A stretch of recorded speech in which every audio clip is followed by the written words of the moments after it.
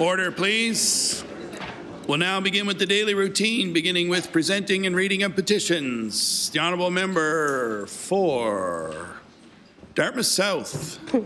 Thank you, Mr. Speaker. Uh, I beg leave to uh, introduce a petition entitled We the Undersigned, the operative clause of which is We the Undersigned call on the Government of Nova Scotia to take action to protect the Dartmouth Lakes by exercising its legislative authority over water resources, including lakes, providing provincial oversight and leadership in ensuring the health of these precious natural resources and recreational and economic assets of the Dartmouth community, and working with the Halifax Regional Municipality to include improve lake conditions. Uh, there are 283 signatures affixed, and I have affixed my name as well. Petition is tabled. The Honourable Member for Sackville Cobequid. Thank you, Mr. Speaker. Mr. Speaker, I beg leave to table a petition with the operative clause being, we, the undersigned, call on the province of Nova Scotia to immediately improve access to affordable housing for seniors and for residents on fixed income in Sackville. This petition has a total of 343 signatures, and I have affixed my own. Thank you, Mr. Speaker. Petition is tabled. The Honourable Member for Cole Harbour Eastern Passage. Thank you, Mr. Speaker. I beg leave to table a petition with the operative clause being we, the undersigned, request that the Government of Nova Scotia, and in particular the Department of Health and Wellness, commit to the residents of the constituency of Cole Harbour and Eastern Passage that they will provide immediate funding for a collaborative health centre in our community. And we, the undersigned, also request that the Department of Health and Wellness commit to the residents of Cole Harbour and Eastern Passage that our region be given priority for the creation of the next collaborative health centre in Nova Scotia. I have uh, fixed my signature as per, the, as per the requirements of the House. The petition is tabled. The Honourable Member for Cole Harbour Eastern Passage. Thank you, Mr. Speaker. There are 1,249 signatures. The Honourable Member for Dartmouth North. Thank you, Mr. Speaker. I beg leave to introduce a petition. The operative clause uh, is as follows. We request that the province initiates a systemic, systematic Vision Zero approach to identify provincial laws which contribute to unsafe road conditions for vulnerable road users and laws that will reduce those dangers. We request the province initiates a Vision Zero road safety strategy which uses statistical evidence to determine common causes of incidents. The strategy should identify evidence-based suitable countermeasures and provide provide a budget for their deployment. Uh, there are 21 signatures, and I have affixed my own. Thank you. Petition is tabled. Presenting reports of committees. Tabling reports, regulations, and other papers. As Speaker of the House of Assembly and pursuant to Section 18.4 of the Auditor General Act, I am pleased to table the Auditor General's financial report for October 2019. The report is tabled. Statements by ministers. Government notices of motion. The Honourable Premier. Uh, Mr. Speaker, may I do an introduction before? Permission granted. Mr. Speaker, I'd like to draw the attention of those to the East Gallery where, where we are joined today by Alfred Burgesson. Alfred dedicated much of the time working for several organizations in Halifax to ensure uh, that young Nova Scotians can grow and thrive here and to make sure that their voices are around the table. And I would ask Alfred to rise so that he could receive the warm welcome of the host.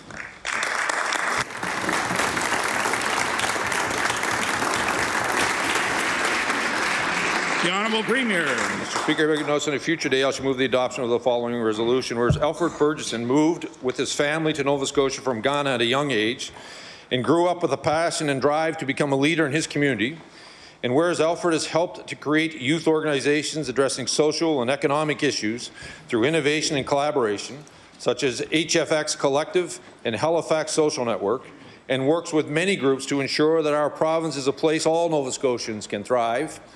And whereas this past July, Alfred was appointed to serve on the Prime Minister's Youth Council to work alongside other young Canadians to provide their perspective on issues and challenges facing their communities, Therefore, it be it resolved that all members of this House of Assembly join me in congratulating Alfred Burgesson on his appointment to the Youth Council, as well as to recognize him for the impact he's had on Nova Scotia and the positive example he's setting for all Nova Scotians in our province. Mr. Speaker, I ask for waiver of notice and passage without debate. There has been a request for waivers. It agreed? agreed. It is agreed. Would all those in favour of the motion please say aye. aye. Contrary minded, nay. The motion is carried.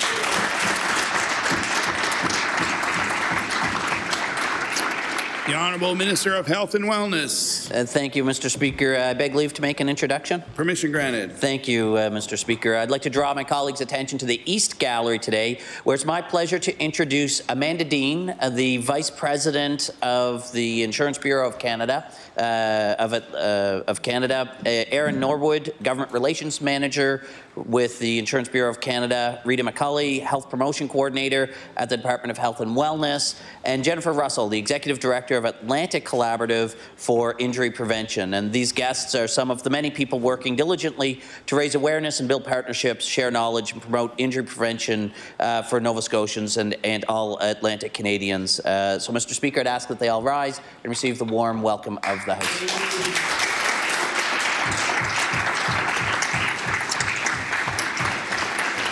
The Honourable Minister of Health and Wellness. Mr. Speaker, I hereby give notice that on a future day I shall move the adoption of the following resolution. Whereas preventable injuries have a significant impact on Nova Scotians and Nova Scotia's healthcare system, and whereas the majority of injuries are preventable, and whereas the Atlantic Collaborative on Injury Prevention, the Community Against Preventable Injuries, and other partners recently launched a campaign to help change attitudes and behaviours around preventable injuries, therefore be it resolved that all members of this House recognize preventable injuries as a serious health issue and commend the efforts of ACIP and partners in raising awareness and working to minimize preventable injuries at home, at work, on the road, and at play. Mr. Speaker, I request waiver of notice and passage without debate. There has been a request for waivers. Is it agreed? It is agreed. Would all those in favour of the motion please say aye. Contrary minded, nay. Motion is carried. The Honourable Minister of Fisheries and Aquaculture. Thank you, Mr. Speaker. I hereby give notice on a future day I shall move the adoption of the following resolution. Whereas the Nova Scotia Fisheries and Aquaculture Loan Board is a development agency that acts to build a financial, stable, and sustainable fisheries base in Nova Scotia. And whereas for many years the fishing industry has been seeking improvements to the loan board's programs, including more streamlined processes and reduced application fees. And whereas by working closely with the industry, government has responded to industry requests to offer new loan products, lower interest rates, lower service fees, and shorter processing times for large loans and longer amortization requests. Therefore, be resolved, the House of Assembly recognize that an improved Nova Scotia's Fisheries Loan and Aquaculture Loan Board now has a record number of clients and has helped Nova Scotia fishing exports reach a record $2 billion plus in 2018. Mr. Minister, uh, Mr. Speaker, I mean, I ask waiver of notice and passage without debate. There has been a request for waivers. Is it agreed? It is agreed. Would all those in favour of the motion please say aye. Contrary minded, nay. The motion is carried. The Honourable Minister of Health and Wellness on an introduction. Thank you, uh, Mr. Speaker. I'd like to draw my colleagues' attention to, uh, to uh, your gallery, uh, where we have today uh, some uh, special guests from Antigonish, and I'd ask that they uh, rise as I uh, recognize them. Uh, Jeff Teasdale. Uh, Jeff is the Executive Director of the Canadian Association for Community Living in Antigonish, and honestly, just an all-around great guy. Gary Kell is a well-known arm wrestling champion and entrepreneur, and I look forward to hearing of Gary's accomplishments that are going to be shared with the House in just a moment. And I believe Trevor uh, Senapa is an arm wrestling coach from, I believe, Lower Sackville is joining them here today as well. So if they could please, my colleagues, give them a warm welcome.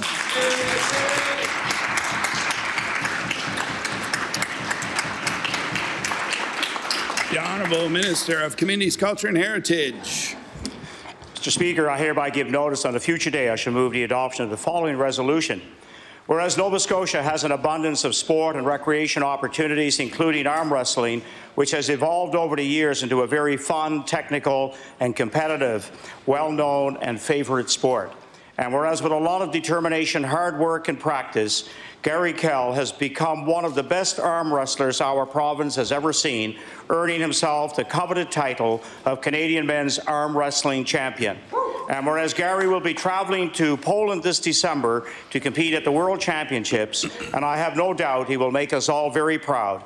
Therefore, be it resolved that all members of the House of Assembly congratulate Gary for his excellence in the sport of arm wrestling and wish him the best of luck as he represents our country on the world stage. Mr. Speaker, I request waiver of notice Passage without debate. There has been a request for waivers. Is it agreed? It is agreed. All those in favor of the motion, please say aye. Contrary minded, nay. The motion is carried.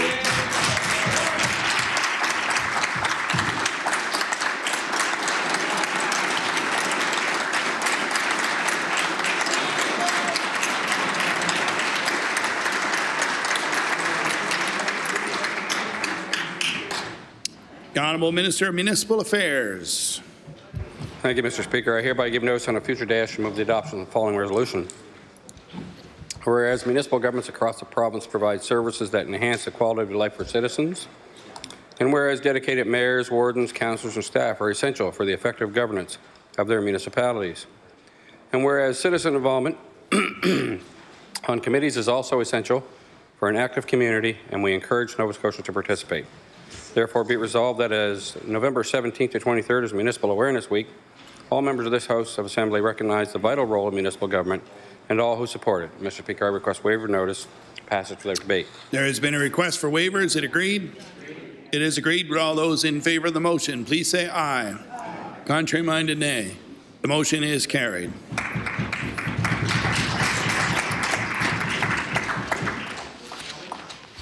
The Honourable Minister of Community Services. Thank you, Mr. Speaker. I beg leave to make an introduction. Permission granted. I'd like to draw my colleagues' attention to the East Gallery, where we are joined today by some special guests from Bonny Lea Farm. Joining us today is David Outhouse, the Executive Director, and Liz Finney, who is the Fund Development Coordinator. Uh, I recently had a lovely visit to uh, Bonny Lea Farm, and I would ask members of this House to join me in giving our guests a warm welcome.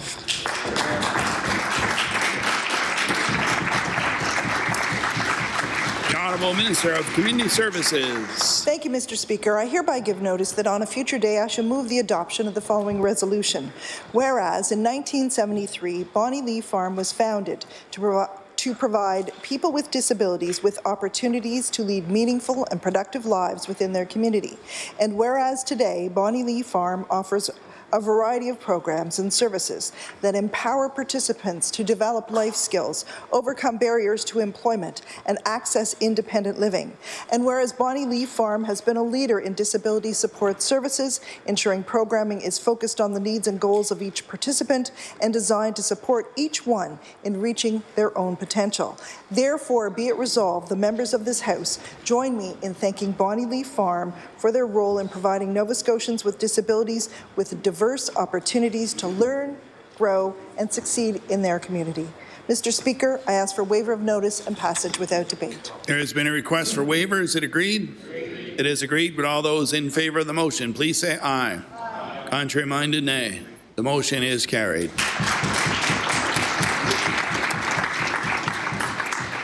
The Honourable Minister of Acadian Affairs on an introduction. Thank you, Mr. Speaker. Uh, Monsieur le Président, je voudrais attirer votre attention et celle de tous mes collègues uh, de l'Assemblée sur la galerie Est. Uh, in the Gallery East, uh, we have with us today a group of 21 grade 7 students uh, from uh, l'école Mer et Monde du Conseil scolaire acadien provincial sur la péninsule de Halifax. And they are accompanied today uh, avec leur enseignante, uh, their wonderful, excellent teacher, Madame Anne-Sophie Lennes Frigon, et also with Mr. David Richardson. I'm just going to need read all 21 names and ask them to stand. Um, here we go. Crépin Atiwoto, Madeleine Bakey, Zoe Bakif, Sophia Black, Michaela Bona, Sasha De Vred, Harlow Diamond, Aiden Gauguin, Lucas Lay, Cosette Leblanc, Alex Lishanok, Ainsley Lewis, Owen Little, Maria McDougall, Augustin Monge, Ethan Peng, Tegan Richardson, Travian Richardson, Samuel Van Buskirk, Patrick Villeneuve, Aurelia Muluba. Ces élèves sont venus à l'Assemblée législative pour un tour guidé en français et pour apprendre plus de nos institutions. They've come to our legislature to learn, uh, to get a guide, the tour in French, and to learn about our legislation. So I ask all my colleagues to please give them the warm welcome of the House.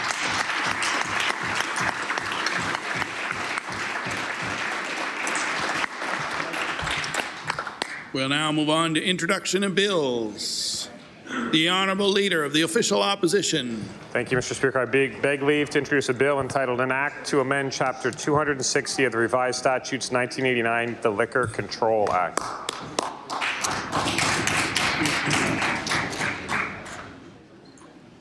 The Honourable, excuse me, the Honourable Leader of the Official Opposition begs leave to introduce a bill entitled An Act to Amend Chapter 260 of the Revised Statutes 1989, the Liquor Control Act. Bill number 217, entitled An Act to Amend Chapter 260 of the Revised Statutes 1989, the Liquor Control Act. Ordered that this bill be read a second time on a future day. The Honourable Member for Sydney River, Mira-Louisbourg. Thank you, Mr. Speaker. I beg leave to introduce a bill entitled An Act to Preserve the Independence of Student Unions.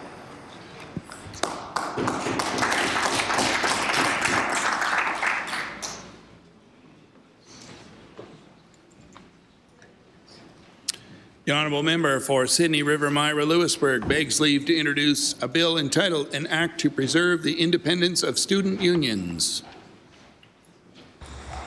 Sorry. Bill number 218, entitled An Act to Preserve the Independence of Student Unions. Ordered that this bill be read a second time on a future day. We'll now move on to gov- uh, notices of motion. Statements by members. The Honourable Member for Clare Digby. I beg leave to do an introduction. Permission granted. I'd like to bring the attention of the House to the East Gallery. We're joined here today by a group of grade nine students from the Meteghan High School. Uh, this group of students are accompanied by a teacher and uh, another member of the community. They're here to uh, lobby the government on behalf of their group on bilingual signs.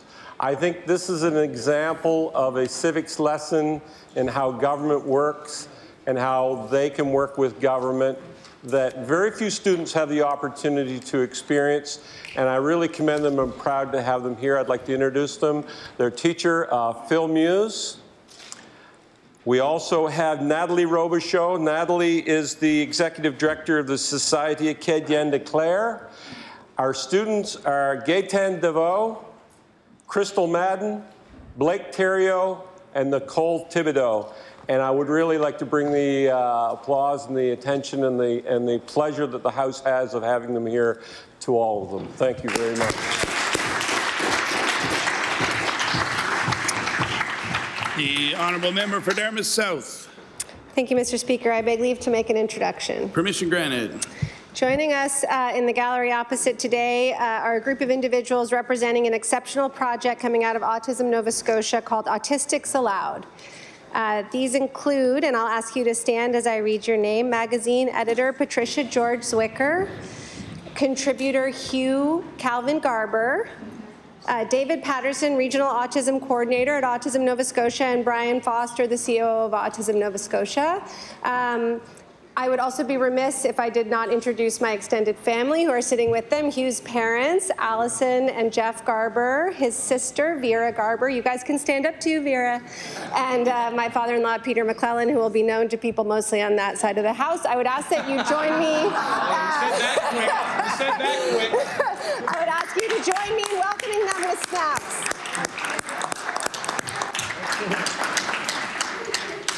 snaps. The Honourable Member for Dartmouth South. Thank you, Mr. Speaker. Mr. Speaker, I rise today to acknowledge one of Autism Nova Scotia's longest running initiatives, Autistics Aloud, and to congratulate them on the recent release of Edition 1 in the new Lifespan series. Autistics Aloud is a grassroots publication uh, which will have been handed out to many members that provides a platform for autistic Canadians to share a first voice perspective on autism. through stories, poems, photography, and art. As the name Lifespans implies, the contributors are children, teenagers, adults, and seniors who have shared their vision for a more inclusive community. The youngest contributor is my 10-year-old nephew, and the oldest is the 50-year-old editor, which provides many different perspectives throughout the magazine. Over the next three years, Autism Nova Scotia will publish nine more editions of Lifespans that will explore themes such as mental health, sexuality, and housing through a uniquely autistic lens. The copy of the magazine in front of you is yours to celebrate and share. And I'd ask again that we celebrate uh, these folks by snapping. Thank you. The honourable member for Fairview Clayton Park. Thank you, Mr. Speaker. I beg leave for an introduction. Permission granted. Thank you. If I could bring everyone's attention to the East Gallery, where we are joined today by a very famous constituent of mine, Wayne Little, along with his um, wife Sharon, his mom Florence, and his son Matt. If I could ask them to raise and receive the warm welcome of the House. The honourable member for Fairview Clayton Park. Thank you, Mr. Speaker. Mr. Speaker, I rise today to celebrate a well-known constituent of Fairview Clayton Park whom many would recognize from Shoppers Drug Mart, Shoppers Drug Mart on Joseph Howe Drive. Wayne Little, co-owner, pharmacist, and more importantly, my human reminder to get a flu shot every single year, was born and raised in St. John's, Newfoundland. Wayne graduated from the College of the North Atlantic in 1982 and has owned Shoppers for over 10 years and continues to provide advice to patients on a daily basis. In his spare time, Wayne leads a healthy lifestyle as an avid cyclist and swimmer. While September 25th marked World Pharmacist Day, I would like to thank and celebrate Wayne for providing many community members, including myself, with incredible care and advice. Thank you, Mr. Speaker. The honourable member for Pictou West. Thank you, Mr. Speaker. I rise today to congratulate Ryan McDonald of Green Hill on his third Olympic race win at the Mel Murby Triathlon. He finished the race in 2 hours, 6 minutes, and 2 seconds, beating his strongest opponent by almost 6 minutes. The race consists of a 1.5 kilometers of swimming, 40 kilometer bike ride and a 10 kilometer run. The race occurred in the middle of a heat wave this year, making the event even more challenging. I admire Ryan for his dedication to fitness and his love for competing in such an intense race. I hope to be able to watch Ryan continue to succeed in something that he enjoys so much. To achieve such an incredible time in an Olympic race is truly something to be proud of. Thank you, Mr. Speaker. The honourable member for Dartmouth South. Thank you, Mr. Speaker. Mr. Speaker, I beg leave to make an introduction. Permission granted. Uh, in, the in, the gallery opposite, I'd like to uh, draw the members' attention to the hardworking staff at the Clean Foundation. Uh, we're joined today by uh, Lauren Murphy, uh, Scott Skinner, and two of their colleagues whose names I don't have on the sheet in front of me, but please stand and enjoy the warm welcome of the House. The honourable member for Dartmouth South. Thank you, Mr. Speaker. I'd like to recognize the contributions of my friend and Dartmouth South resident Lauren Murphy in the development of the green economy. Lauren is the manager of education and internships at the Clean Foundation. She and her team recently completed the eighth season of the Clean Leadership Summer Internship Program, placing 73 students in workforce integrated learning positions with 56 organizations across the province. 51 of these were in rural areas outside of HRM, and 43 interns represented underserved populations in Nova Scotia. This program was strongly supported by various provincial government departments, including Environment, LAE, Aboriginal Affairs, Energy and Mines, as well as by partners including Divert Nova Scotia and Indigenous Skills Canada. Lauren and her team at CLEAN also deliver the federal government's Science Horizons program, which provides wage subsidies for graduate internships in the clean economy across the country. In the past three months, they've secured positions for nearly 100 graduates, including 37 here in Nova Scotia. Lauren also sits on the Halifax Chamber of Commerce's Accessing the Skilled Workforce Task Force. She has become a driving force in creating opportunities for youth in the clean economy, which is vital to our future in Nova Scotia. Please join me in celebrating Lauren's achievements and wishing her well as she presses on in the important work of helping Nova Scotia transition to a green economy. Honourable member for Colchester North. Uh, thank you, Mr. Speaker. The Wilson Family Scholarship Program started in 2009 as part of Wilson's 10-year celebrations. The scholarships are awarded yearly to those who have achieved success at school or in a trade and are involved with other communities through volunteering, sports, or the arts. A permanent scholarship was added in memory of Jonathan McIntyre, son of Linda McGill, longtime employee of Wilson's, who died in a tragic accident.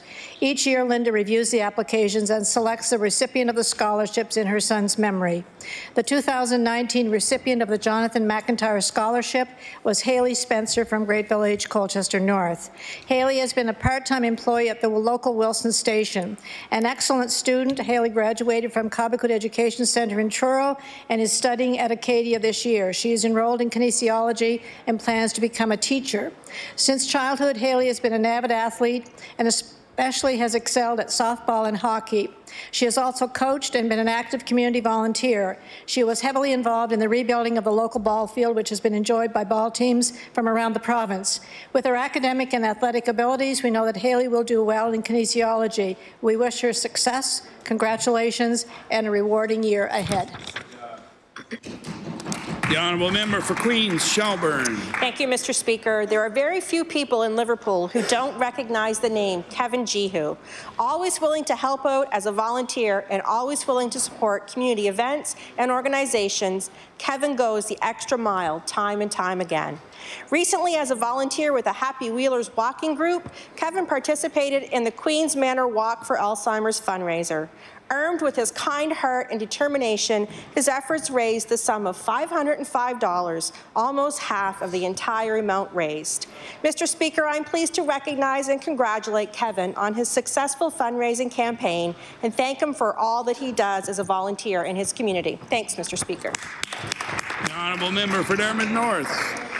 Mr. Speaker, on July 26th of this year, Ocean Breeze residents Tim Gotchell and Devin Moore woke up to hateful homophobic uh, slurs spray painted on the wall outside of their apartment. This terrible act was made all the more bitter as it took place during Pride Month in the HRM.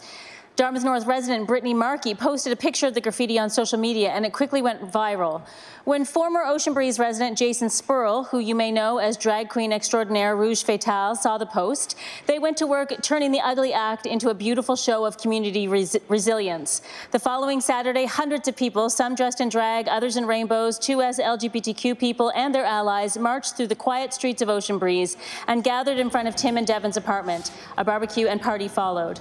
I rise today to express my gratitude to Jason, all of the organizers, and everyone who attended the stroll through Ocean Breeze proving that there is no room for hate, homophobic or otherwise, in Dartmouth North. The honourable member for Clayton Park West. Thank you, thank you Mr. Speaker. I would like to, um, uh, I beg, uh, I beg leave to make an introduction. Sorry. Permission granted. Uh, we have with us here my amazing CA who has been with me for 15 months and this is the first time that I introduce her uh, officially at the House and welcome her. She has been an amazing, competent, compassionate, and I don't know how much more work this woman can do, but we achieved so much in the last 15 months thanks to Zaina Claimy, who is um, the best addition to Clayton Park West uh, office, uh, MLA office. And with us, with her as well, we have Gail Scarola, my casual staff, who they both are uh, the best team. And I think when I say that you surround yourself by intelligent, strong women, you can achieve so much more. Thank you. Thank you. The honourable member for Preston Dartmouth. Thank you, Mr. Speaker. Mr. Speaker, would like to recognize Tyler Simmons of North Preston, a filmmaker, artist, writer, peer support worker, and entrepreneur from North Preston. He uses creative talents to inspire others. He is a public speaker and filmmaker, speaking openly about his experience with mental illness, reminds people that recovery is possible.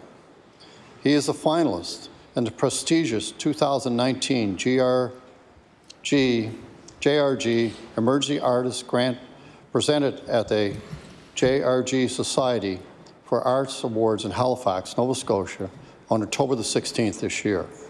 I recognize and congratulate Tyler Simmons for achieving this high level of professionalism in advocating for those with mental illness and wish him every success in the future. The Honourable Member for Cumberland North. Thank you, Mr. Speaker. I rise to recognize the importance of the forestry sector in Cumberland North and would like to specifically honour one of our leaders in the forestry industry, Mr. Darren Carter. Darren Carter started going to the woods with his father when he was 12 years old, and at 16 started running a skidder full-time. At the age of 21, he started his own business with a few power saw men and a machine. In 1988, he mechanized his business, and now, 34 years later, Darren Carter has 20 employees and working 13 machines. His forestry business cuts an average of 120,000 tons a year.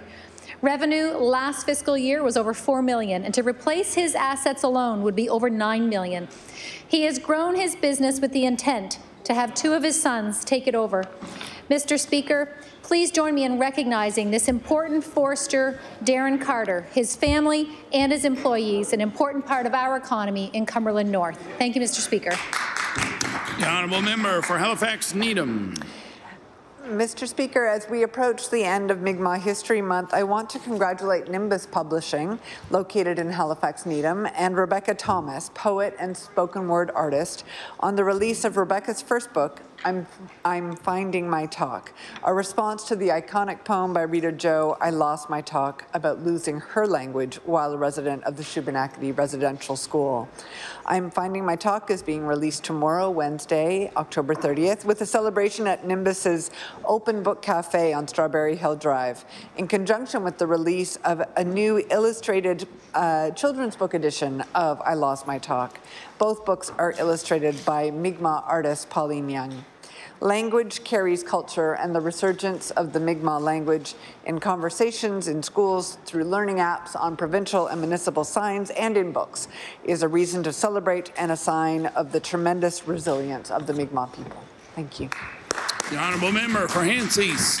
Thank you, Mr. Speaker. I rise in my place today to celebrate Kabat al-Issa, his wife Gina, and their son Jano, who arrived in Nova Scotia in October of 2016 as refugees from Syria. Kabat studied tailoring at the Al Mamoun International Center in Syria, from buttons to zippers, making something a little more custom fit or mending canopies. For him, no job is too big or too small. His work is professional, tidy, and completed in a timely fashion with a little Syrian flair. Tailoring is a passion for Kabat, and his cousin, owner of Razan's tailor shop in Bridgewater, has aided, mentored, and encouraged the Issa family to get settled in Canada. Razan also assisted Kabat in getting his tailoring shop opened in Enfield. Kabat is very thankful to the community of Enfield and those who have helped and supported him along the way of getting the Jano Enfield Tailor Shop up and running. While his English is improving every day, it's still a work in progress. Kabat expresses his gratitude the best way he can. A welcome smile and thank yous are evident as soon as you walk in the shop. Mr. Speaker, Kabat is very thankful to be in Canada as we are to have him. Um, he loves the people, the friendliness, being able to work, the culture, the seasons, but mostly how his son can experience a healthy life and get an education and be anything he wants to be. Thanks to Kabat for moving to, to Canada. We certainly appreciate him. Thank you, Mr. Speaker. The honourable member for Cumberland South. Thank you, Mr. Speaker. Mr. Speaker, I rise today to congratulate and thank Alan Shepard from Advocate Harbour in his fight against beach pollution along the shorelines of his community.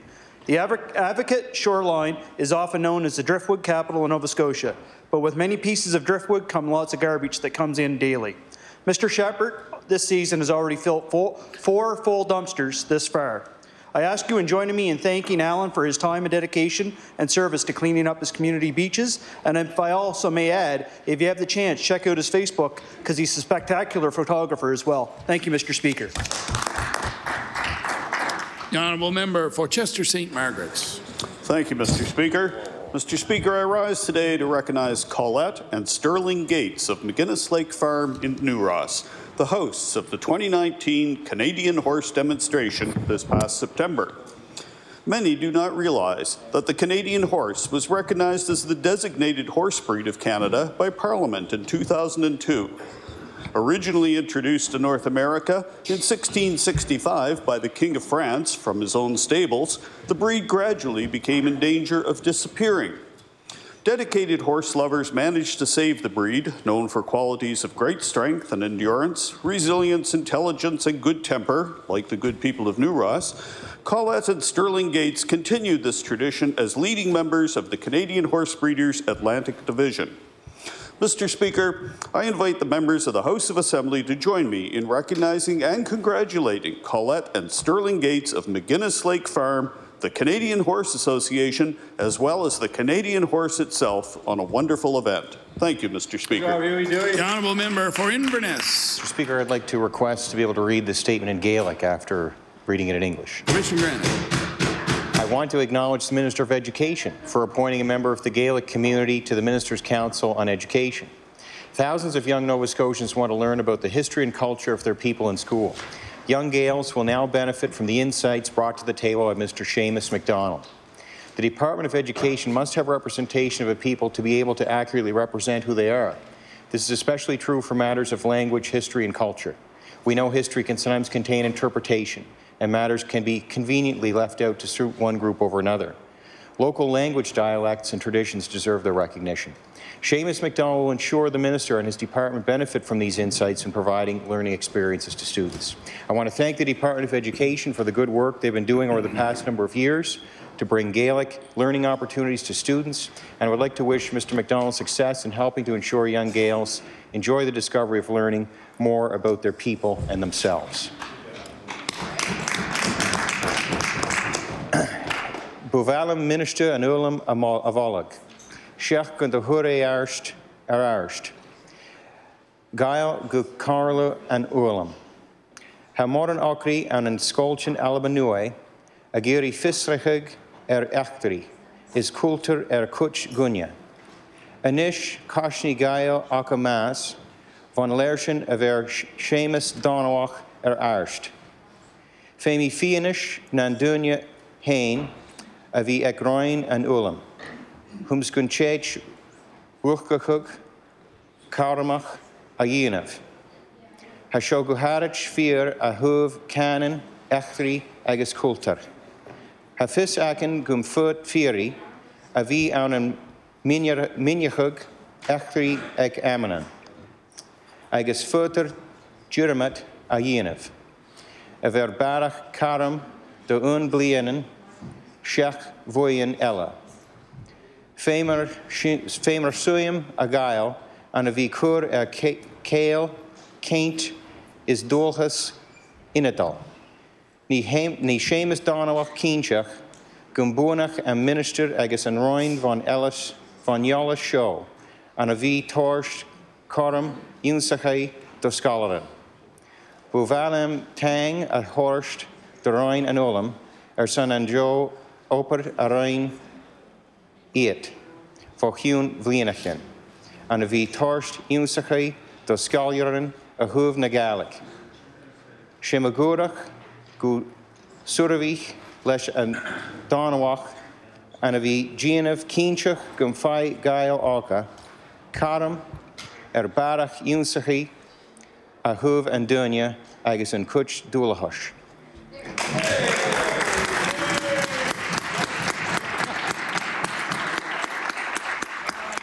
The honourable member for Guysborough Eastern Shore, Tracadie.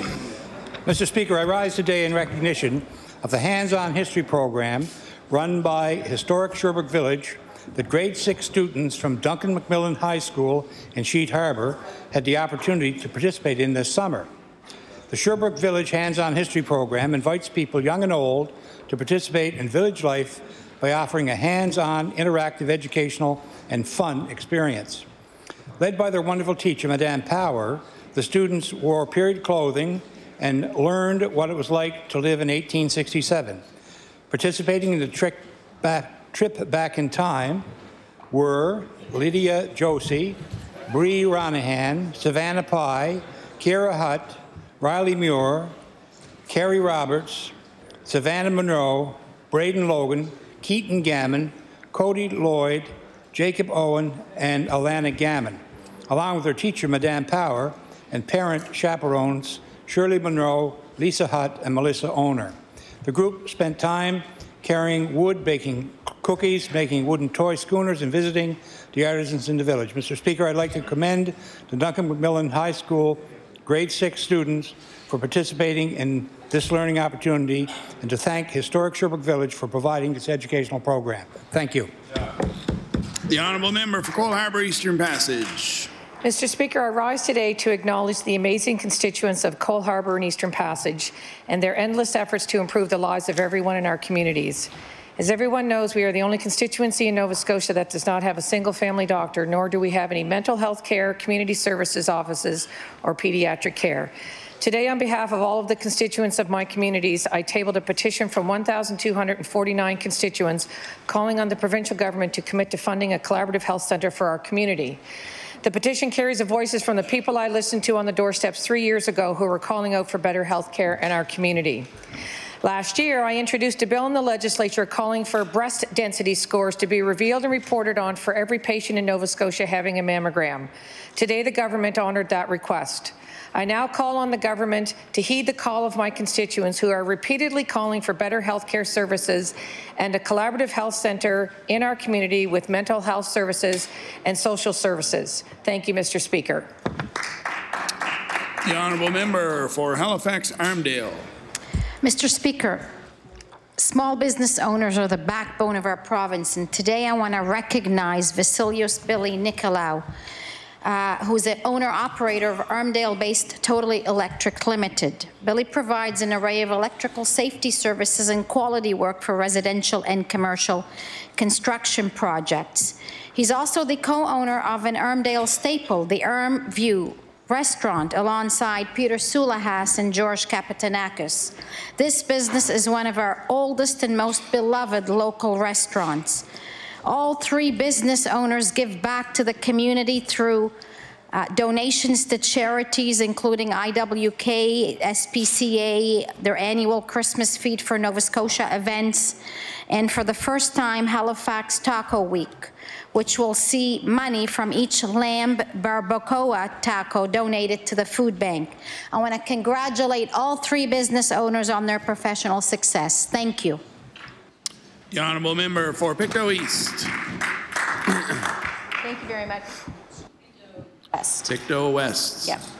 Thank you, Mr. Speaker. I want to acknowledge and congratulate Sherry Muir and her daughter, Scotia McDonald of Scottsburn, for being awarded Miss Nova Scotia International 2019 and Miss Teen Nova Scotia International, respectively.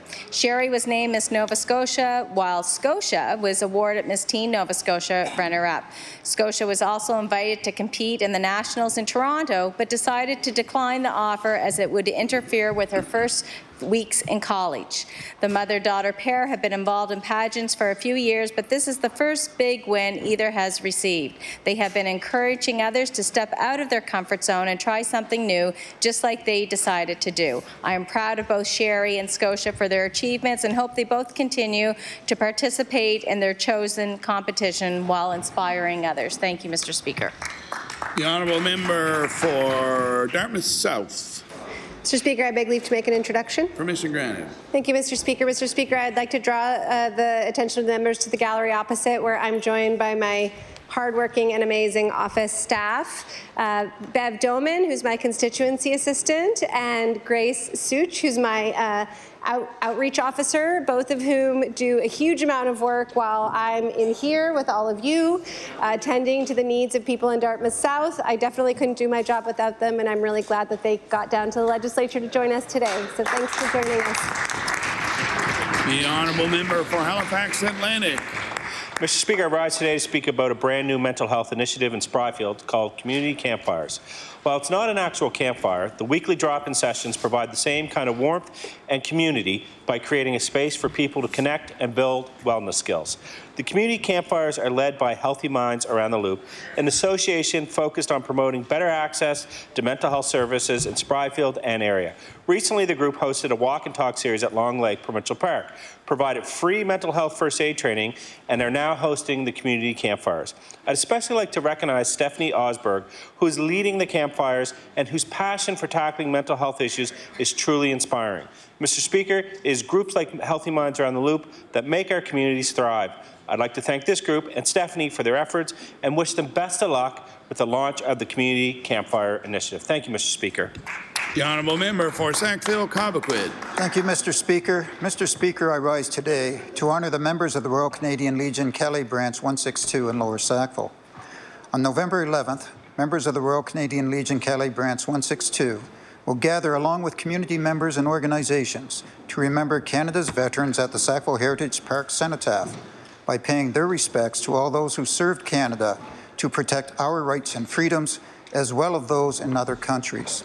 Mr. Speaker, I would like to ask that all members of this House of Assembly join me in thanking the members of the Royal Canadian Legion Kelly Branch 162 and all Royal Canadian Legion members for, for their dedication and commitment year after year to ensure we honor and show our gratitude to the men and women who served and in some cases paid the ultimate sacrifice so that we can enjoy the freedom that we do today. Thank you, Mr. Speaker.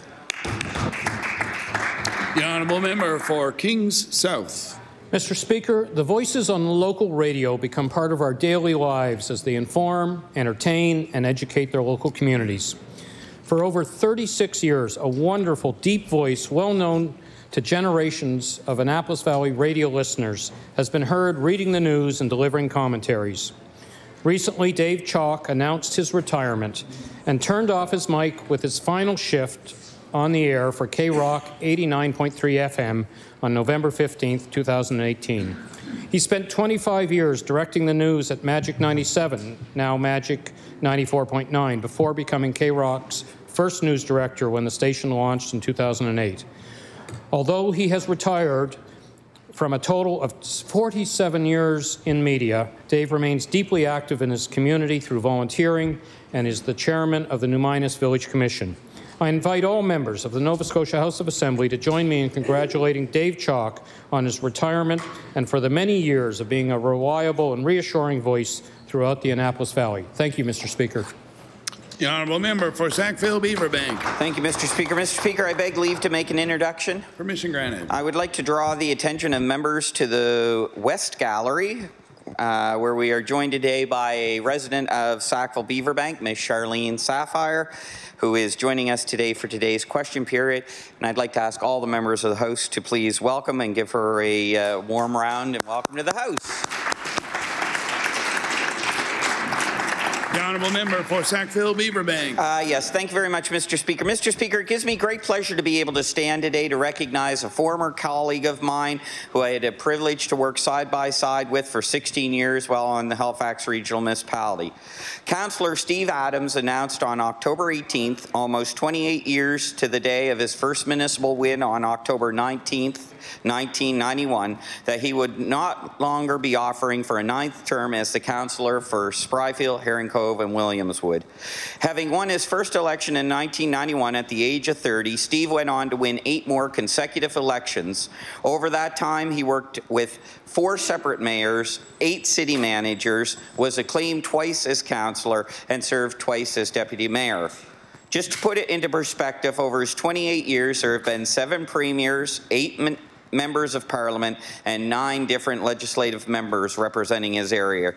Councillor Adams has always been a hard-working and strong advocate for the residents of Spryfield and Herring Cove, and some of his many achievements include the parks, playgrounds, and paving projects throughout the community, community centres, the construction of a new fire hall for Herring Cove, and a new one coming to serve Williamwood. Mr. Speaker, to say that I have the utmost respect and admiration for Steve would be an understatement. Not only do I consider him a former colleague and mentor, but also a friend. I ask the members of the Nova Scotia Legislative Assembly joining me in wishing Steve all the best as he moves to his next phase of life. And on behalf of his residents and friends, I want to thank him for his years of service. Thank you. Member for Yarmouth. Thank you very much, Mr. Speaker. Coastal Financial Credit Union has purchased and donated a home in Yarmouth to provide housing for potential family doctors in our community. Working with the Yarmouth and Area Chamber of Commerce, our community navigator, our municipal units, and the province, Coastal Financial Credit Union recognized that many doctors have to continue paying rent or mortgages in their former locations and took the initiative to find a solution to this added financial stress by providing a free place to live while studying and working in Yarmouth. The house, just a short walk to Yarmouth Hospital, will provide three units for resident, resident doctors to live and also one unit with three bedrooms and common living area for medical students that are here temporarily. Coastal Financial Credit Union's amazing act of generosity and community spirit has inspired other businesses to donate their products and services to this house, including a free kitchen design, an offer to fill the fridge, free paint, an electrical upgrade, landscaping, and much more. I ask this House to join me in thanking Coastal Financial Credit Union for this truly inspiring and unprecedented act of generosity and vision and for its unwavering dedication to our community, as well as the Yarmouth and Area Chamber of Commerce, our municipal governments, and the province for supporting doctor recruitment in our community. The honourable member for Dartmouth East. Thank you, Mr. Speaker. I rise today to recognize the outstanding volunteers who organized the St. Thomas More 2019 Fall Fair. On Saturday, October 26th, I had the opportunity to visit this fall fair with my family. We were treated to a great lunch and had a chance to purchase some books and arts and crafts. Mr. Speaker, I want to thank the Knights of Columbus and Catholic Women's League of Christ the King Parish for their support of this fall fair. Many residents of Dartmouth have been attending this fall fair for decades and look forward to it annually. Proceeds raised go to support the community and the parish.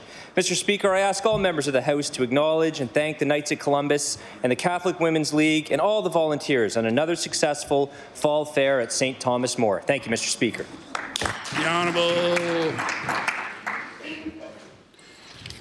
Thank you very much for those member statements. Just before we move on to question period, I want to remind all members once again we're going to continue on in our vein from Friday. There will be zero tolerance for any unsolicited remarks or comments. If I do hear any, you will be politely asked to remove yourself from the chamber for the balance of question period. We will now move on to oral questions put by members to ministers. The Honourable Leader of the Official Opposition.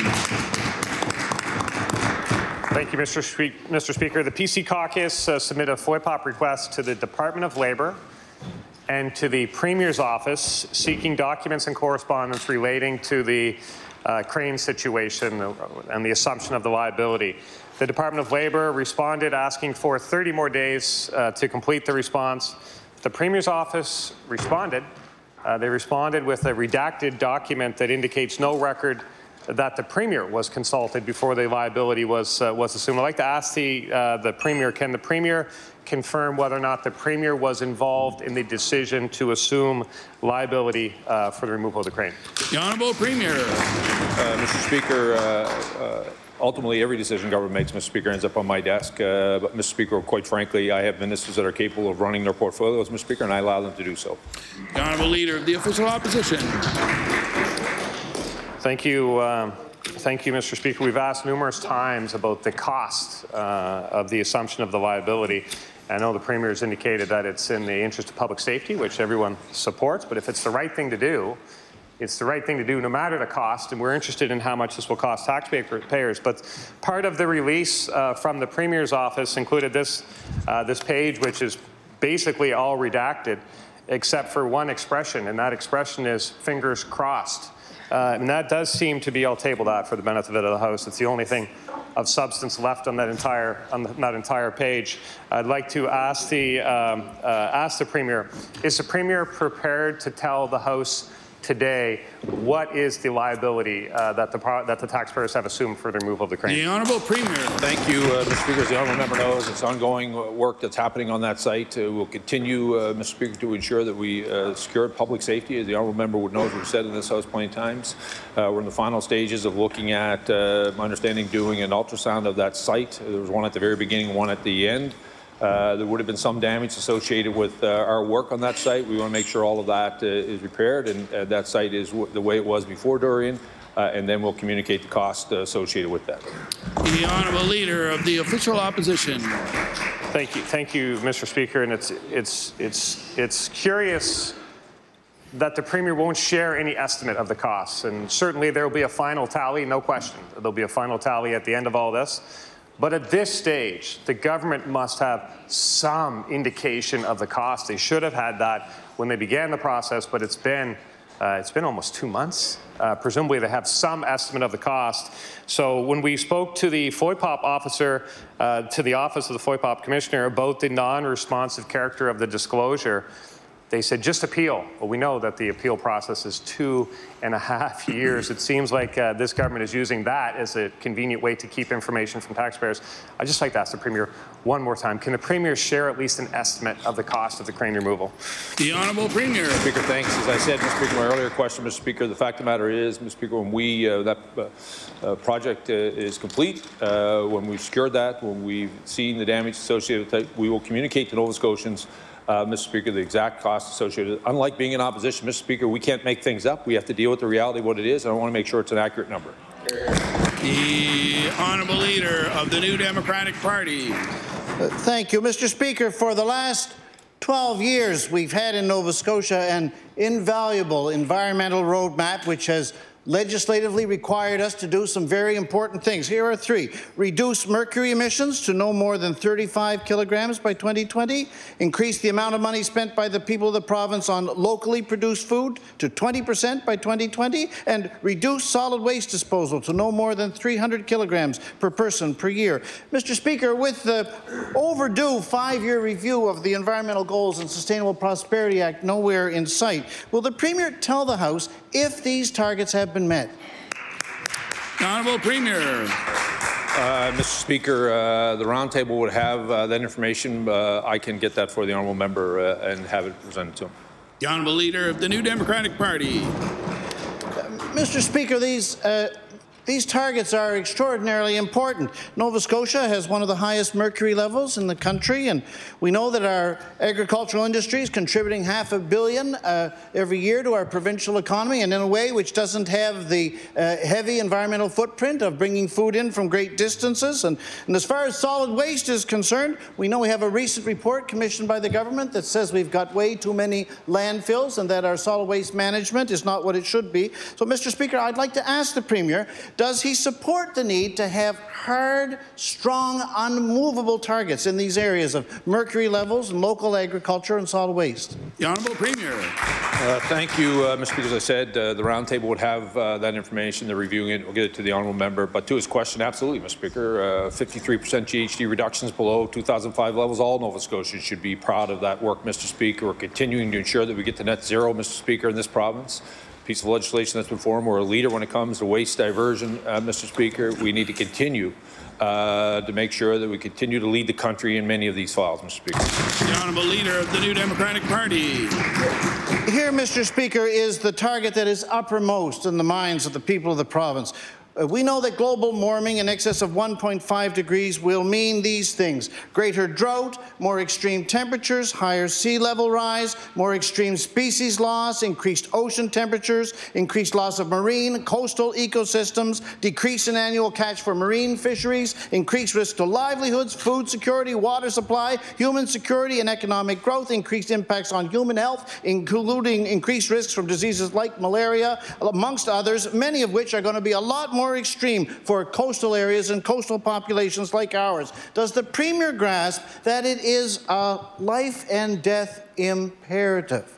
that global warming be kept within 1.5 degrees. The Honourable Premier. Absolutely, Mr. Speaker. That's why we have uh, the most aggressive targets in the country, Mr. Speaker. It's why we will continue to have uh, those targets, Mr. Speaker. We also see, Mr. Speaker, we, ne we need economic growth and job creation. Uh, in, in efficiency Nova Scotia alone, there's 1,400 jobs associated with our collective march towards ensuring that we green up this province, Mr. Speaker.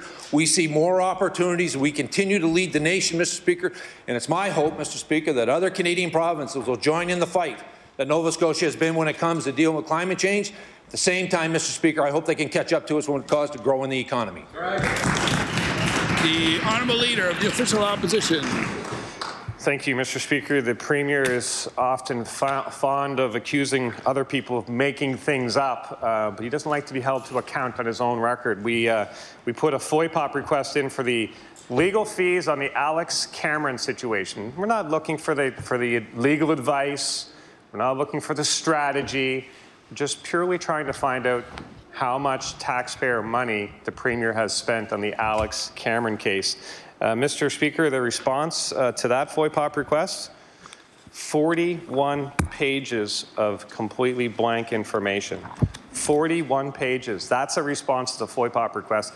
I'd like to ask the Premier, is 41 blank pages an appropriate response to a FOIPOP request? To table that for the benefit of the House. The Honourable Premier. Mr. Speaker, our, our, record is one of growth, Mr. Speaker. The highest population in the history of the province, Mr. Speaker. More young people choosing to live, Mr. Speaker, in this province, seeing an economic future for themselves, Mr. Speaker. The honourable members may want to laugh, but young Canadians and young Nova Scotians are actually, Mr. Speaker, taking the choice to live in this province and create good jobs, Mr. Speaker. It might be a laughing matter for the honourable member. The fact of the matter is, it's creating good opportunities for our sons and daughters to be able to see a future for themselves here, Mr. Speaker. I want to remind the honourable members, under both the Conservative and New Democratic Party, Mr. Speaker, more young people were leaving this province than were staying, Mr. Speaker. We've seen them choose the opposite, Mr. Speaker. More young people are living in Nova Scotia, working and creating job opportunities. That's a record, Mr. Speaker, young Nova Scotians are proud of. The Honourable Leader of the Official Opposition. Mr. Mr. Speaker, I would love to debate the Premier on his record on the immigration file. It is horrendous when you compare it to Manitoba, Saskatchewan, Prince Edward Island. Those are places that can claim success on what's happened. Nova Scotia's population is the highest it's ever been, despite the efforts of this government. But returning to the matter at hand, Mr. Speaker, 41 pages withheld. 41 pages blank information responding to a FOIPOP request. That's the question the Premier doesn't want to answer because he knows it's a question that can't properly be answered. There's no answer for something like that. Why does the Premier continue to send course, uh, cases to court after court after court instead of just releasing information that should be released? Even the courts uh, the court reminded, uh, court reminds Nova Scotia it is bound by the rule of the law in its decision on the ombudsman's case. I'll table that for the benefit of the Premier too. Premier, follow the laws of the land and release the information. Why won't you? The Honourable Premier. Speaker, the honourable member may be against immigration, Mr. Speaker, but the fact of the matter is, Mr. Speaker, he can dismiss all he wants, Mr. Speaker, the fact that we are at an all-time high when it comes to our population, Mr. Speaker. Not only welcoming new... Order, please. The honourable member for Pictou East will excuse himself from this chamber. The Honourable Premier. Mr. Speaker, Mr. Speaker, he can deny the fact that we're welcoming more uh, new Nova Scotians and new Canadians, Mr. Speaker. He can deny the fact that more young people are choosing to live and work in this province. The reality of it is our population is at an all-time high, Mr. Speaker. And I want to remind the honourable member, Mr. Speaker, when a federal Conservative Party was in power, Mr. Speaker, they held us to 500 nominees, Mr. Speaker. We are now at 1,400 with 2,000, Mr. Speaker, immigrants with inside of Atlantic Canada. That is a government, Mr. Speaker, that is changing the dial not only for this province, but Atlantic Canada. The honourable member for Dartmouth North. My, uh, Mr. Speaker, my question is for the Minister of Environment.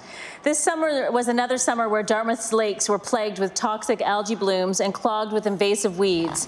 Investigations by our caucus have uncovered that there is not sufficient monitoring by the Department of Environment in Dartmouth's lakes and that we desperately need more science and more cooperation at the provincial level on the problems facing urban lakes.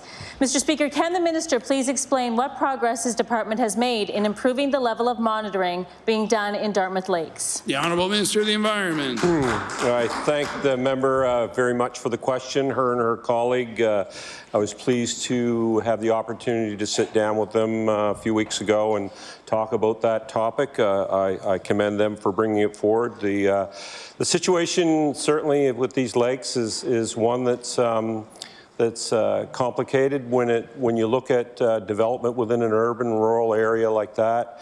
Uh, we within the Department of Environment take that role very seriously. We would like to work with uh, our partners there and ensure that the uh, many people, either the developers, the municipality, and the stakeholders there are informed, and we'll continue to work with them to bring them up-to-date information on the status of uh, those lakes. Thank you. The honourable member for Dartmouth North.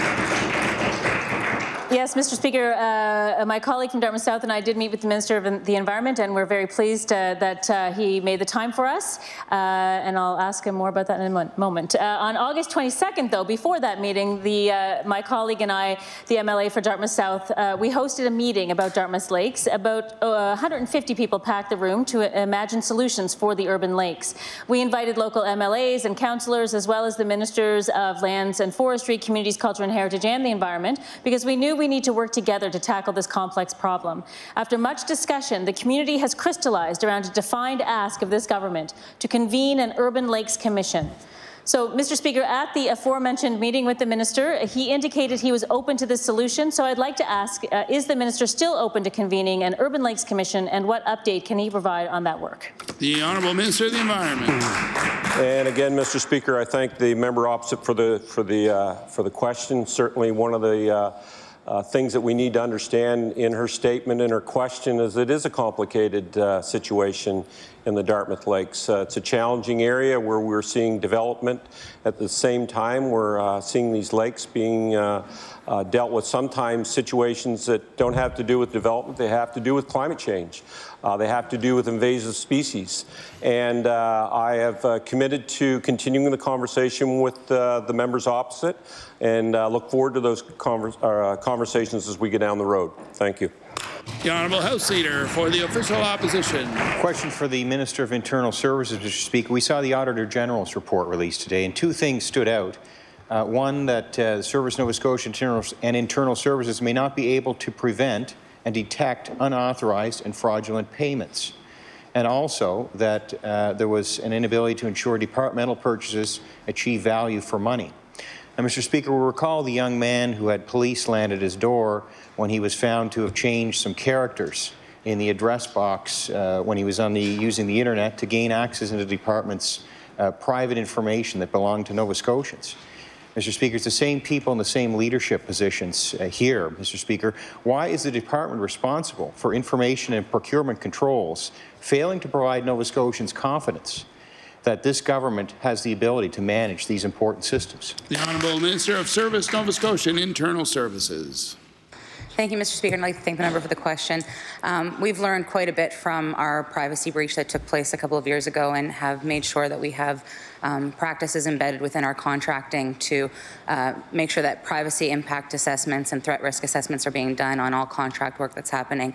We take the audit from the Auditor General and have worked with his, with his office and continue to work with his office to make sure that we are um, finding the deficiencies and working on them to make sure that we comply. Thank you. The Honourable House Leader for the official opposition. Speaker, I want to now turn to the Minister of Transportation also with respect to this report of the Auditor General. Mr. Speaker, I think these are important questions uh, because if we're asking them here in the legislature, we're adding the weight of the legislature behind them. Mr. Speaker, transportation is responsible for some of the biggest projects in this province. Hospitals, roads, contaminated site remediation, but only 11% of staff have completed their fraud training. So, Mr. Speaker, I don't want the Premier to stand up and say that we're accusing those members uh, of the government civil service of fraud. But, Mr. Speaker, uh, you know, I think it, it shows that the government has, has not made this a priority in that department. And my question for the minister, as leader of this department, will the minister accept responsibility, and what will he be doing to correct this? The Honourable Minister of Transportation. Thank you, Mr. Speaker, and I thank the member opposite for the question. Uh, the uh, the issue of uh, integrity in the department is of, of uh, highest importance to us. We have a large number of people. Uh, the uh, process, not all of them have access to uh, computers or familiarity with it. So what we're doing uh, internally is looking at where we're at right now. We're at about 19% in the overall picture. We're at 47% for our senior management and uh, we, will, we will be conducting a process whereby the training will be, be done in a group manner so people can do it uh, uh, in a more accessible way. Thank you. Honourable Member for Dartmouth East. Thank you, Mr. Speaker. My question is for the Minister of Education. As the Minister is aware, the role of uh, educational program assistants are critical to our education system. Gone are the days of an EPA supporting students solely for academics. Mr. Speaker, they serve as nurses, occupational therapists, physiotherapists, counselors, speech therapists, secretaries, and research experts for special needs and behaviors. Mr. Speaker, EPAs are not privy to the full medical information of the students they work with. I've heard stories from EPAs uh, contracting ringworm, impetigo, and even pink eye. As the minister is aware, the right to know is a fundamental pillar of workplace safety. My question is this What steps is the department taking to ensure EPAs have the required information in order to protect themselves and the students they work with and to avoid workplace injury? Thank you, Mr. Speaker. The Honourable Minister of Education. Uh, thank you very much, Mr. Speaker. Of course, we value the role of, of EPAs, uh, depending on what region you're in, TAs. Uh, our educational assistance. That's why we have hired uh, many more to support our students in Nova Scotia. Of course, our priorities to make sure that our schools are safe, not just for the students, but for our staff. And we do have protocols in place from region to region to ensure that the interests of those staff are protected. The honourable member for Dartmouth East. Thank you, Mr. Speaker. I, I, certainly recognize that the government has made investments with the inclusion model, but Mr. Speaker, I'm still hearing uh, the same concerns from EPAs that I did five or six years ago. Now, Mr. Speaker, I served on an occupational health and safety committee at my local high school, and the most common issue uh, that was uh, brought up uh, were injuries and workplace hazards for EPAs. Um, along with those pressures, Mr. Speaker, uh, EPAs are at times assigned too many students at one time. EPAs have told me that the assignments uh, at times do not match their skill set or training. So my question to the minister is this. Why aren't educational program assistants or teaching assistants receiving more professional development so they can better support students with higher needs? Thank yep. you, Mr. Speaker. The Honourable Minister of Education. Thank you very much, Mr. Speaker. In fact, uh, when it comes to the major uh, increase in investments we've made as a, as a government uh, for more uh, EAs, uh, we've also put money aside for professional development. So there are dollars available in the system that can be accessed um, by our, our educational assistants. On top of that, we have hired uh, close to 400 other uh, inclusive education support staff as well, including child and youth care practitioners, uh, behavioral experts, autism experts, uh, more uh, counselors and guidance counselors, more uh, school psychologists. all this to provide the necessary wraparound support to meet the variety of needs that our students have to ensure that they're successful and that all the pressure in, in delivering education uh, to our students isn't solely on the teacher and the educational assistant. The honourable member for Sackville Cobequid. Thank you, Mr. Speaker. Mr. Speaker, it was recently announced that six new projects would be added under the Flood Risk and Infrastructure Investment Program, and I'll table that. As the member for Sackville Cobequid, this announcement was of particular interest because of the Sackville and Little Sackville Rivers expanding floodplains that were recently mapped through HRM. Stormwater management is a huge issue in Sackville, despite significant upgrades in the infrastructure by Halifax Water. When the affordable housing initiatives in the 1960s and 70s was underway, the location for housing was often in floodplains and or serviced with shallow stormwater systems. My question to the Minister of uh, Municipal Affairs is can the minister clarify how recipients were determined and whether any parts of the Sackville floodplain area will receive any of this funding? The Honourable Minister of Municipal Affairs.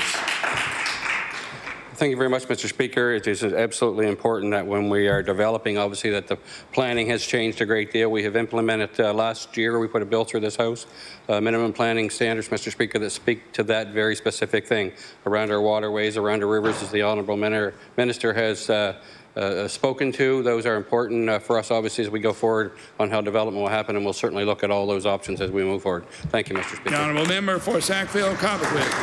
Thank you, Mr. Speaker.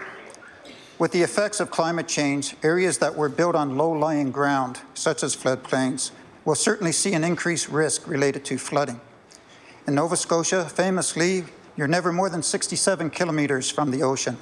That makes a lot of land that's near sea level. When you add in more than 3,000 lakes and rivers, I am sure that there are more areas that will need assistance through this program. Mr. Speaker, would the minister please explain the department's plan for assistance to other parts of Nova Scotia that are facing increased flood risks? The Honourable Minister of Municipal Affairs. Uh, thank you very much, uh, Mr. Speaker, and I thank the member for the question. He does raise a very important issue. Again, uh, the work that we're doing with our municipal units is absolutely vital when it comes to planning uh, and how they proceed with development, uh, Mr. Speaker, right across the province. And we'll be paying close attention to that, working with our municipal partners. There's lots of work to do. Uh, this is climate change, as we know, the, the member has spoke to. Uh, an important issue for us, and we have seen these changes along the rising sea levels, uh, Mr. Speaker, uh, more so in some areas than others, and we'll continue to see that. We see how the changing. We'll continue to work with our municipal partners, as, as I have uh, stated. Thank you, Mr. Speaker. The honourable member for Kings North. Mr. Speaker, my question is for the Minister of Health and Wellness. Mr. Speaker, the only place on Cape Breton Island to get inpatient detox services is at the Cape Breton Regional Hospital. However, recent changes have made it so that while people are checked into detox, they are able to get passes to leave the program for a few hours. Since this change, it's been discovered that some people who have these passes are doing other drugs or consuming other substances, sometimes on hospital property, it is alleged. Detox is a voluntary program, so locking people isn't allowed, but allowing them to ingest other drugs defeats the purpose of them being in detox. So my question for the minister is, what measures is the department taking to prevent people in detox from consuming other drugs on hospital property? The Honourable Minister of Health. Thank you, uh, Mr. Speaker. I thank the, the member for raising uh, this important uh, question. Uh, certainly, uh, we, we speak uh, and, and, have spoken quite at length about mental health uh, on this floor. It's great to, to, have a conversation about uh, the addictions as well. Uh, Mr. Speaker, uh, first and, and, foremost is uh, the operational uh, care and, and, delivery of uh, our programs are delivered by our, our health authorities on the front line, Mr. Speaker. the fact is the guidance for program delivery in the area of addiction services is something that's evolving based upon clinical research and best practice evidence uh, and that's uh, the way that they deliver these programs. The honourable member for Kings North. Uh, Mr. Speaker, I'd like to thank the Minister for that answer. While there has been a shift to community-based treatment for some addictions, for others, detox remains the tried and true solution. And with only one location on Cape Breton offering these inpatient detox, the opi opiate addicts are limited for uh, with one, only one location on Cape Breton offering inpatient detox, the options are limited for those wishing to get off of opiates. In fact, Tom Blanchard of Talbot House tells me that he's getting numerous calls from opiate addicts who want to do inpatient detox but are told the only treatment model for opiate addicts is a harm reduction model of methadone or Suboxone. For anyone looking, into, uh, looking to check into the abstinence-based treatment centers such as Talbot House, they have to complete detox first. And for opiate addicts, there's now no place to do it. Tom Blanchard states that home-based detox is both dangerous and ineffective. So my question for the minister is, will the minister look into restoring inpatient detox beds for opiate addicts who want this option in Cape Breton and, in fact, in the province? The Honourable Minister of Health. Thank, thank you, Mr. Speaker. Uh, it's a great opportunity, I believe, to uh, draw members' attention to uh, the extensive work that uh, we've been doing uh, with the department as well as our, our partners uh, in uh, the Health Authority and community-based partners, specifically around this topic of treating and supporting Nova Scotians that have opioid use disorder. Mr. Speaker, that is challenges with addictions and in, in, the use of opioids. Mr. Speaker, one of the first public announcements I did in 2000 2017, as health minister, was released the framework uh, for opioid uh, uh, addiction uh, inter in interface. There are five pillars to that, Mr. Speaker. We've been aggressing and investing in all of them, and we've seen the wait list, Mr. Speaker, reduced uh, down by over 90% for people looking for treatment for opioid uh, misuse disorder in this province because of those investments, saving lives. The honourable member for Cape Breton Centre. Thank you, Mr. Speaker. Mr. Speaker, my question is for the Minister of Municipal Affairs. Grant Thornton's independent study on economic viability of the CBRM was released in July. It found that outward migration is largely due to the sluggish economy and higher than average unemployment rates, and that increased financial contributions from the federal and provincial governments will be necessary for the continued sustainability of our community. Mr. Speaker, I'd like to ask the minister what steps has his department taken in response to the release of that report. The Honourable Minister of Municipal Affairs. Uh, thank you very much, uh, Mr. Speaker. I thank the member for the question. Uh, we want all uh, communities in Nova Scotia, Mr. Speaker, to be healthy, thriving, and growing, Mr. Speaker, including the CBRM. Um, lots of stuff uh, in the report that has been uh, written, Mr. Speaker, we will continue to work with the CBRM as we go forward in an effort to support them and all municipalities right across this province. The Honourable Member for Cape Breton Centre. Mr. Speaker, the CBRM cannot keep up with the demand for services in our communities. The Grant Thornton report found that CBRM departments are already stretching their resources to the limit. Our local infrastructure is taxed, Buses are overcrowded trying to get students to CBU, and we're facing a severe housing shortage. Mr. Speaker, we are on the verge of bouncing back, but we're not going to be able to, to take advantage of this momentum without some significant assistance from the province. Mr. Speaker, can the minister please tell me if the province will be providing additional financial support to the CBRM? The Honourable Minister of Municipal Affairs. Thank you very much, uh, Mr. Speaker, and I'm uh, glad the honourable member uh, uh, raises a topic around investment. Uh, Mr. Speaker, this government has reinvested in one example one example, Mr. Speaker, is the revitalization of the healthcare projects in infrastructure in Sydney, Glace Bay, New Waterford, and North Sydney, Mr. Speaker. We will continue, Mr. Speaker. That is a huge investment. We will continue to invest in a fiscally responsible way, not only in the CBRM, Mr. Speaker, but right across Nova Scotia. Thank you very much. The Honourable Member for Pictou West. Thank you, Mr. Speaker. My question is for the Minister of Health and Wellness. Currently, there are four dialysis chairs at the Sutherland Harris Memorial Hospital in Pictou. Those chairs are servicing an area with a population of over 45,000 people. Mr. Speaker, as we speak at this moment, there are um, a waiting list of 14. And I know the members in this chamber realize that that number is just going to increase. Yes, we have heard the good news with announcements elsewhere in the province receiving chairs in Bridgewater, Digby, Glace Bay, Kentville. But I'd like to know if the minister can please provide the House with an update on when Pictou will receive additional dialysis chairs. Please. The Honourable Minister of Health.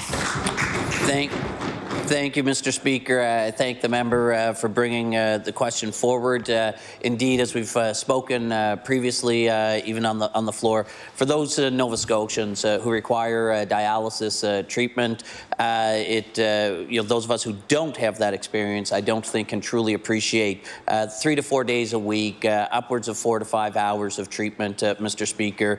It, it, it, is, it does take a toll just to receive the treatment.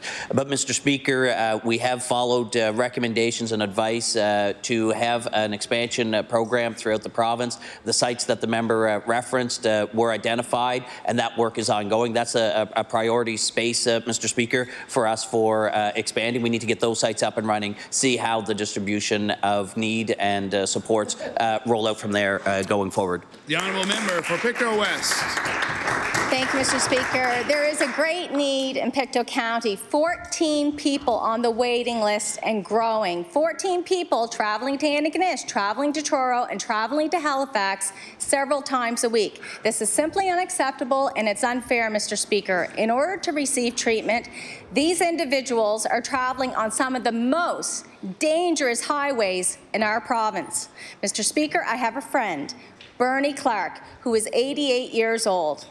And he has been advised that he will have to start treatment very soon. His doctor told him to start preparing, and he said, Do you know what preparing means, Carla? That's figuring out how am I going to make the trek to Halifax at 88 years old. So I want to know does the minister believe Bernie Clark? Who's 88 years old, should have to leave his community several times a week to receive a life saving treatment. The Honourable Minister of Health.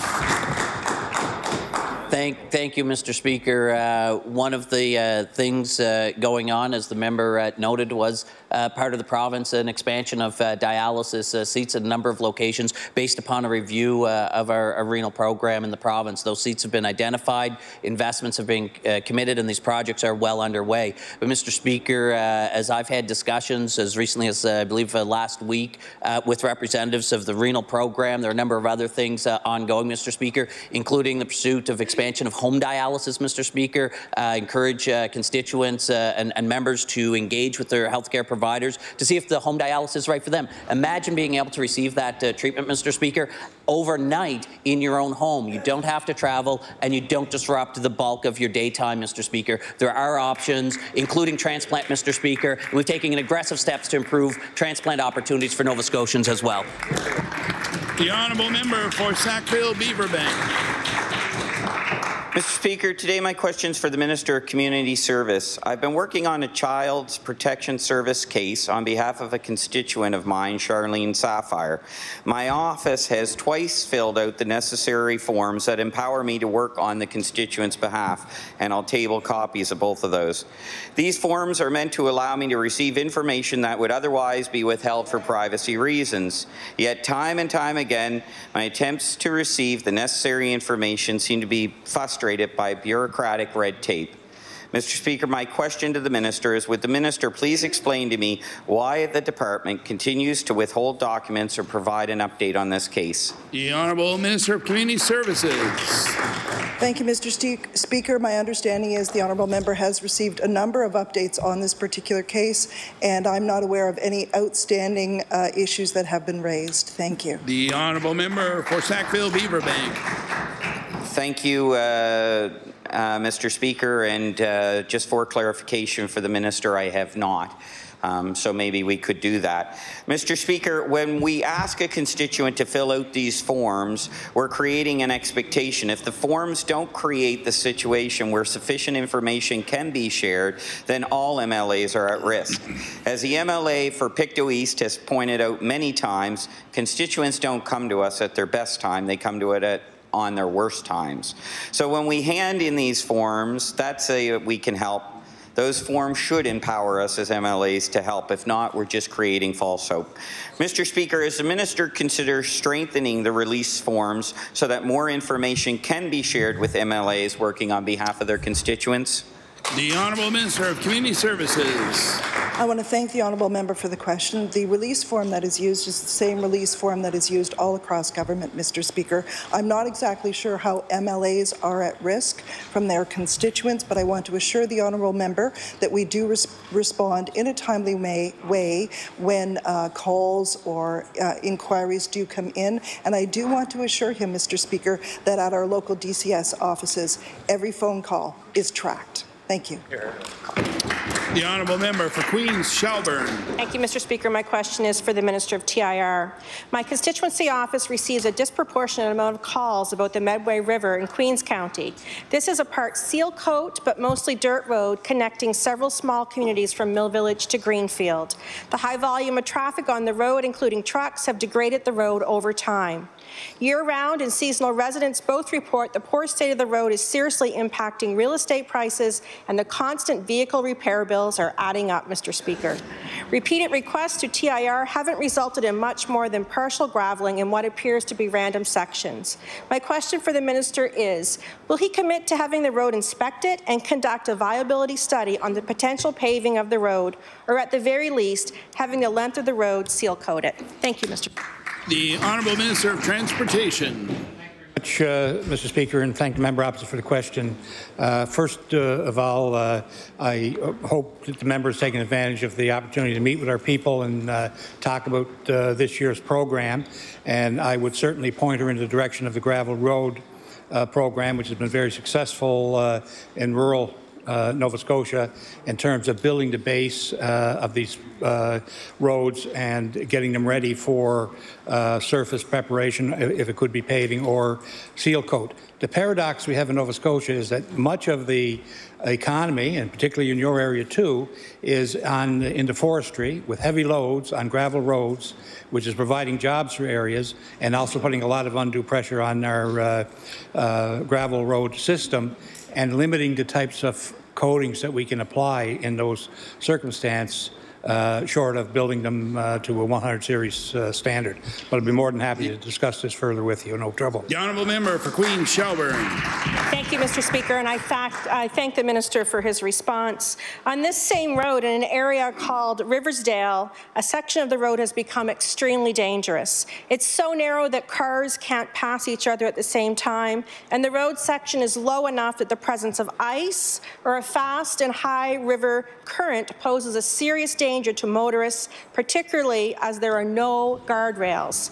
To date, there has been no response from TIR following a commitment to study this section of the road. So my question to the minister is, when will this dangerous section of road be seriously examined and fixed? The Thank Honourable you. Minister of Transportation. Thank Thank you very much, uh, Mr. Speaker, and thank the member for the question. And uh, uh, an area with a, as pleasant a sounding name as Riversdale uh, is worthy of uh, another look. We'll take a look at uh, the uh, situation there immediately and see what we can do. Thank you. The honourable member for Victoria the Lakes. Thank you, Mr. Speaker. Mr. Speaker, my question as well is to the Minister of TIR. Mr. Speaker, many of us as MLAs, especially in rural areas, continuously receive calls about the condition of many of the roads in our constituencies. The calls can range from a request for paving on the higher end, but most of them are about potholes, ditching, shoulders, guardrails, washouts, and the grading of our roads. And these calls seem to be increasing year after year. So my question for the Minister is, what is this department doing to address the increasing volume of major and minor repairs in our constituencies? The Honourable Minister of Transportation. Thank you very much, Mr. Speaker, and thank Member Opposite for the question. Uh, I'm very proud of the advancement we've made in our uh, budget in uh, Department of uh, Transportation Infrastructure Renewal over the last several years. Uh, we're in excess of $300 million currently. Uh, we have put more money into um, mowing uh, the uh, 100 series highways, which has cascaded the money that had been spent there out to the rural areas. Uh, in uh, the members' constituency in particular, I think about Tarbot as an example, beautiful area which has been done uh, more recently, and we're undertaking now uh, to climb the big mountain of Smokey and redo that uh, after after 60 years. So uh, we, we, are very mindful of uh, the need to expend, expend our resources in the rural areas and will continue to do so. The Honourable Member for Victoria the Lakes. Thank you, Mr. Speaker. Mr. Speaker, we, we all appreciate the funding increase that's gone to both maintenance paving and the gravel road program, and we've all benefited from both. But the minor repairs that could be done before they became a major expense can't be done because of lack of funding. I'm sure if you checked with the area managers and supervisors, you'd find that many, if not all, would tell you that their budgets were spent before summer was even over. With an increase in funding, many of these jobs could be done, but this isn't happening. So my question is, will the minister commit to a significant increase in the regular maintenance budget to enable these area managers, supervisors, and employees to get their job done? The Honourable Minister of Transportation. Thank you, uh, thank you, Mr. Speaker, and thank you, Member Opposite, for the question. Uh, it's always a, a, challenge in government to balance uh, the various uh, departmental expenditures. I have to say again, though, that I'm very pleased with the cooperation that we've had from Treasury Board. Uh, in particular, when it comes to uh, our maintenance budget, we, we, were able to increase it by $4 million over the last two years, which is uh, the largest increase we've seen in several years in, uh, in the department. Yes, we wish we had more money. We're always looking for innovative ways to make the money we have uh, go farther, stretch the dollar, and uh, uh, we'll continue to search those opportunities out, Mr. Speaker. Thank you. The honourable member for Kings North. Mr. Speaker, my question is also for the Minister of TIR. Mr. Speaker, in response to a question last spring about the Halfway River Aboiteau, the minister responded, the contractor is now anticipating a very early summer completion date. The contractor has agreed to work two shifts, seven days a week to complete this important work. He went on to say, we believe the danger posed by the spring runoff is past and we're offering a permanent solution to the people of Hantsport. I'll table that. In August, an engineer wrote a letter stating that settlement by erosion was causing issues around the culvert structure and embankment. And I'll table that. So my question for the minister is this. We now know that the original design failed. How much will the Aboiteau repairs cost and what guarantee that the repairs that are nearly done now will work? The Honourable Minister of Transportation. Thank you, Mr. Speaker, and thank Member Opposite for the question. We continue to be committed to uh, solving the uh, issue around the Aboiteau, which of course affects the uh, uh um, local community in the area there, and also our own threatens our own particular uh, infrastructure uh, in the area. I would invite the member, if he hasn't had an opportunity to speak to the department yet, we could include that in your consultation when you come in to talk. Thank you. The honourable member for Kings North. Uh, Mr. Speaker, I'd like to thank the minister for that answer. Um, Mr. Speaker, the solution to fix the erosion that was happening was to put gates on the culverts and create an aboiteau. And in fact, this is exactly what the people of Hantsport have been asking for. It's illustrated by a letter dated October 6, 2019 from the Aboiteau Action Committee, which I will table. A response to the Action Aboiteau Committee states that the gates will re be removed at some point in the future. And I'll table that too, actually. Uh, my question for the minister is this. When will the minister actually listen to the residents of Hantsport and area and leave the gates on the Halfway Ridge River project, making it a permanent aboiteau as they requested? The Honourable Minister of Transportation. Thank you very much, uh, Mr. Speaker, and thank Member Ops for the question. For the question. Uh, in, in our design process, uh, the gates are uh, uh, a part of that uh, design. Uh, they are in such a way that uh, they are an option that can be used or not um, employed. And I think that gives us the best of both worlds there as we work continuously to restore that piece of infrastructure in the area there. Thank you. The Honourable Member for Cumberland South. Thank you, Mr. Speaker. My question is for the Minister of Health. Mr. Speaker, Advocate Harbour is in a beautiful, picturesque community on the shores of Bay of Fundy. Generations of family have called this place home and survived on the land and seas. Part of the community mindset is, is the spirit that created Bayview Nursing Home. As the minister knows, we have an issue with lack of long-term beds in the province. So my question to the minister is, with low numbers of patients in this nursing home and beds open, would the minister work with me in a plan to utilize these beds and secure the sustainability for this site? The Honourable Minister of Health. Thank you, uh, Mr. Speaker. I thank the member uh, for uh, raising uh, the topic of uh, long-term care services.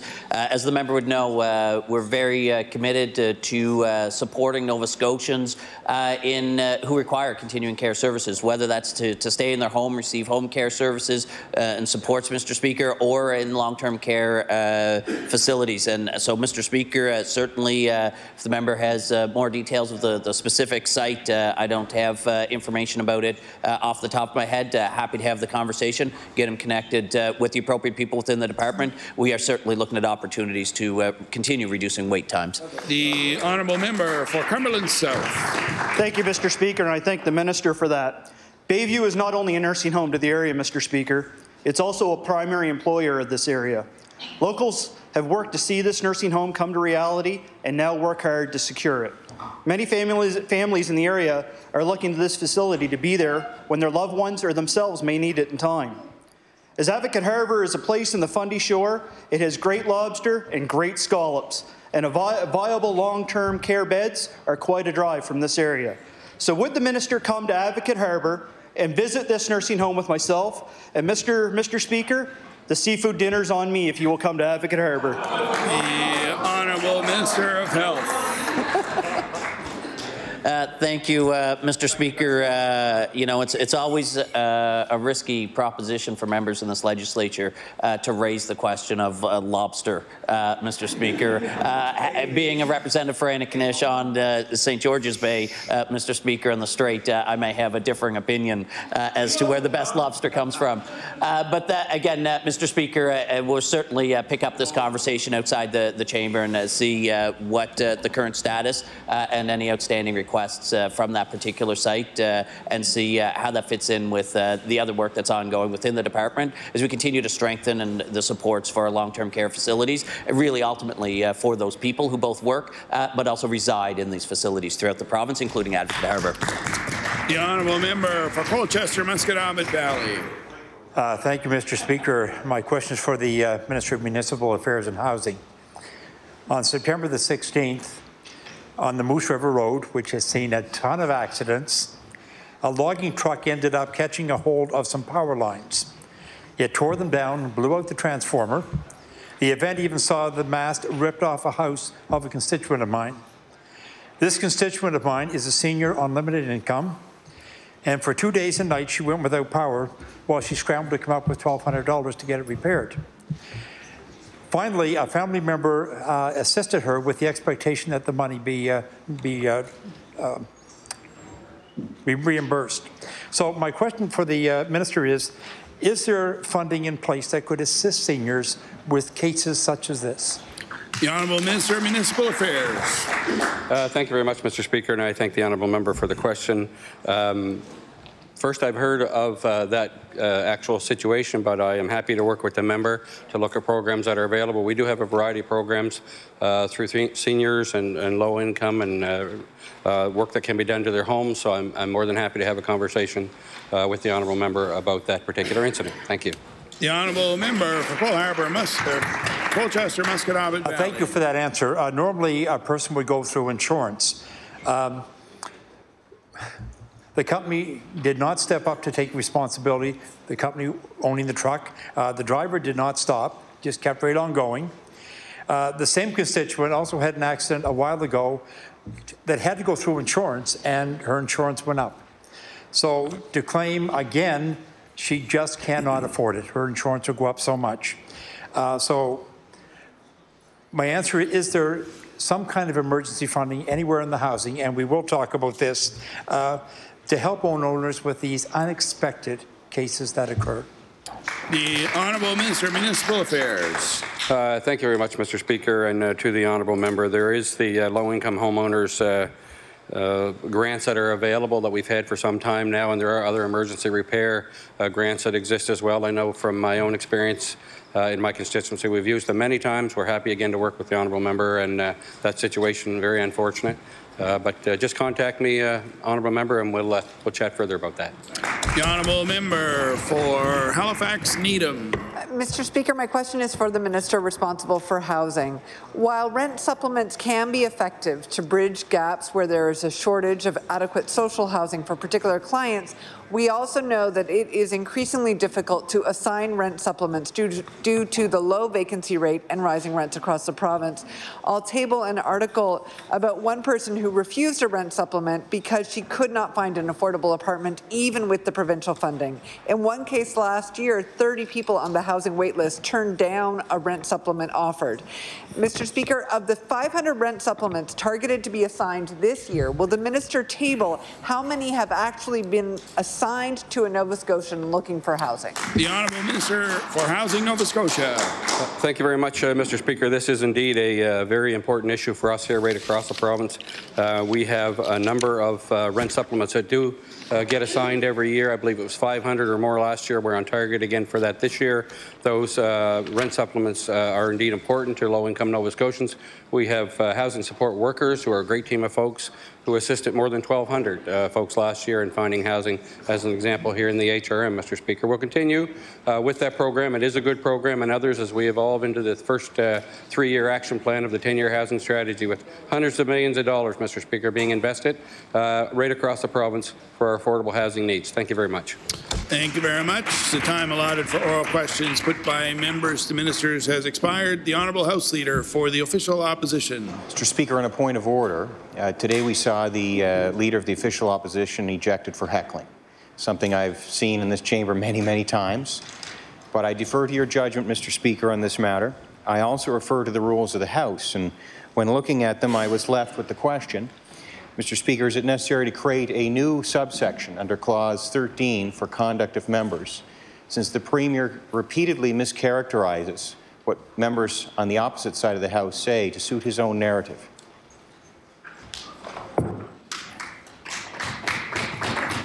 I'll take it under advisement and, and come back to the House. We'll now move on to government business. The Honourable Government House Leader. Thank you, Mr. Thank you, Mr. Speaker. Would you please call, address, and reply? We'll now call address and reply. The Honourable Member for Sackville Cobequid.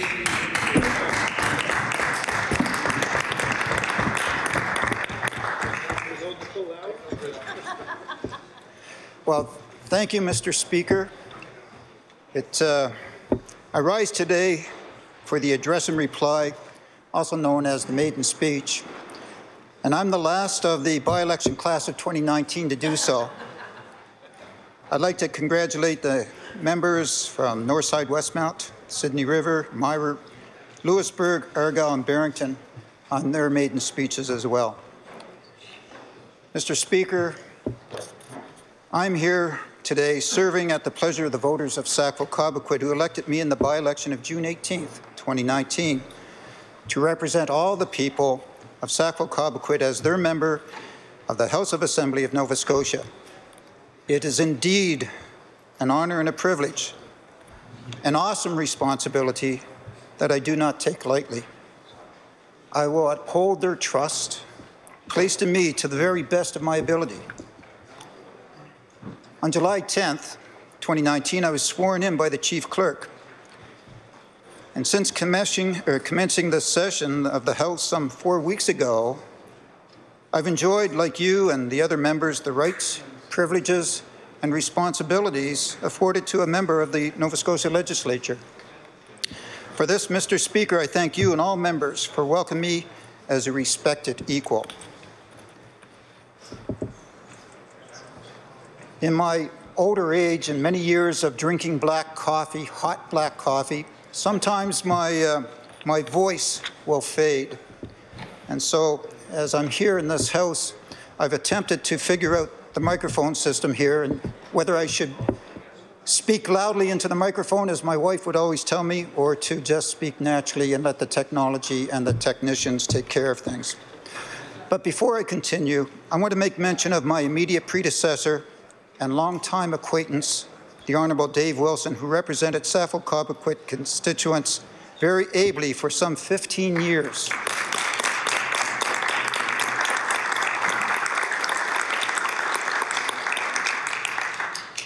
As just demonstrated, I believe all members of the parties recognize the contributions of Dave, what he made to this legislature and good government over the years. Now I have a confession to make. A confession as a rookie, and this is absolutely new to me. On one occasion, Mr. Speaker, I exited the chamber and did not bow to you, the Speaker, and the member who was speaking.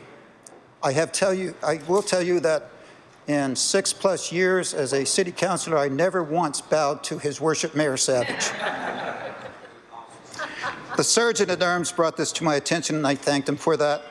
I apologize now. On another occasion during question period, I was checking my mobile device and was advised by the member from Cumberland South that it was not permitted. Today, the member from Barrington Argyle reminded me the same thing. I assure you, Mr. Speaker, in the last 30 minutes, it has not happened. As a rookie, I am likely to make a few more faux pas, and I ask for your continued patience and guidance as I become more and more familiar with the House rules.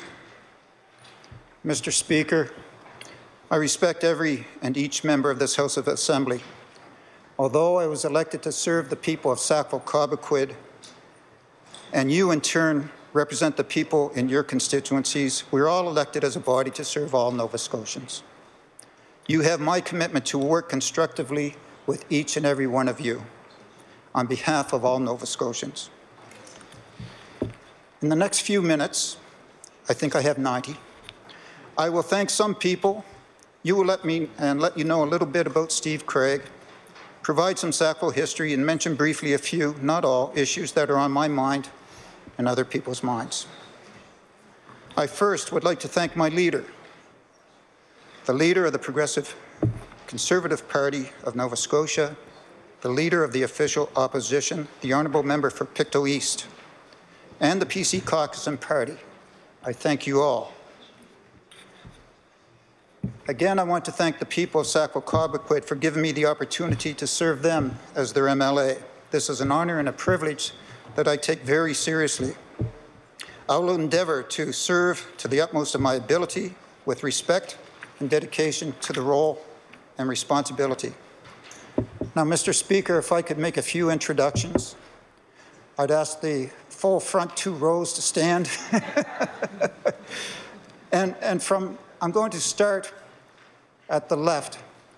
Mr. Mike MacDonald, who has been a campaign worker here. Some of you may know him as uh, his father was editor, publisher, Cape Breton newspaper for many years and a longtime Liberal. It's being said that when, when he was working for, when we were working together, that his father didn't roll over in his grave. He was actually attempting to claw out and, and get at it. Next to him is uh, Mrs. Karen Smith, my constituency assistant, who I am blessed to have in my life. And she is the other woman in my life besides my wife who tells me what to do consistently and when. Madison Richardson, grade 12 student who has campaigned door to door and performed a lot of great work in the constituency. Grade 11. 10? Okay, the member in front of me misled me. I, I forgive him for that. Grade 10. Tyler Baker, classmate, and these two are, have been members of Sea Cadets and, uh, and work greatly in the community. And then we have Alexis Richardson. Uh, Alexis has been a family friend. So Madison and uh, Alexis, and uh, next to their, their, them, their mother, Karna, are like family to my wife and I, uh, almost like a daughter and granddaughters. Now, Karna. Karna has been, Richardson has been with me campaigning many, many, many times. In fact, I would suggest that I could take my seat now and Karna could finish this for me. she used to mock me. Say, you did this, and you could see her behind me just going, as what, what it would be. Yeah, and hurry up, too. Pam Osborne, longtime friend and acquaintance, beautiful. I'm going to skip one. George and Betty LaFontaine, longtime friends, longtime friends. George is retired military. Thank you for your service, George.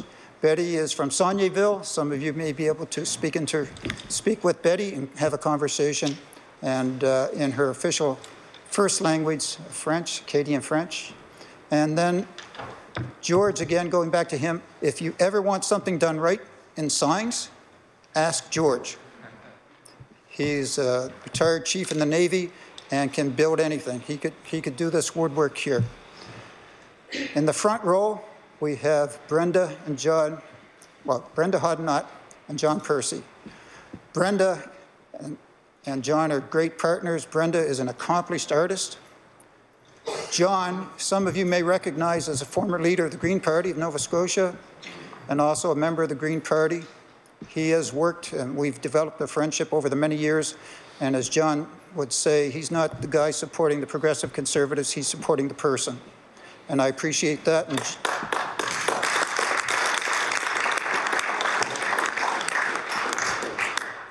John's best line that I recall is when, uh, when he stepped down as leader, he had some cataract surgery and that, and he said, the last thing we need in this province is another leader without vision. the love of my life, my wife, Sherry Craig.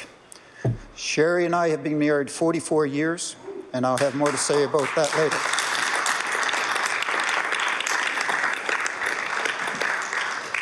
So thank you to you all for being here today. Thank you, Mr. Speaker, for that. So family, family and friends are extremely important to us.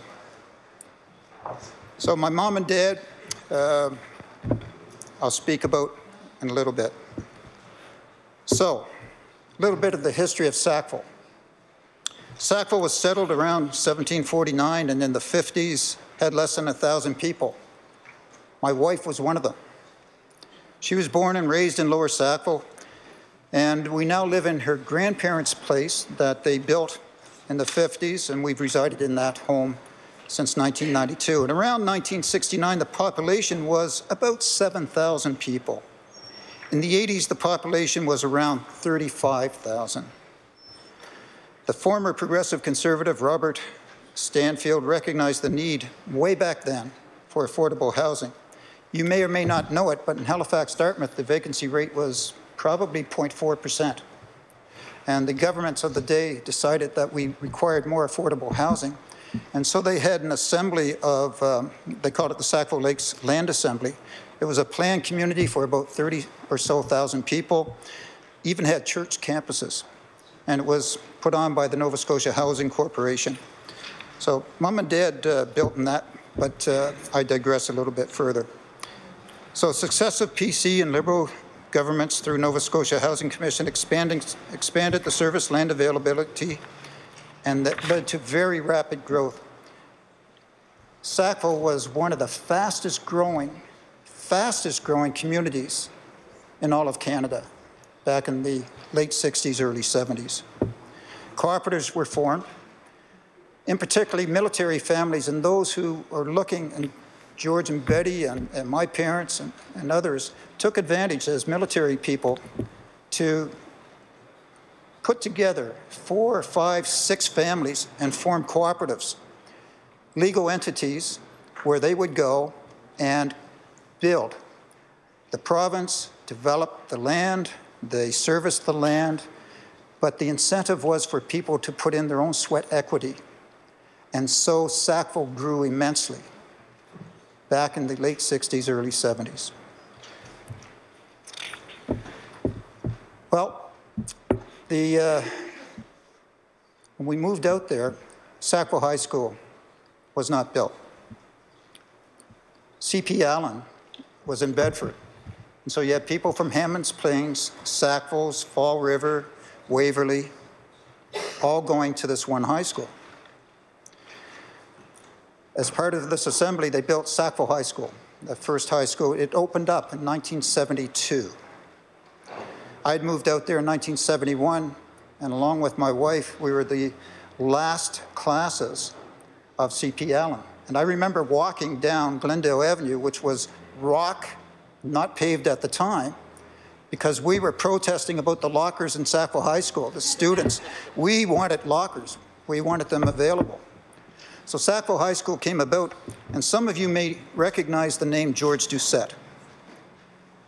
George Doucette, former Speaker of this House, was principal of Sackville High School. It did open up in 72, and if you ever wonder when it opened up, think about the Canada-Russia series. That was in the fall of 72.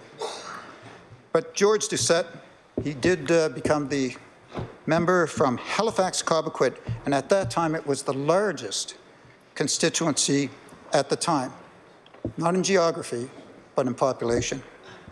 So 45 years or so ago, George talked about citizens looking forward to the construction of, you may recognize this, the Bedford Bypass. So some 40, 50 years ago. And because of the growth, we're now looking forward to the construction of the Burnside-Sackville Expressway. Sackville was the fourth largest urban community of about 25,000, 30,000, 40,000 people in Nova Scotia, and the talk of Sackville civic status was on everybody's tongue. Much later, under the Savage government, we had the amalgamation of the Halifax County, town of Bedford, Halifax City, and Dartmouth City. At the same time, there is much talk about uh, emergency medical care being needed, as well as public transit. We're also known, you may recognize this, uh, for Sackville Drive-In Theatre. Anybody remember that? Uh, Sackville Downs, harness racing, focal point of the province, that was there. But these have been replaced. They've been replaced by the Atlantic Superstore and the Downsview Mall complexes. Sackville has grown tremendously and the population, the affordable housing experiment, nay, what, what happened has grown a tremendous community here in the HRM and in Nova Scotia. Well, Malcolm McKay was the next MLA. Malcolm McKay was a progressive conservative MLA. He served four years, 78 to 84, and at that time the constituency was known as Sackville. So again, Malcolm emphasized that we were the largest community, and during that time, the Nova Scotia Liquor Commission on Memory Lane was repurposed to the Cobequid Multi-Service Centre. And that work came about from the work of the PC MLAs Malcolm McKay, as well as PC member at that time, Steve, uh, Ken Streatch, Steve Streatch's father. Well, Shirley Freer and Carol Crosby were two nurses who advocated for the, SAC, or for the Cobequid Community or Multi-Service Centre.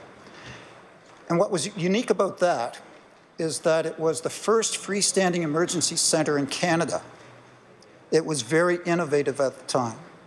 It brought together imaging, lab, brought in IWK services, and some community services. So all of these were very innovative back there. Kevin McNamara was the director at that time, the executive director, and I was also on that, at that time, the health board. So every facility had its own health board. I was on that health board. And just, just tremendous amount of work has been done. I'll have more to say about that in a minute. Well, guess who came after, after Malcolm? It was John Holm, the NDP MLA, who I knew and respected immensely. Known him for many years. He lived just down the street for, from where my wife was, uh, born and brought up. And he was a, a formidable person. You know, he and Alexa McDonough were just terrific way back when, and I, know them. I had some work to do with them. But John spoke of the tremendous strength of the community organizations that were growing. So in Sackville, you had, with this rapidly growing area, people who were actually engaged, engaged in not only building their buildings, their, their homes, but the community. The Lions came about. The Sackville Patriot Days came about. The Kinsmen, Rotarians, many, many organizations, Lake District Recreation Association, all came about. Uh, Mr. Speaker, permission to make an introduction. Thank you. Lucille Reed, please stand up. Thank you. Lucille has been my official agent in all my elections. And I have to note, as with Karna, both of these two working on my elections, I have always won when those two have been invo involved. So needless to say, I have them lined up for the next one. Thanks for being here, Lucille.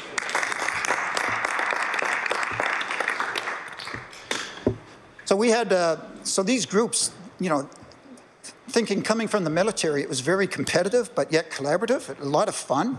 And we had what was called the Sackville Winter Carnival. So the Sackville Winter Carnival was a week-long plus of events. Jam can, curling in the arena, or out on the lake, gathering of the different groups and with your toques and your memorabilia to identify where you were from in the community. Great. And it was modeled off after Snow White and the Seven Dwarfs. So you had seven areas. And I was, and at times am still, bashful. I'm sure, Mr. Speaker, that's obvious to most of you here. Alas, Disney, some time ago in the following years, became aware of this and enforced its legal name rights, and over time, the Winter Carnival eventually ceased. However, with the introduction in 2015 of Nova Scotia Heritage Day on the third Monday in February, under the Sackville Business Association, the Sackville Snow Days Festival was introduced. And this year, it's going to take place on February, from February 14th to 17th in 2020. Again, an effort to rejuvenate the community spirit in the community of Sackville. The largest concern of the day was the population outgrowing the school capacity. So when I talked about first moving to Sackville, went to Sidney Stephen High School, and then came about Sackville High School, thing, as things grew, you had double classes in Sackville High School. We were outstripping, the population was outstripping the capacity of the schools. Then came Millwood High School, Lockview High School, the new CP Allen. I am fortunate to say that we have experienced a problem that many areas of Nova Scotia have not experienced, and that's positive growth. And that is unfortunate. I would like to see all parts of Nova Scotia prosper and grow, not just some. So we need to work on that as a legislature, as a government. Transportation, again, was also a concern, and today, still, the Beaverbank Road collects many, many people, and it's only two lanes. It goes down to um, what John mentioned uh, previously, the Beaverbank connector and the old Sackville Road. The Beaverbank connector and the old Sackville Road have been a problem area for many, many, many, many years.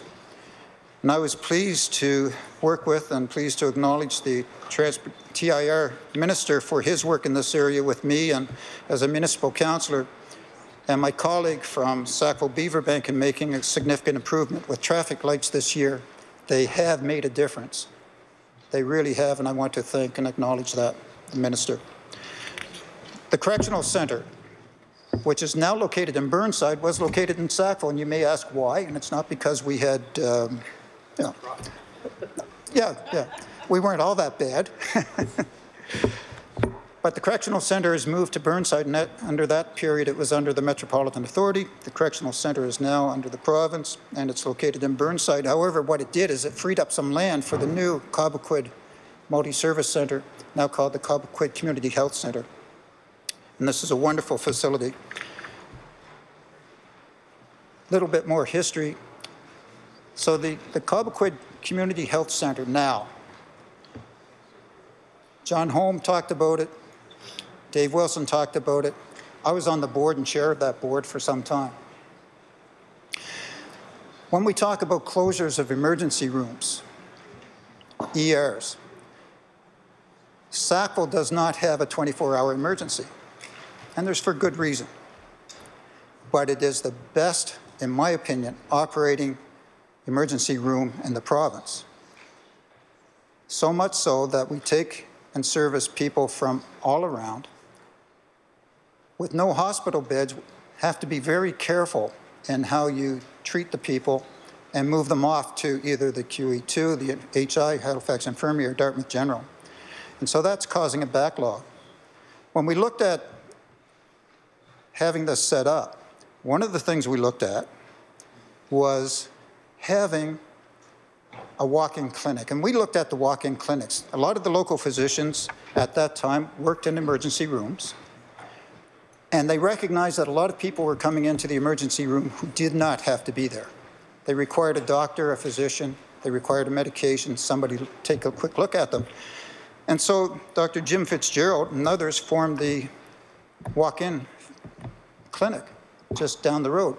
And you may recognize that because this past number of months it did close due to a lack of doctors. Now it has reopened. Thankfully, it is reopened. If you want your flu shot, they're advertising out there, you can go get your flu shot.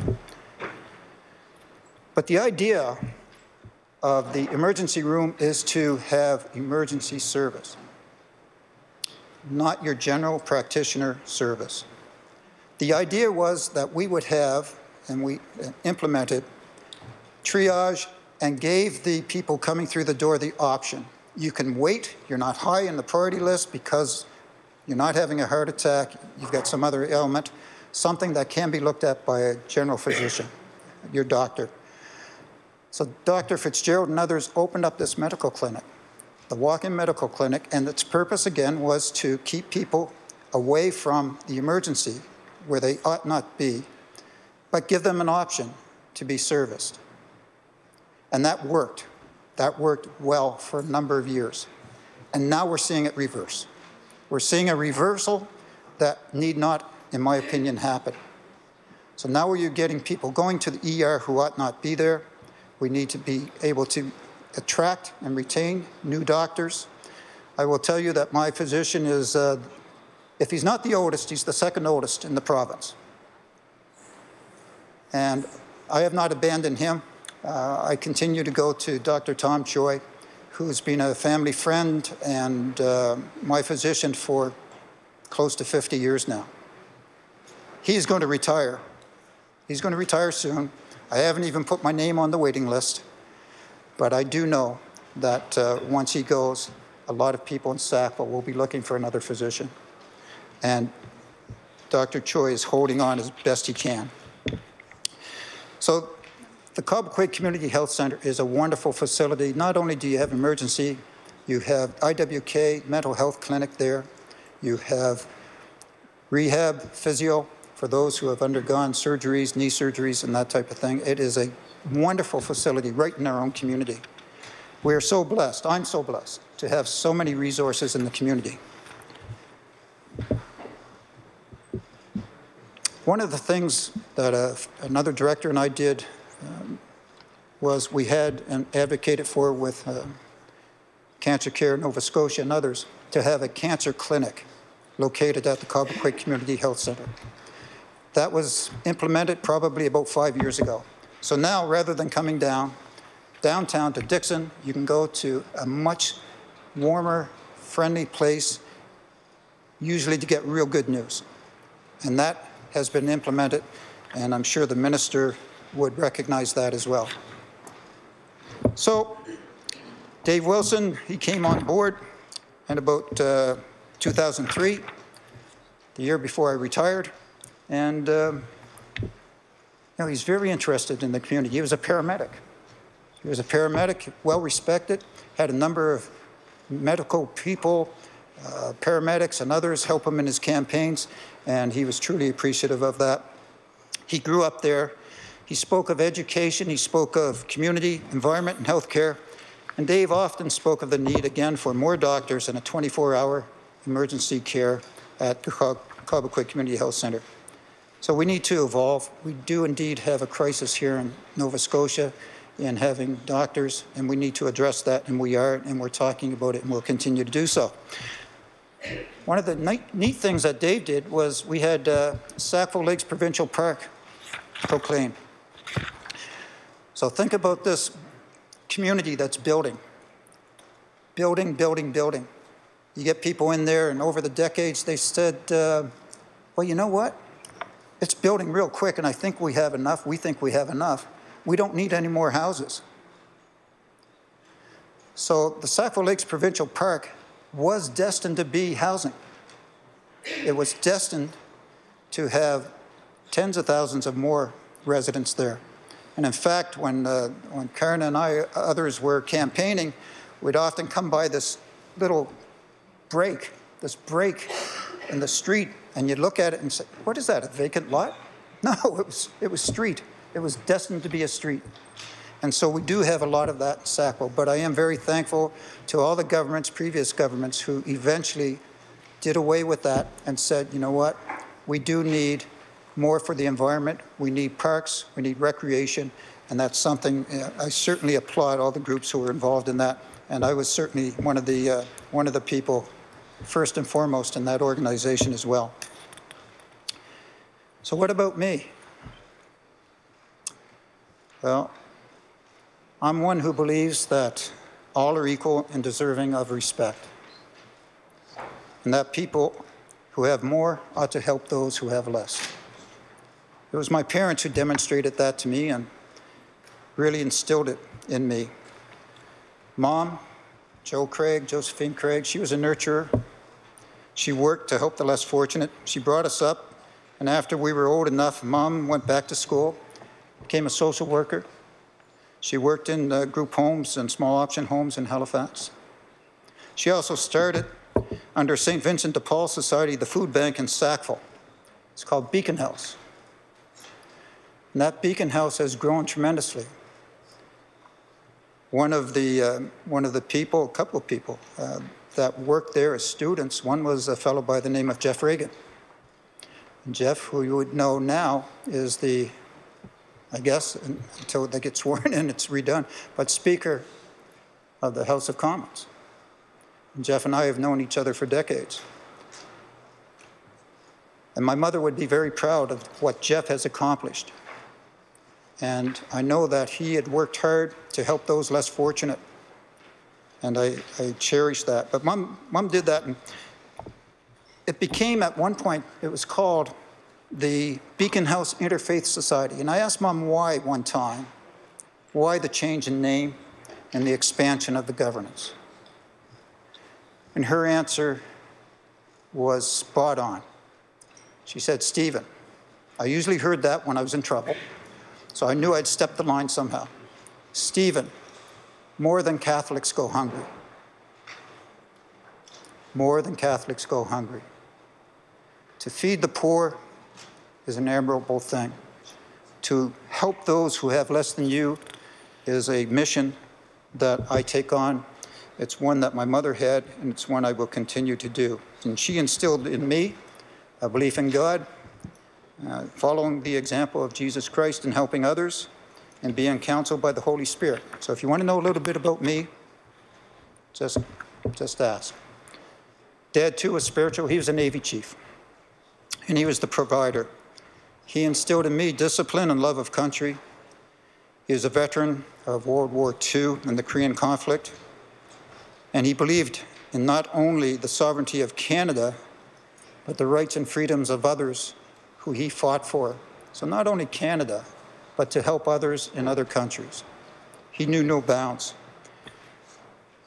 They both lost their fathers at an early age, and so they support it and were supported by single moms.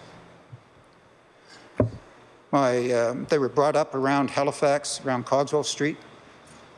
My great great grandfather used to lead the uh, St. Patty's Day Parade.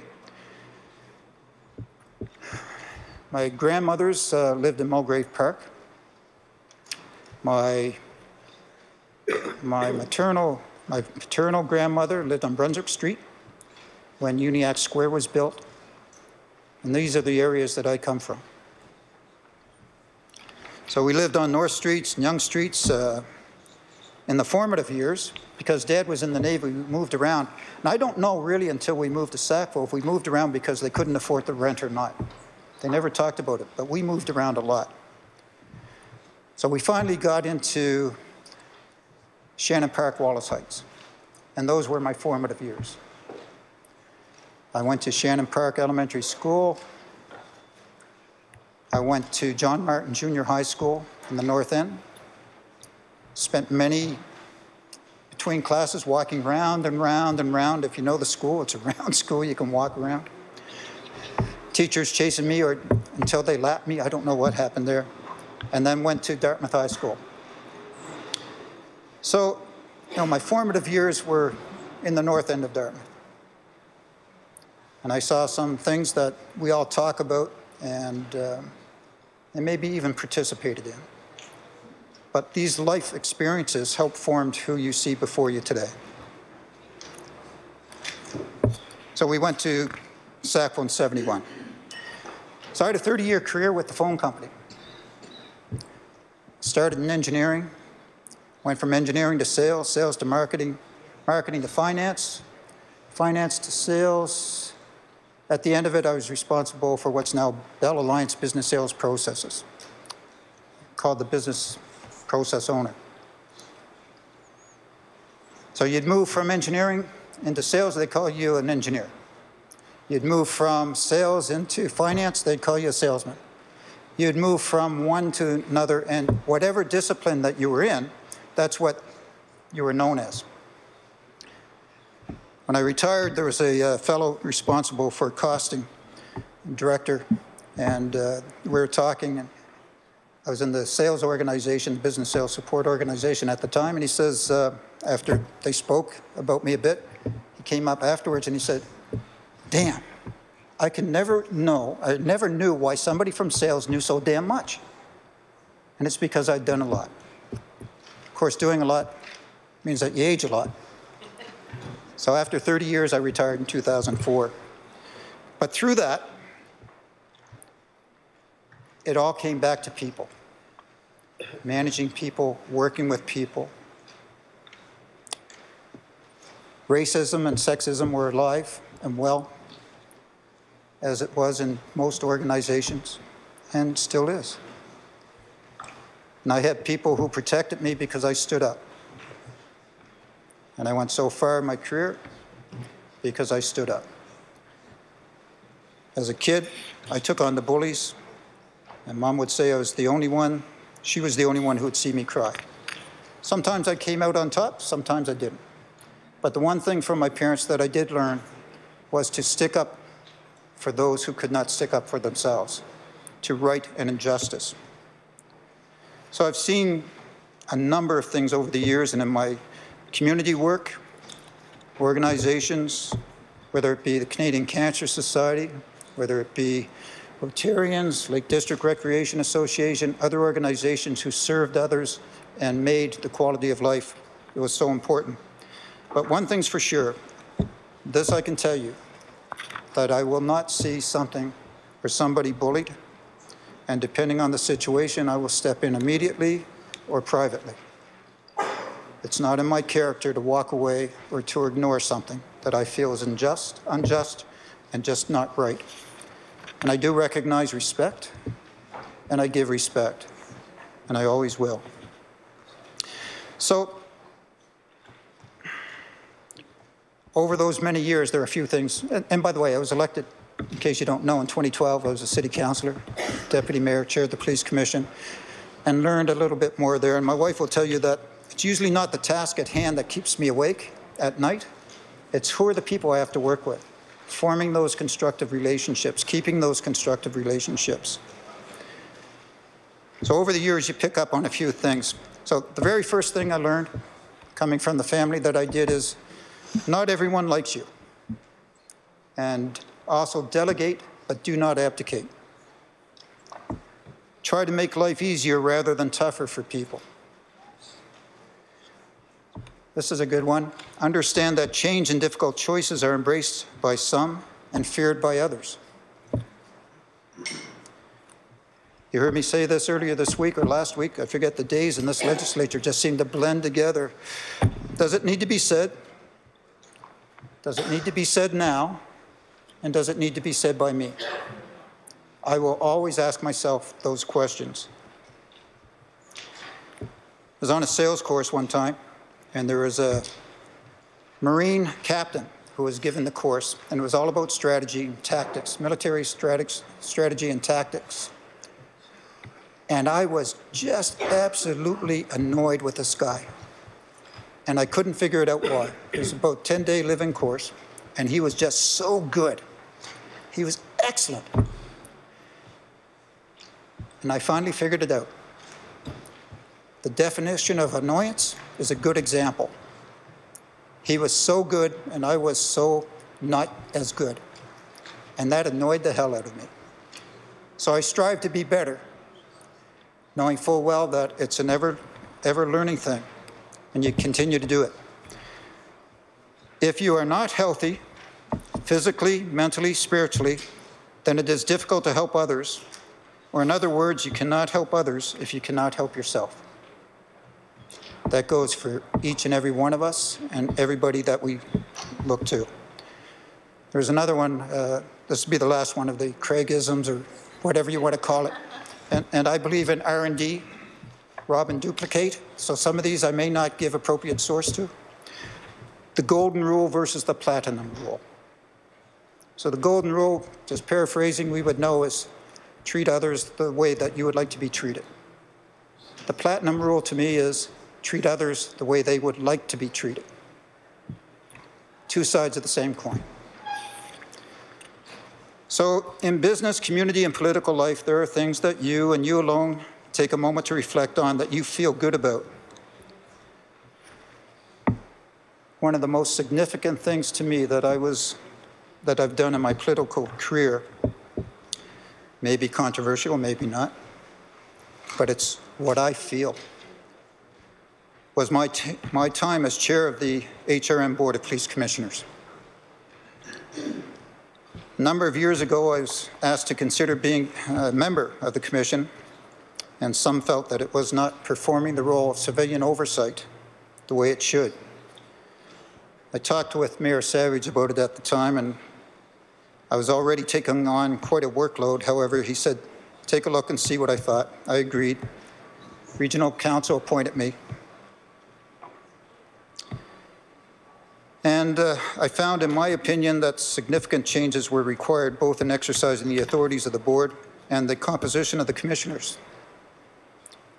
In the time I was elected chair, the changes started by working within the authorities and changing the look of the Board of Police Commissioners. Playing an active and deliberate role, I looked at the roles, responsibilities, accountabilities, and the makeup of our citizens so I sought out to make the board more reflective of our community. When I left, the seven-member board was the most diverse board in Canada, made up of three African Nova Scotians, one Indigenous member, the first for the Board of Police Commissioners, and three white Nova Scotians. Five were male and two were female. And now we have four males, three females, and the chair is an African Nova Scotia woman. I'm very proud of that.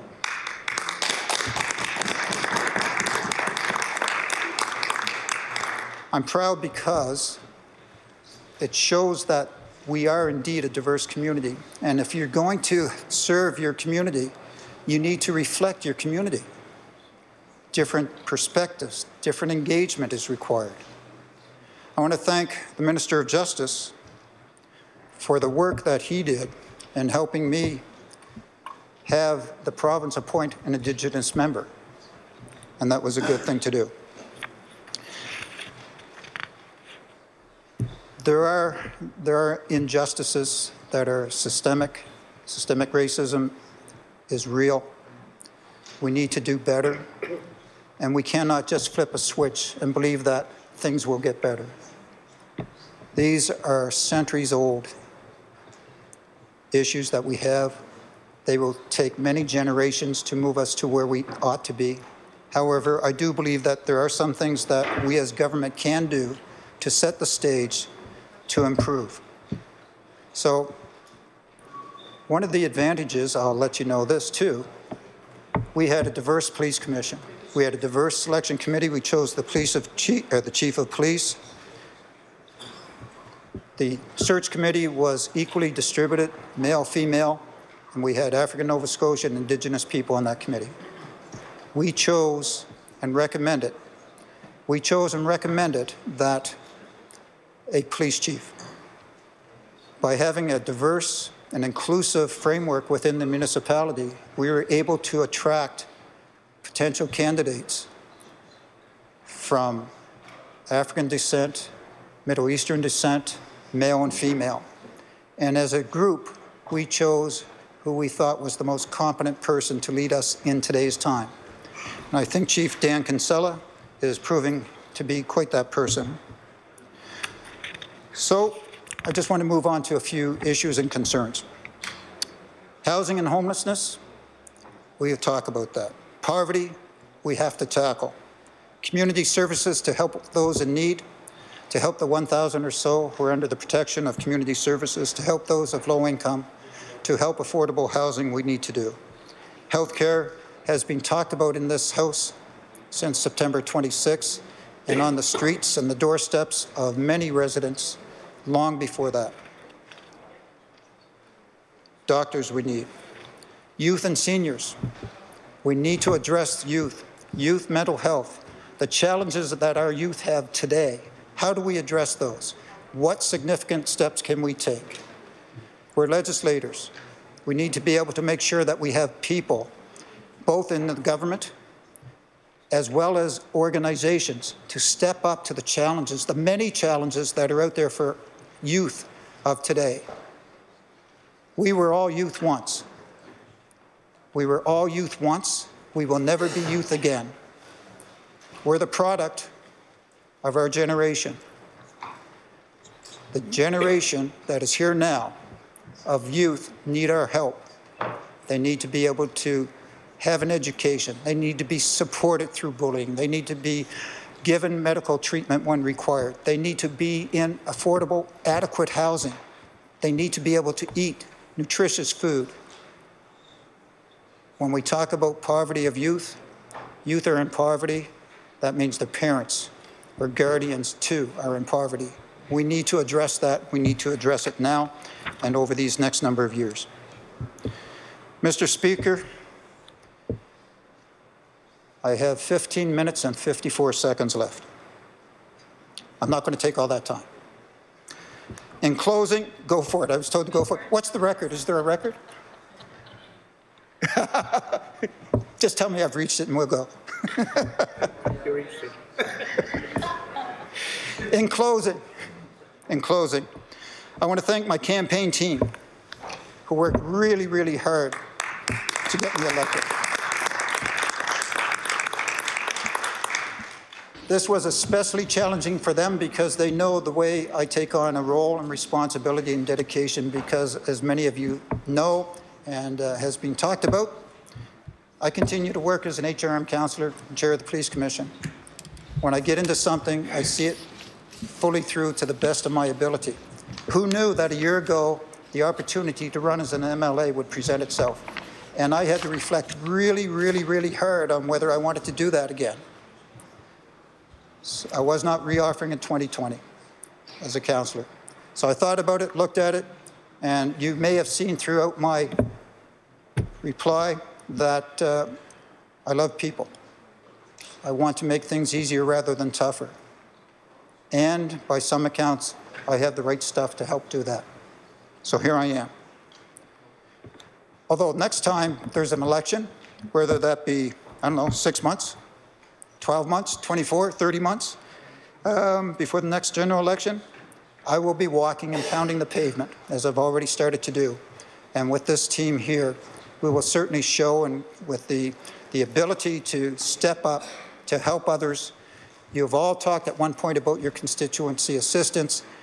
They are the ones that will really, really, really serve the community, and they are truly under-recognized. And I, I do want to recognize, again, Karen Smith for that. Thank you. So I thank all my family and friends for their support, the voters who elected me to re represent all the people of Sackville Cobequid, and through that, representation of all Nova Scotians. I want to thank my wife, Sherry Craig. Sherry supported me through all my career, volunteer and political life. We are a great team. We love to travel. We like to entertain. We like to be entertained. My love, my life without you, I, I just cannot imagine. I love you, and from, I, and I always will.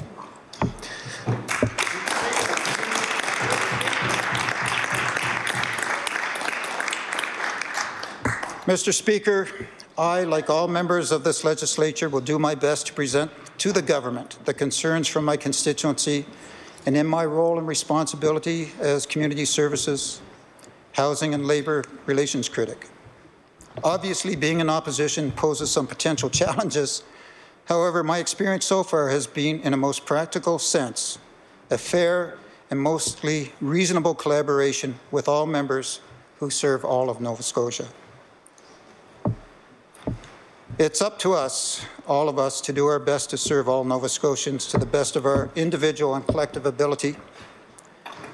Whenever that election is, I hope each and every one of us will reflect back on our performance and conclude we did our very best. And then the, electric, the electorate will let us know indeed what they think. Thank you, Mr. Speaker.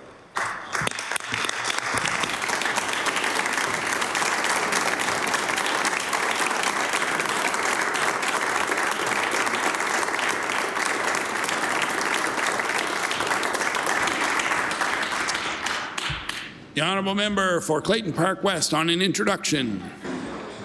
Thank you, Mr. Speaker. I would like to, my colleagues to uh, turn their heads to the East Gallery. We have with us an amazing cooperative education um, student from Halifax West. She is uh, doing her co-op and she comes to the Liberal caucus every Tuesday to follow um, the, the, legislative process and she comes to the House as well. Um, Mobina, Mobina Han Uma Rova. I hope I pronounced it correctly.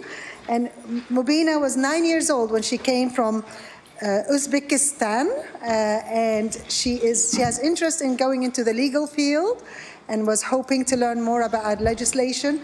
And we welcome her in the house, and she hoped. I had a lovely chat with her. She's a quite a, uh, an intelligent, dedicated, and very. Um, uh, she has dreams, and I, am hoping that we have shown her what the Nova Scotia legislation is like. So please welcome to the House. The honourable member for Chester St. Margaret's on an introduction. Thank you, Mr. Speaker. I'd just like to draw the, uh, the House's attention to the East Gallery, where Ms. Megan McMorris of the uh, Ecology Action Centre is with us today. Uh, Megan is the Community Energy Coordinator and spoke very eloquently and powerfully, I thought, yesterday at Law Amendments. So welcome to the House, and uh, please join a round of applause. The Honourable Deputy Government House Leader.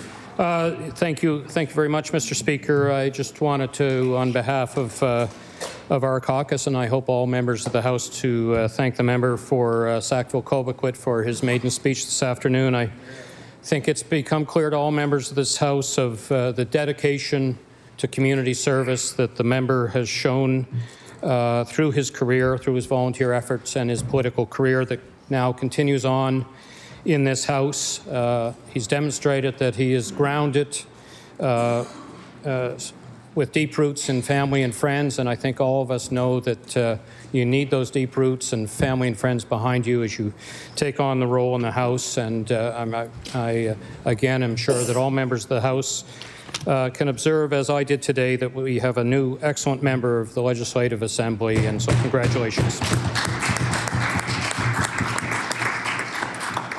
Thank you, Mr. Speaker. I move that you do now leave the chair and the House resolve itself into the Committee of the Whole House on Bills. House will now recess for a few minutes while it resolves itself into the Committee of the Whole House on Bills.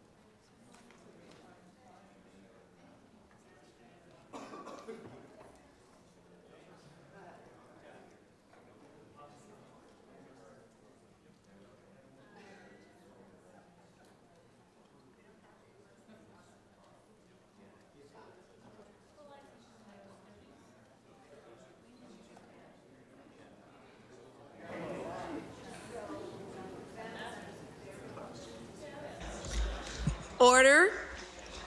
The Committee of the Whole House on Bills will come to order. I recognize the Deputy House Leader. Uh, Thank you, Madam Chair. Madam Chair, would you please call Bill number 183? I call Bill 183, an act to exempt from taxation the property of the Digby Town and Municipal Housing Corporation in the town of Digby. The clerk. Madam, Madam Chair, Bill 183 was referred back to the House from the Private and Local Bills Committee without amendments and contains two clauses. Shall Clause 1 carry? carry. Shall the remaining clauses carry? carry. Shall the title carry? Shall the bill carry? The bill is carried.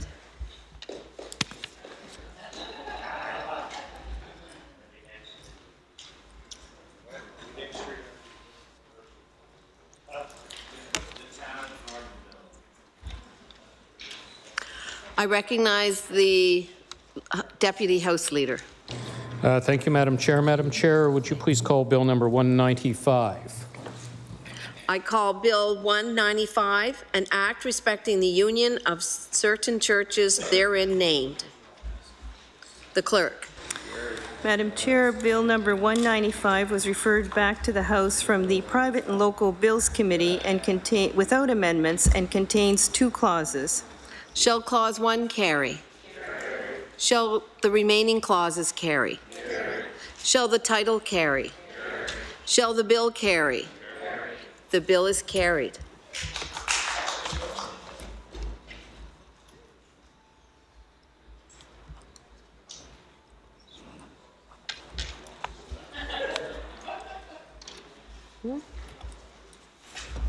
I recognize the Deputy Government House Leader. Uh, Thank you, Madam Chair. Will you please call Bill number 204?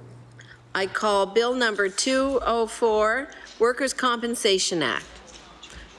I recognize the clerk. Madam Chair, Bill number 204 was referred back from the Committee on Law Amendments without amendments and contains five clauses. And we've been advised that there are change sheets, um, so we need direction as to whether the change sheets are to be distributed now. Yes, okay. We will distribute the change sheets.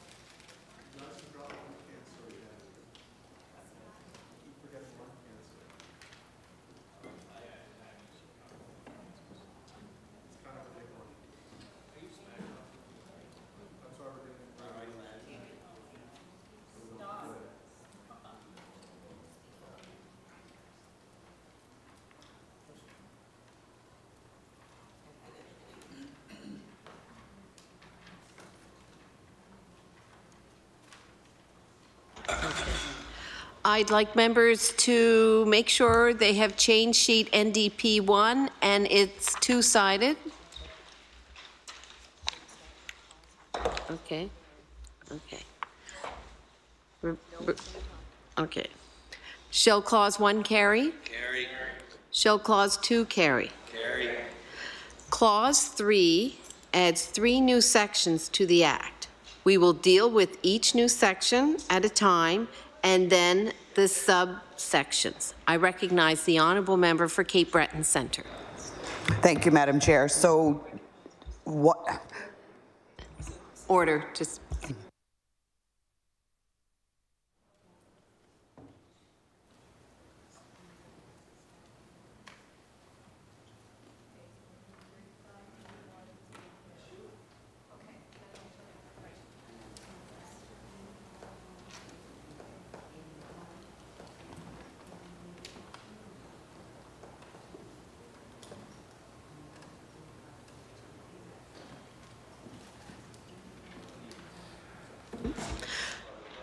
Shall 35A1 carry? Carry. Shall 35A2 carry? I recognize the honourable member for Cape Breton Centre. Thank you, Madam Chair, and I draw the member's attention to CWHB NDP-1. Page 2, Clause 3, proposed subsection 35A, sub 2, line 3, add or listed in subsection sub 3 immediately after regulation. Would you like to speak to this? No. No? Okay, thank you. So does the amendment carry? The amendment is defeated. Does subsection 35A2 carry? Carry. It's carried. I recognize the honourable member for Cape Breton Centre. Again, I draw the member's attention to the same page. Page 2, Clause 3, proposed Section 35A, add immediately after subsection sub 2 the following subsection, sub 3.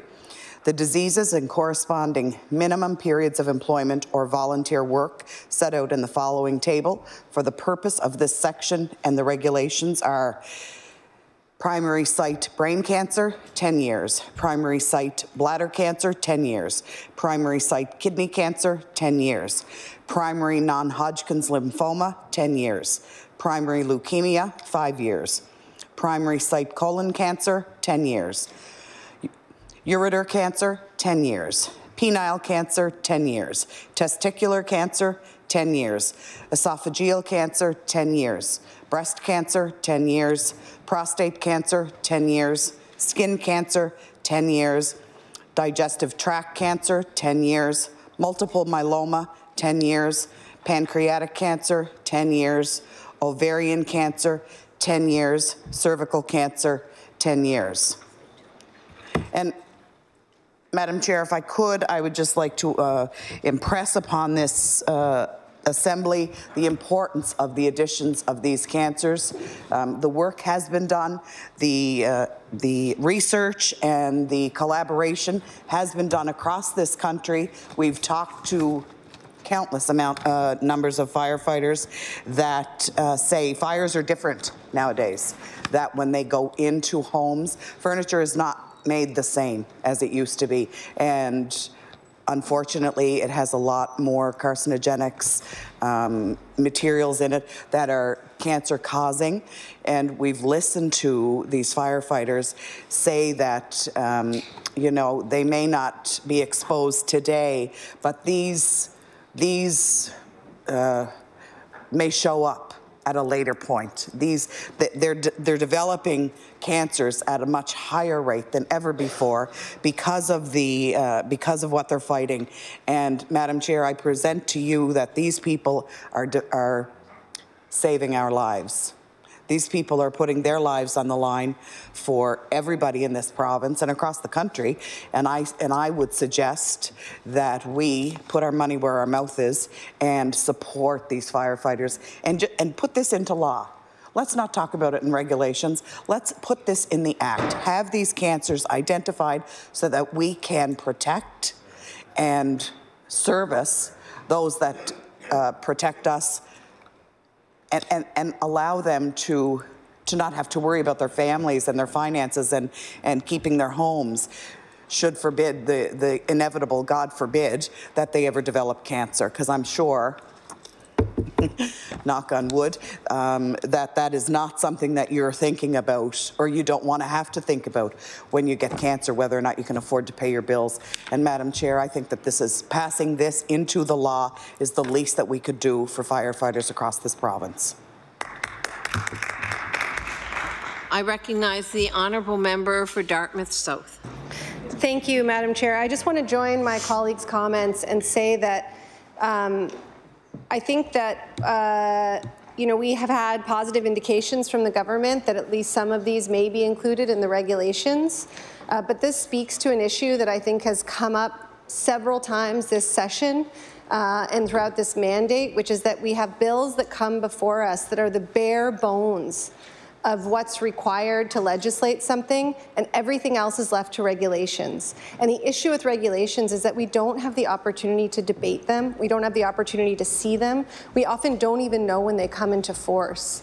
Uh, and so I think for us to properly do our jobs in this chamber, all of us, including those on the opposition, um, it we'll have a better legislative process if we can have complete bills that come before this House that have all of the requisite information in those bills so that we can understand what it is that we're talking about.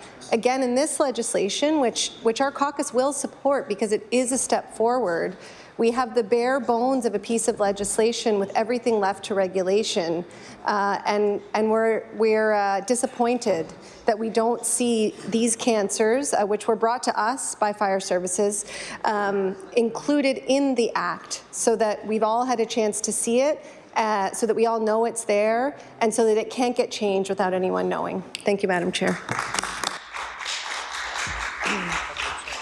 I recognize the honourable member for Cumberland South. Thank you, Madam Chair. Uh, just I want to I want to add my two cents worth, if you will. As as a firefighter, um, 20 21 year service. Um, and, and, the minister knows my, my, my feelings on this bill. Um, we, have talked at length, and I appreciate the, uh, the conversations. I've talked to the president of the Fire Service Association, um, which was clearly pointed out yesterday at Law Amendments. They are the voice to the government for the fire service in Nova Scotia. I, would love to see these, these cancers out in legislation. We hear here time and time again that the full legislation isn't in the legislation. We're leaving it in regulations. I agree with our counterparts over here. Um, it's it's failing at some points in some of these bills. At the end of the day, I, I, I think we're going to support this. Is it going to pass? Probably not. It's not going to pass. But one piece of uh, of hope and, and, and belief out of the conversation I did have with the uh, president yesterday is uh, the, the minister has confirmed to them that during the during the development of the regulations, this list is going to be included in there. Um, I, I, I, I, fear that when we come back here in, in six months, 12 months, um, are we actually going to see a document that has that? that that's my only fear. Um, like I said, I don't think this is going to pass this amendment. I'm going to support it. This list is here to support the firefighters if they ever get in the danger. Um, but what what arm arm pull do we have here in 12 months when it's not in regulation? Um, that's what I fear for, for our firefighters. This this legislation's been worked on for over 15 years. The fire service has been asking for this and asking for this. This is a big step forward. Not having that in that legislation, it's a little bit of a step backwards for me when I was sitting on the opposite side of the table. So thank you. I, rec I recognize the honourable member for Victoria the Lakes. Thank you very much, Madam Chair. I, I just wanted to speak briefly on the the uh, amendments as, as well. Um, as late as a year ago, uh, we as Cape Breton MLAs in the in the PC caucus met with uh, the firefighters union in Sydney, who came forward and, and they were pushing to have this. And I know that the the volunteer fire service, of which I was a part for too many years, uh, as you know, we, we have to have coverage, and we can't depend on it just coming into regulation. If it's, if it's in the Act, we know that the guarantee is there that that coverage will be provided to both volunteer and career firefighters. Thank you. I recognize the Honourable Member for Halifax Citadel Sable Island. Thank you, Madam Chair. Uh, Madam Chair, as we've been working on this um, legislation, which has been uh, going on for over a year now, Um, the reason it's done in regulation is this is actually what the firefighters wanted. They actually want to be able to speak with our department on all the cancers and actually go through all the data across the country, not only on, on the cancers. I mean, I have no problem putting all the cancers in because as other jurisdictions carry these cancers, they have data behind it. But what happens here, and we've seen this before with other bills, is even talking about the minimum period, um, if we put in legislation, it actually handcuffs us. If we put in legislation and not have it in regulation, it doesn't allow us to bring um, other cancers forward in the future, and they don't want to be waiting 15 years as they have in the past. Um, one example that I have shared, I know the list to the NDP did come from the firefighters. It's missing a crucial cancer, lung cancer. And so in terms of um, what firefighters have said to the department is they don't want to be waiting. They don't want to have to go through legislation every time. They want to be able to add cancers through regulation as data across the country shows that the rate of cancers is much higher in firefighters. Um, you know, this is an example of where the department listened to the firefighters and we're um, actually giving them their wishes. Thank you. I recognize the honourable member for Cape Breton Centre. Thank you, Madam Chair, and I appreciate the minister's comments. I, I, you know, I'm so happy to see that this is starting, but but if if if we can take um, the minister at his word, then why can't we pass these amendment these add these cancers and put you know further cancers, any other cancers to come that are that are. Uh, come out of a, a, more consultation with firefighters. Put those in the regulations. Show us that that this matters because it did come from firefighters and we know that this list is what they want. We know that. So let's do this. Let's let's do this. Please.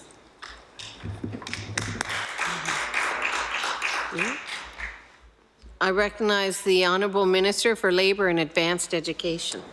Um, so again, Madam, Madam Chair, if I wasn't clear on it, the firefighters asked us to do this in regulation. They want to sit down with our department, they want to talk through the cancers, and they want the ability in the future to add cancers through regulation, and that is what we've, uh, we've done. We've consulted with the people who save our lives, and the people who save our lives asked us to do it a certain way, and I'm not going against those wishes. Thank you. I recognize the honourable member for Dartmouth South. Thank you, Madam Chair. Um, with respect, the government has great latitude over how it drafts its bills. Uh, as the member for Cape Breton Centre mentioned, it would be no problem for the government to insert their own amendment, uh, giving them regulation-making power over adding additional cancers. Um, I highly doubt that you would find opposition from fire services to, to this amendment. And further, uh, these are additional cancers that are being added. Uh, the cancers that are recognized now exist in the Act. There's nothing left off of this list. These are additional cancers. This was the list brought to us by Fire Services. So I understand that this won't be passed, but I, I want it to be crystal clear why.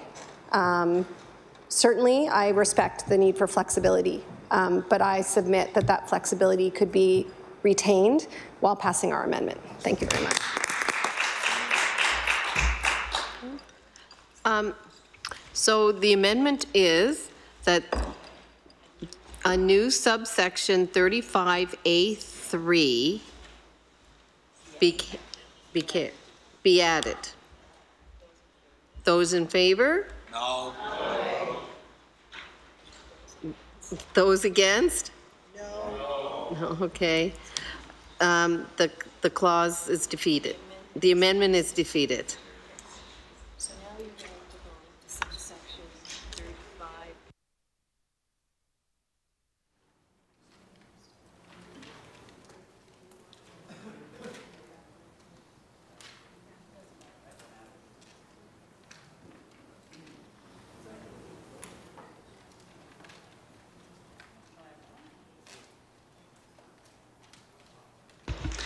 Please bear with us.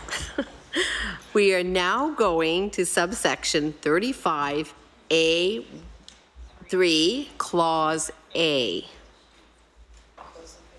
Those in favor of the clause? Oppose? The amendment is carried. No. The clause is carried. Okay, so now we are going to go to subsection 35A3B. Okay, so just call it. Does it carry? Does it carry? Carry. Carries. So now it's 35A4, subsection 4 to 6. Subsection 4 to 6.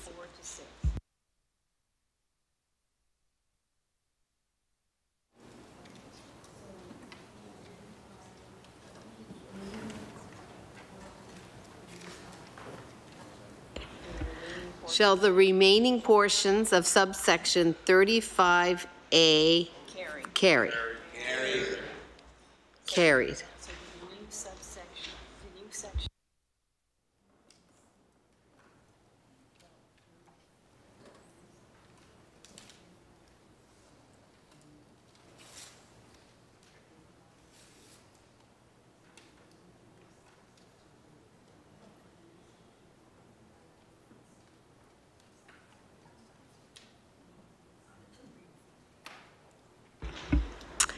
Do the new subsections 35, B and C carry? Carry. They, Clauses, okay, the clauses are carry. so the clauses four and five carry. Do clauses four and five carry? Continue as the bill, this title. Does the title carry? Carry. Shall the bill carry? carry? The bill is carried.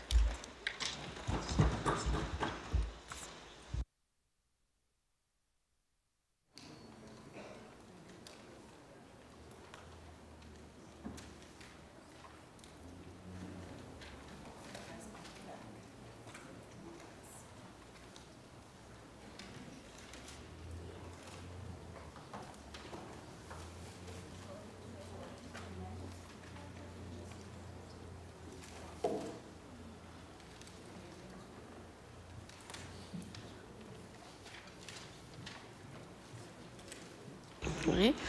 I re- recognize the government deputy house leader. Uh, th- Thank you, Madam Chair. Will you please now call Bill number 180? I call Bill 180, Fatality Investigations Act. I recognize the clerk. Madam Chair, Bill number 180 was returned to the House from the Law Amendments Committee without amendments and contains five clauses. There are a number of change sheets on uh, this bill, and we seek instructions as to whether the NDP change sheets and the government change sheets are to be distributed now or not. Are they to be dis- distributed? They can be distributed. Yes.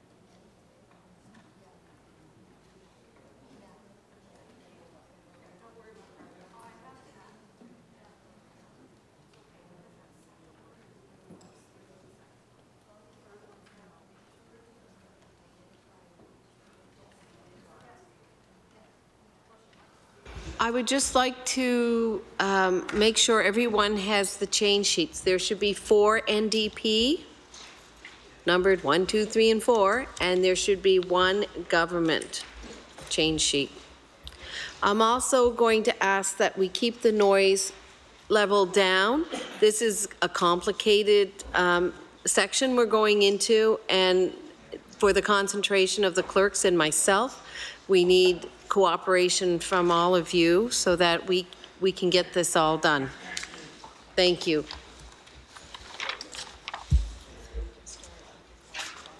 Okay. Okay. Shall clause one carry? I recognize the honourable member for Dartmouth South.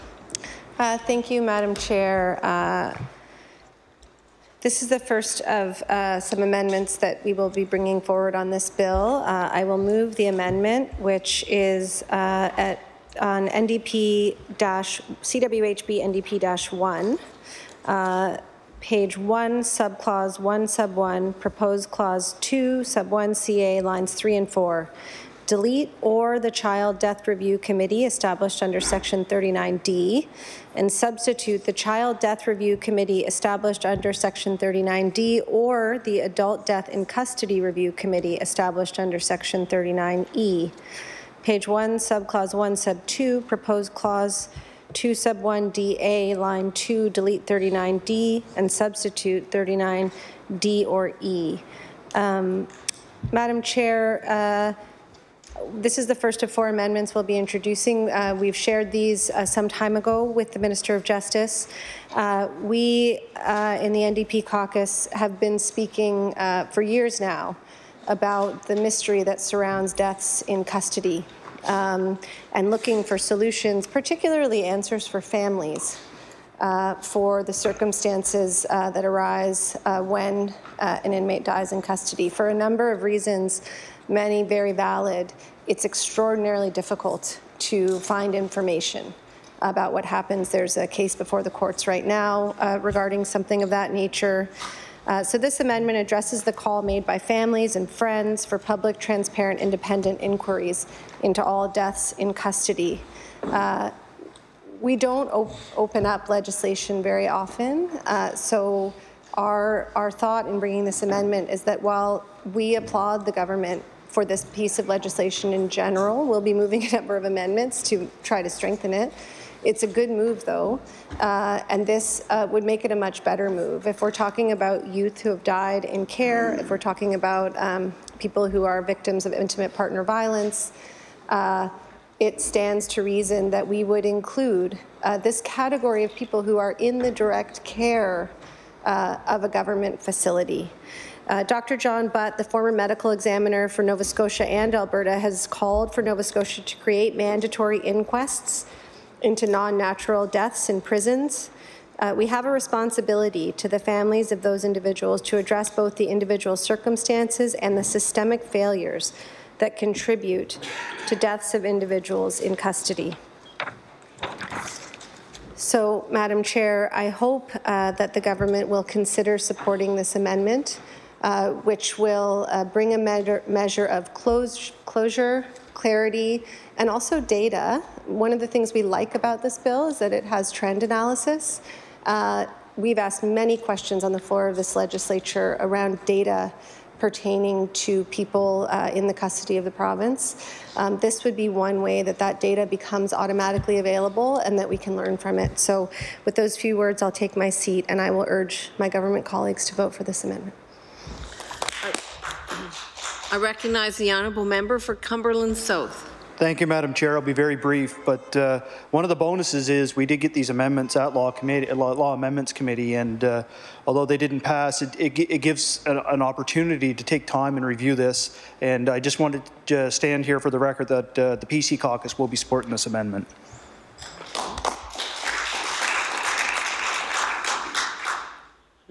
Okay. Um, does the amendment carry? No. The amendment is defeated. Does the clause carry? Carry. Shall clause 2 carry? Carry. Shall clause 3 carry? Carry.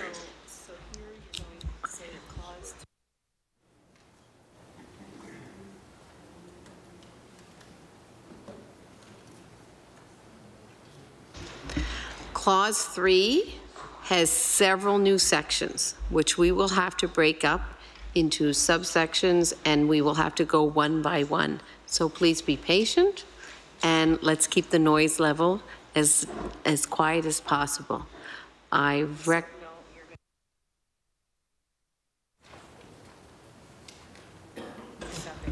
Does 39A sub A carry?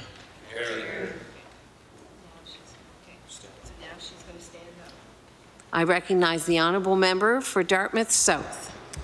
So, uh, Madam Chair, I, uh, in the normal course of things, we could move forward and not um, speak about the rest of change sheet NDP uh, dash one, but I will move this amendment um, just to be clear uh, what it is we're asking for, and maybe to give the government an opportunity to let us know if not here, what plans they have um, for letting us uh, have access to this kind of information. So I'll move the amendment found on NDP-1, page 2, clause 3, add the following after 39A sub A. B, death in custody means the death of a person 19 years of age or older that has occurred while the person was, one, detained or in custody in a correctional institution such as a jail, penitentiary, guard room, remand center, detention center, lockup, or any other place where an adult is in custody or detention.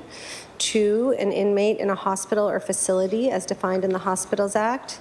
Three, an involuntary patient within the meaning of Involuntary Psychiatric Treatment Act. Or four, an involuntary resident in a healthcare facility. Page two, clause three, proposed section 39A, renumber proposed clauses B to D as C to E and change cross-references accordingly. Um, I, I will only speak briefly. I've made the bulk of my uh, comment, substantive comments on this uh, just previously, but but I will say that as you look at clauses one through four uh, in our suggested amendment, um, there. I can think of a situation for each of those circumstances that we have debated on the floor of this legislature, unfortunately, Madam Chair. Uh, we come asking questions about people who die uh, in correctional facilities, asking questions about people who die in uh, the East Coast Forensic Hospital, asking questions who die, who about people who are um, in all kinds of, of this type of custody and remand that we discuss. And, and quite frankly, Madam Chair, uh, uh, someone in a correctional facility is um, is a less uh, sort of poster-worthy person to be discussing in terms of finding the information, but they're no less of a human being. And to the extent that we decide that for the cases of care or the cases of public safety or whatever, for whatever reason we decide that we need to detain people or hold people, uh, while we are doing that, they are in our care. And if someone dies a non-natural death in our care, uh, both we and the families deserve to know and understand why, both to receive closure, but also to ensure that it doesn't happen again. So again, I look forward to the comments of my government colleagues on this amendment, and I urge you to pass it. Thank you.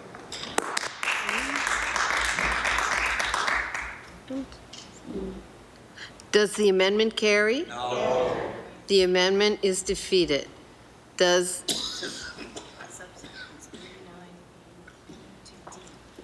do subsections 39 B, A, B to D carry? Carry.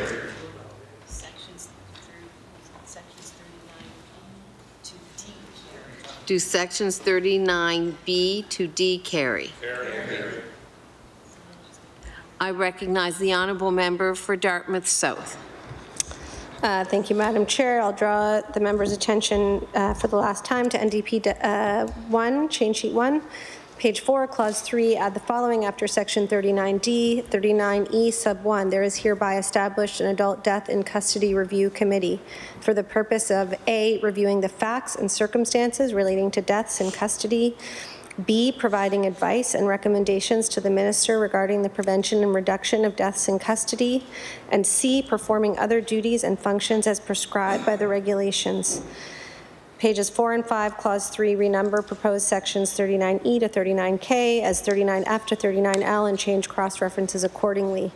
Uh, Madam Chair, uh, I'll simply say that These uh, amendments were brought forward to us by a number of advocates um, who really uh, serve as the only uh, voices uh, for people um, for whom uh, who really don't have a voice and who are often uh, most people would rather forget. Um, I'll remind everyone that we have an enormously high number of people on remand in our correctional facilities, people who have not been convicted of any crime but are awaiting trial.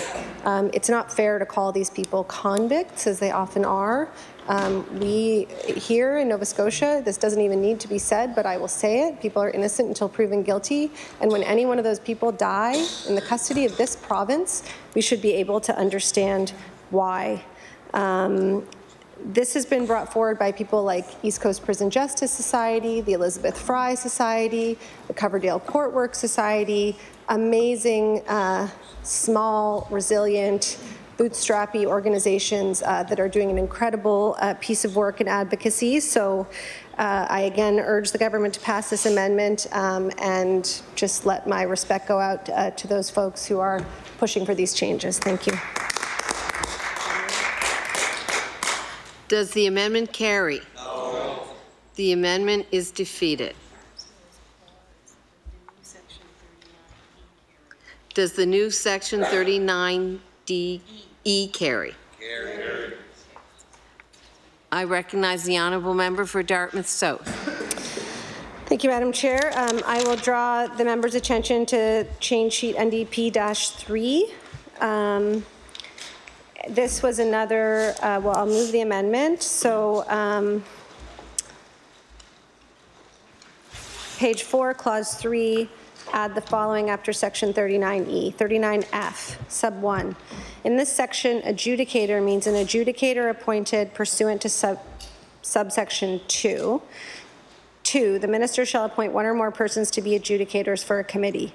Three, an adjudicator appointed pursuant to subsection 2 must not be an employee of the Department of Justice. Four, an adjudicator may hold hearings with respect to a death review for the purpose of collecting evidence to identify what caused or contributed to the death under review. Five, an adjudicator may admit any evidence the adjudicator considers relevant to the subject of the hearings. Uh, pages 4 and 5, clause 3, renumber proposed sections 39F to 39K as 39G to 39L, and change cross-references accordingly. Um, this speaks to the power um, of the proposed uh, death review committees as they currently exist in the Act.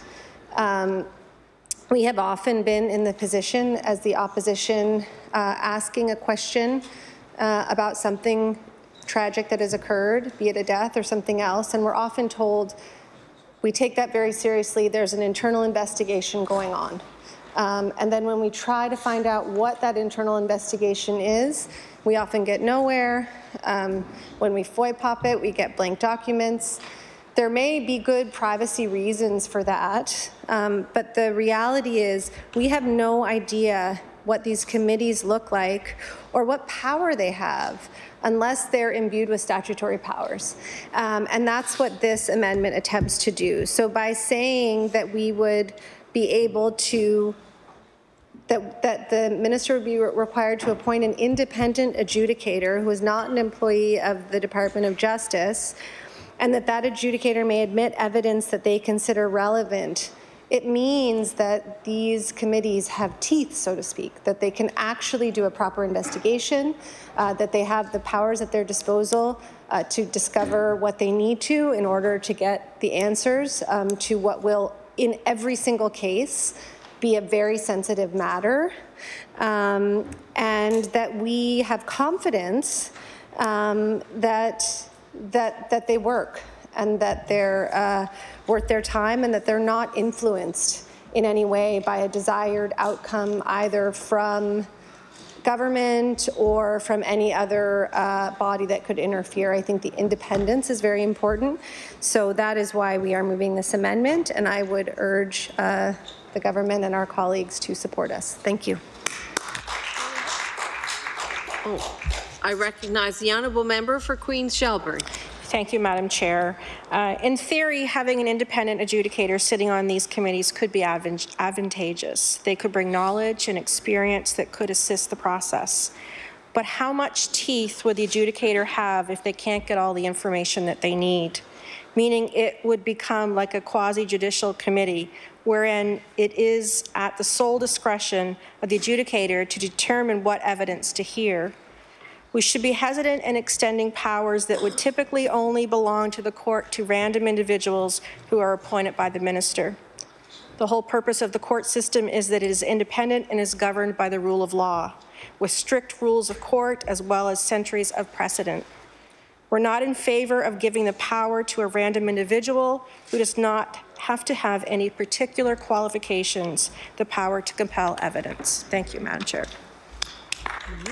I recognize the honourable member for Dartmouth South. Thank you, uh, Madam Chair. Um, We've heard a lot about adjudicators being random individuals uh, in the last week. Um, and with all due respect, I disagree with that characterization. I think we use adjudicators in all different ways.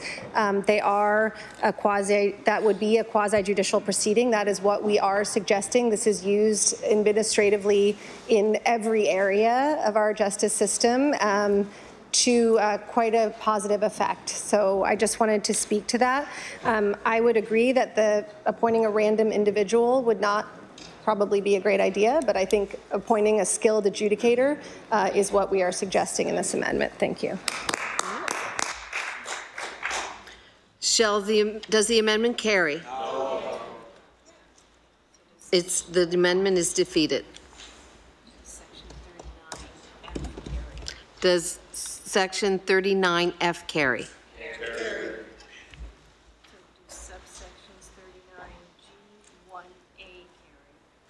Does subsection 39G1A carry? Carry.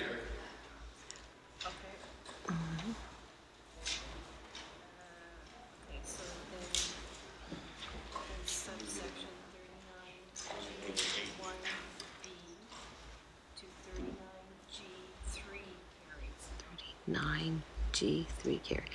Do subsections 39G1B to 39G3 carry?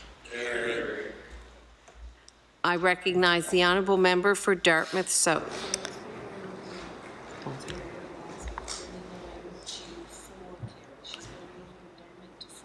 Okay, does 39G4 carry? I recognize the honourable member for Dartmouth South.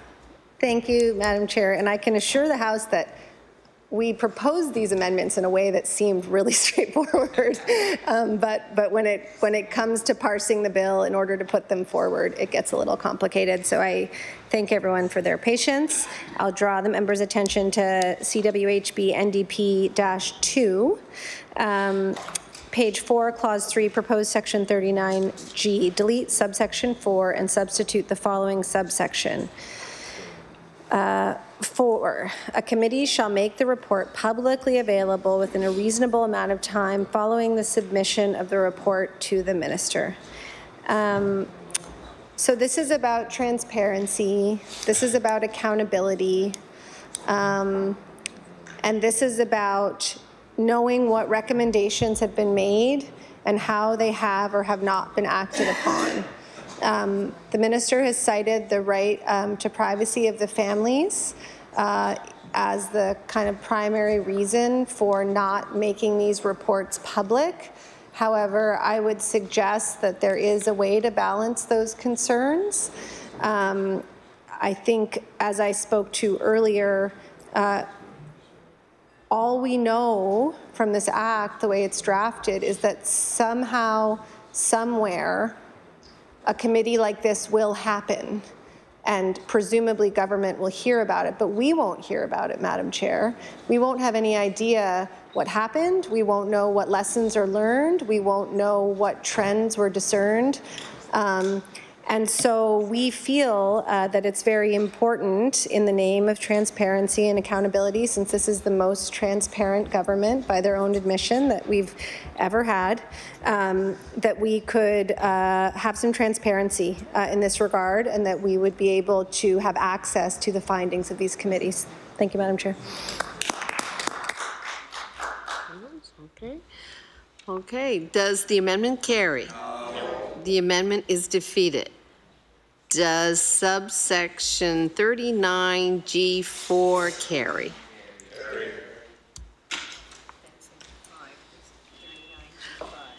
Does 39G5 carry?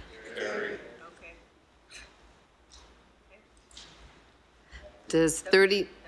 Okay. That's, that's it for 39G. Yeah, we're not there, we're going to say, so 39G, we did up to 5, so that's fine. So now they're going to propose a new 39H. Okay? 39H? Right, but she's, you're not going to call it, you're just going to recognize her, she's going to propose a new one. Okay. Okay? So you propose I recognize the honourable member for Dartmouth South. Thank you, Madam Chair. I draw the member's attention to CWHB NDP-2, page 4, clause 3, add the following after section 39G. 39H sub 1, the minister shall annually prepare a report on the actions and findings of the committees during the preceding fiscal year and make that report publicly available. Sub 2, the report must include any actions the government has taken during the preceding fiscal year in response to the findings or recommendations of a committee. Sub 3, the minister shall table the report in the House of Assembly within 15 days after it is completed or where the Assembly is not then sitting, file it with the Clerk of the Assembly. Pages 4 and 5, Clause 3, renumber proposed sections 39H to 39K, 39I to 39L, and change cross-references accordingly. Uh, Again, Madam Chair, I'll just briefly uh, speak to the kind of meat of this proposal, uh, which is that uh, we would, as legislators, uh, understand what it is that the government learns uh, from these committees, uh, what steps the government takes uh, as both as MLAs here in the legislature, but as MLAs in our own constituencies and as critics for various areas. Um, we get questions all the time. Um, and as opposition members, we rarely have access to the answers that we need. Um, and it's not just those of us in this House that need answers, but it's the public, um, Madam Chair. And so, again, in the name of transparency and effectiveness, um, I would urge the government uh, and our colleagues to support this motion. Thank you. Does the amendment carry? The amendment is defeated. So now on 39H, we're going to break it up yet again. So you're going to call 39H1A, and the minister is going to speak to it. Okay. Shall subsection 39H1A carry? I recognize the Honourable Minister of Justice. Thank you, uh, Madam Chair. Uh, the following amendments are a result of uh, correspondence received um, through the acting uh, privacy uh, and information officer. The amendments uh, at page 5, clause 3, proposed clause 39H, sub 1, sub A, line 2, add a municipality as defined in Part 20 of the Municipal Government Act after act. Okay, no, and that's, so you have to just speak to that now. The Because you have to do them as two separate. Yep, yep. Um, In review of the proposed uh, bill, uh, Madam Chair, uh, was brought to our attention uh, through the FOIPOP officer that uh, municipalities had not been captured uh, under the bill, and this amendment includes municipalities. Does anyone want to speak to that? No? Does the amendment carry? The amendment is carry. does the subsection 39, page 1A as amended carry? Does subsection 39H1A as amended carry? Carry. The amendment is carried. No, the clause. The clause is, Partial, a portion of the clause is carried. a portion of the clause is carried. So now,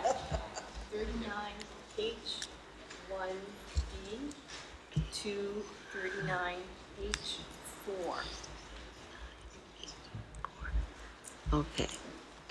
Shall subsection 39H1 D- D- B to 39H4 carry? So now I'll call 39H5.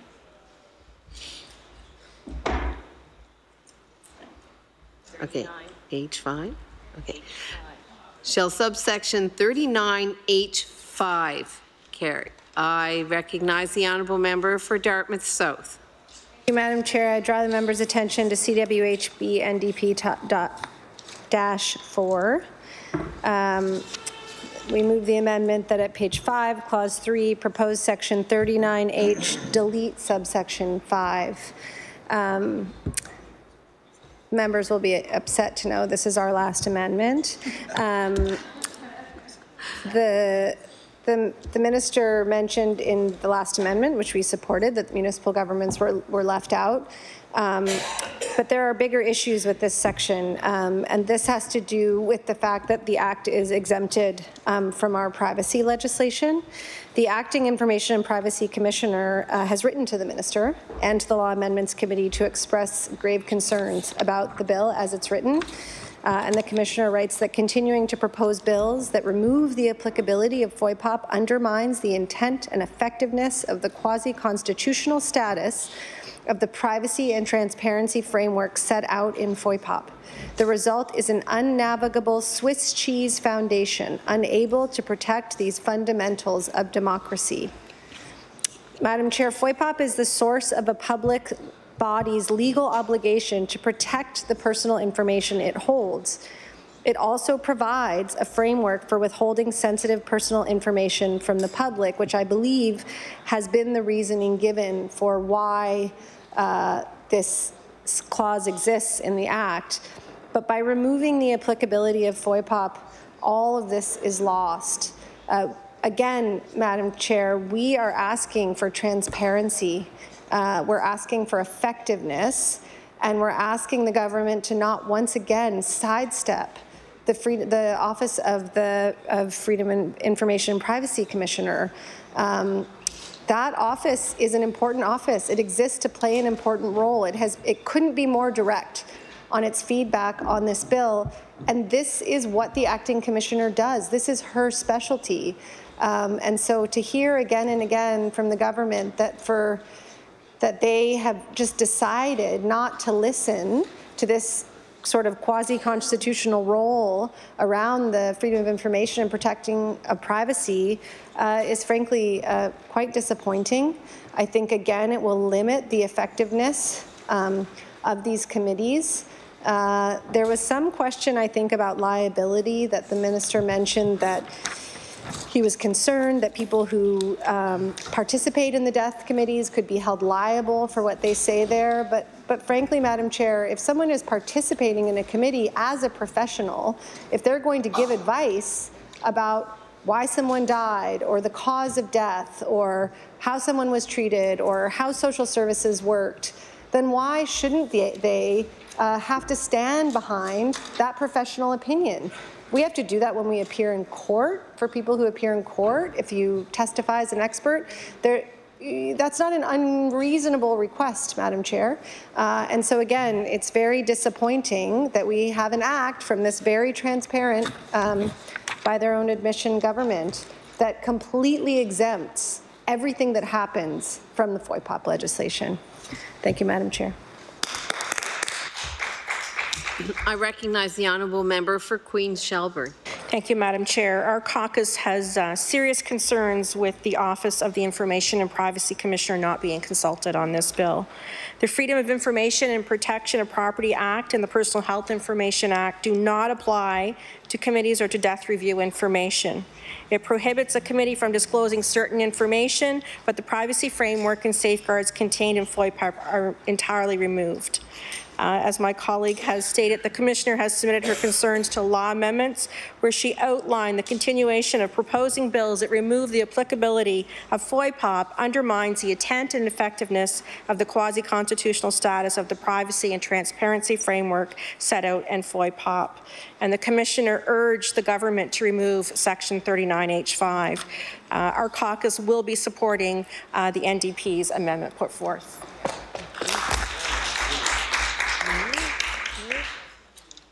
Okay. Does the amendment carry? The amendment is defeated.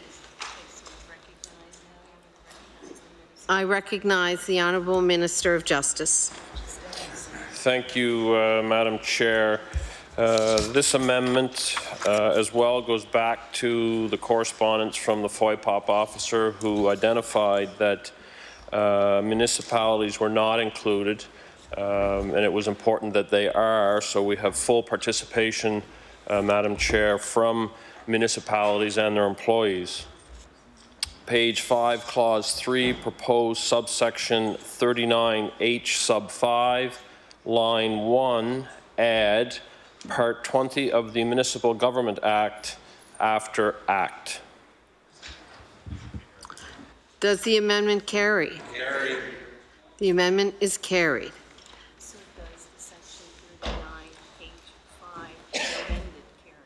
Does subsection 39H5 as amended carry? Carry. Sections 39I to K carry. Do subsections 39I to K carry? Carry. Do the remaining clauses carry? Carry. Shall the bill carry? Title carry. Shall the title carry? carry? Shall the bill? Oh, I recognize the honourable member for Dartmouth North. Thank you, Madam Chair. Uh, and I'd like to speak uh, for a few minutes on the title of this bill, an act to amend the Fatality Investigations Act. Uh, our caucus is broadly supportive of the establishment of these death review committees, although, of course, we would have liked to have seen this bill strengthened uh, by the amendments we proposed. Um, but more particularly, I, I, am worried that the establishment of a child death review committee may uh, make it seem like the need for an arm's length child and youth advocate office is eliminated in this province, but that is simply not the case. And I want to I, I uh, talk about that for a minute. Our caucus has uh, called on the government to establish a Nova Scotia Child and Youth Advocate Office with a legislated mandate to conduct systemic policy review and advocacy in addition to taking on reviews of specific cases. Uh, and some of those would be unfortunately death-related cases, but some of them would be other types of um, of cases that must be looked into uh, when it comes to the care of children. Uh, the, these kinds of offices exist in uh, the mandates established by the legislation in New Brunswick, uh, Manitoba, Ontario, British Columbia, and Newfoundland and Labrador. And it's really important to note that this type of office um, must be an office that reports to the legislature and not the minister, and that's an essential part of how a child and youth advocate office would work. In their 2018 budget submission, the Nova Scotia College of Social Workers called for the creation of a Child and Youth Advocate Office for the province, and specifically they recommended that the Executive Council proclaim a mandate for a child and youth advocate to ensure that children and youth rights are respected, valued, and that their interest and voice regarding services delivered by the provincial government are heard. In addition, the mandate would include public education, conflict resolution, conducting independent reviews, and making recommendations to government on programs and services delivered to children and youth. And given the growing concerns about the ability of government departments and agencies to adequately meet the complex needs of children, and the relatively small investment that it would, it would be required to establish an Office of a Child and Youth Advocate, it makes sense to have an independent body focused on this very vulnerable population. Uh,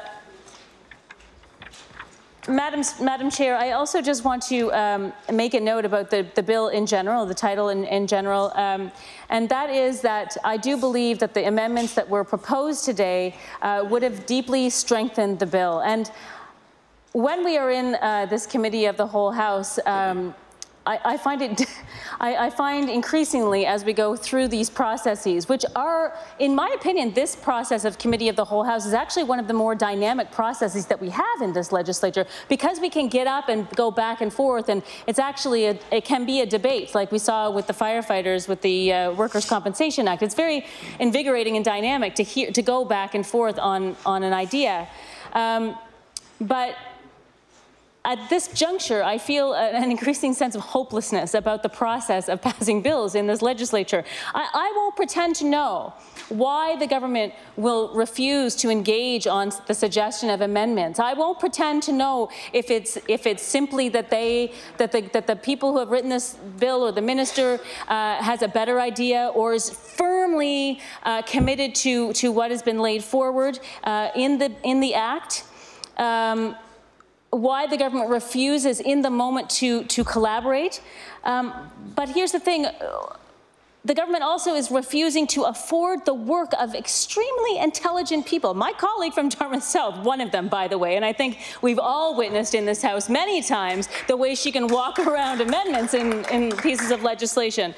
But also the people who have brought these amendments to us, the people who are working uh, with vulnerable populations in uh, provincial care facilities on a daily basis and who know from the ground that these amendments are required to make this bill actually have some tea. So I, I won't pretend to understand any of that, but I will say that it is deeply disappointing.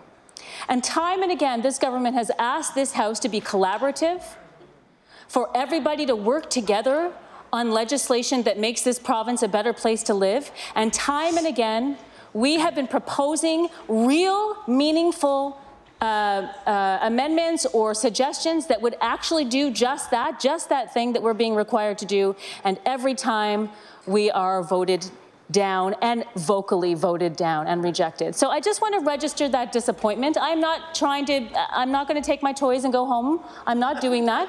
I will continue to stand here and be a voice for the people that we represent. But I want to register that uh, and hope that one day, somehow, maybe maybe it's you know not in this house maybe it's casually you know in a conversation but we find out why it is that this government refuses to collaborate. Thank you. Shall the title carry, carry. shall the bill carry? carry. The bill is carried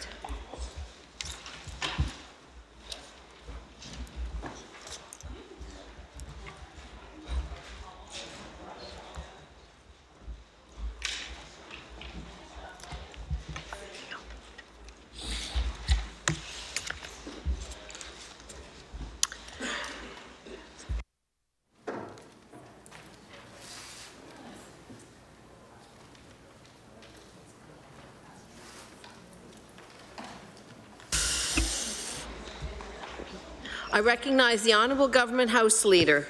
Thank you, Madam Chair. Would you please call Bill number 213, Sustainable Development Goals Act? I call Bill 213, the Sustainable Development Goals Act. I recognize the clerk.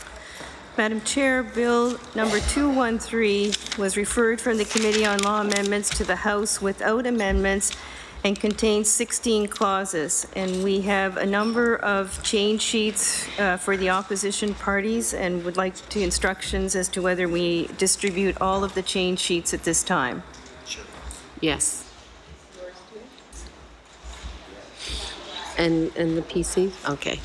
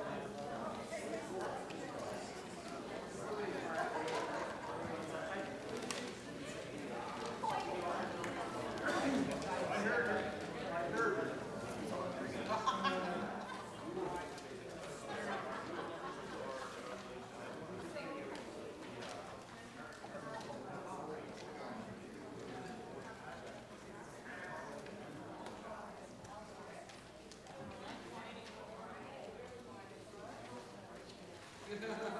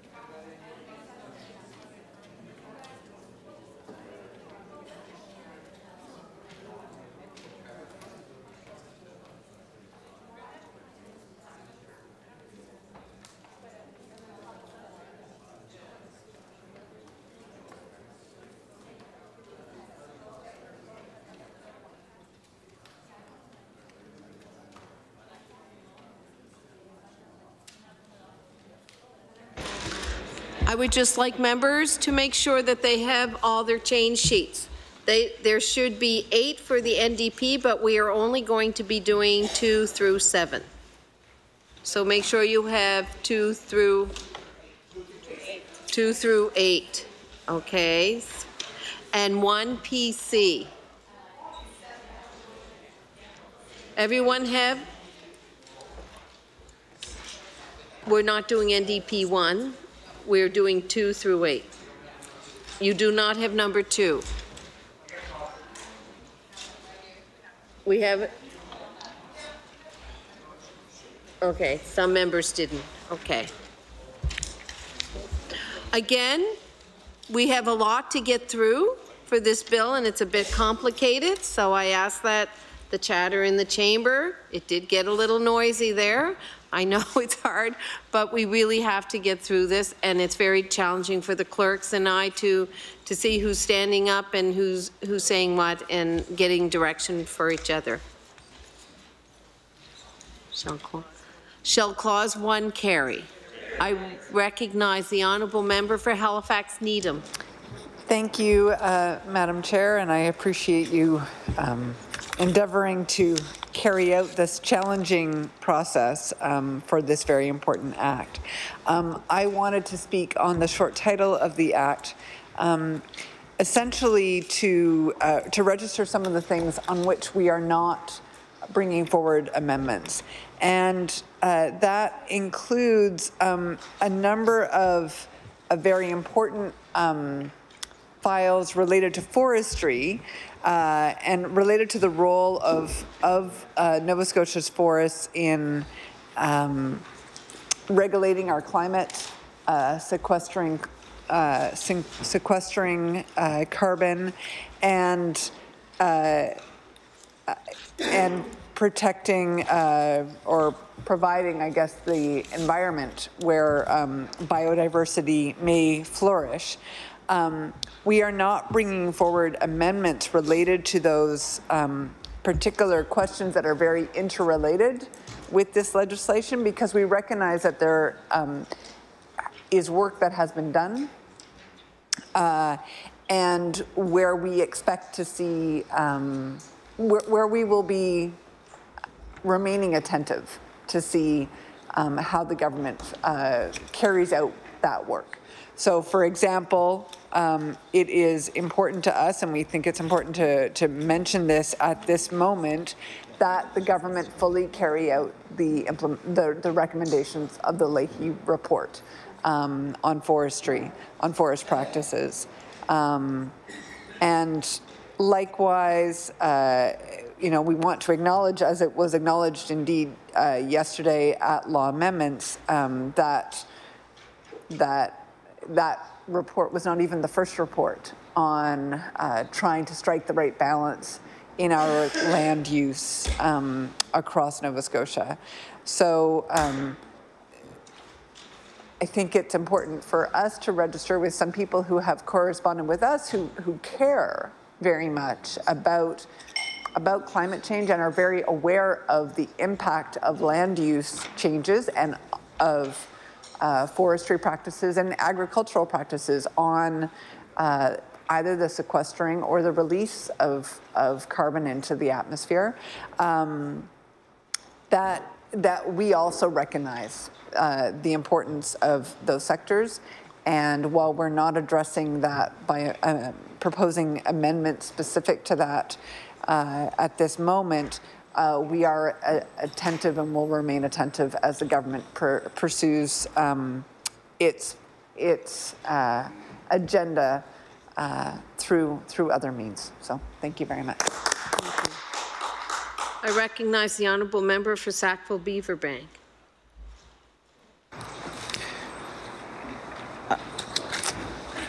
Uh, yes, thank you very much, Madam Chair. Madam Chair, just uh, confirming, so uh,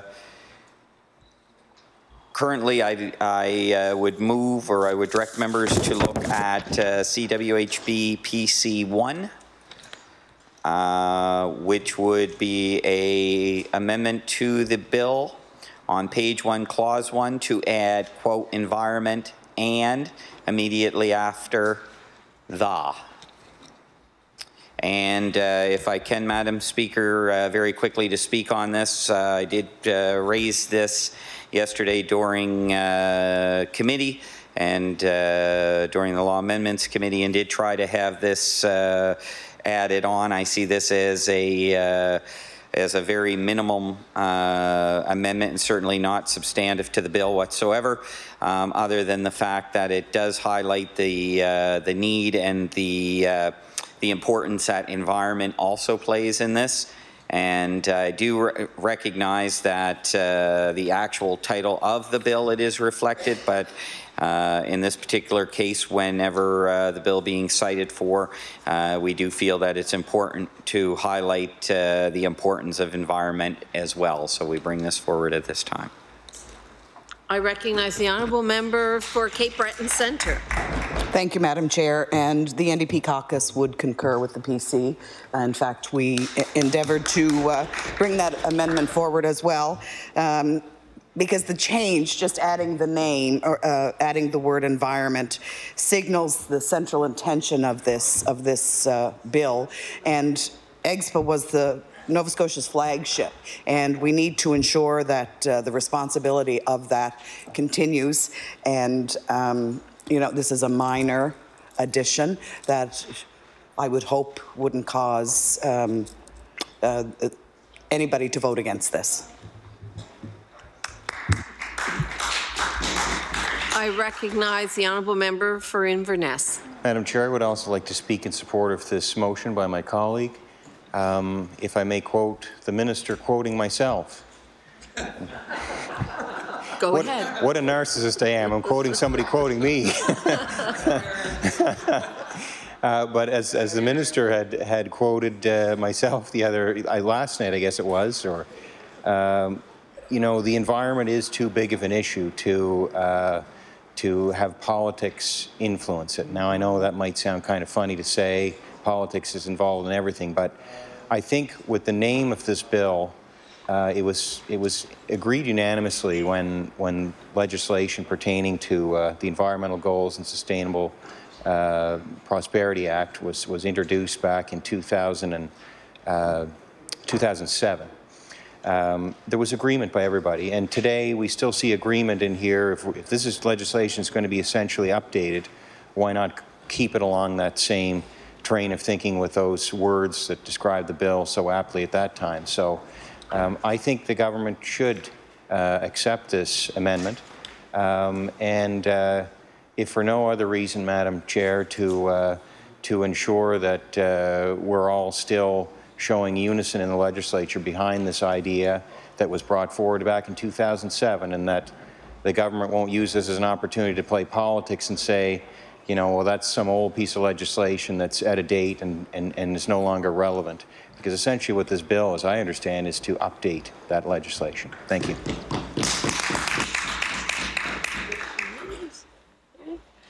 Shall the amendment carry? No. The amendment is defeated. Shall clause 1 carry? Shall clause 2 carry? I recognize the honourable member for Halifax Needham. Thank you, Madam Chair. Uh, I draw your attention to CWHP HB NDP 2, uh, page 1, clause 2, A, add the following subclause, B, climate justice means the understanding that the urgent action needed to prevent climate change must be based on a just transition emerging from community-led solutions and the well-being of local communities, Indigenous communities, African Nova Scotian communities, and marginalized communities, and that the people with the greatest ability to address the climate crisis have the greatest responsibility to address it. And B, re-letter paragraphs B to H and C to I.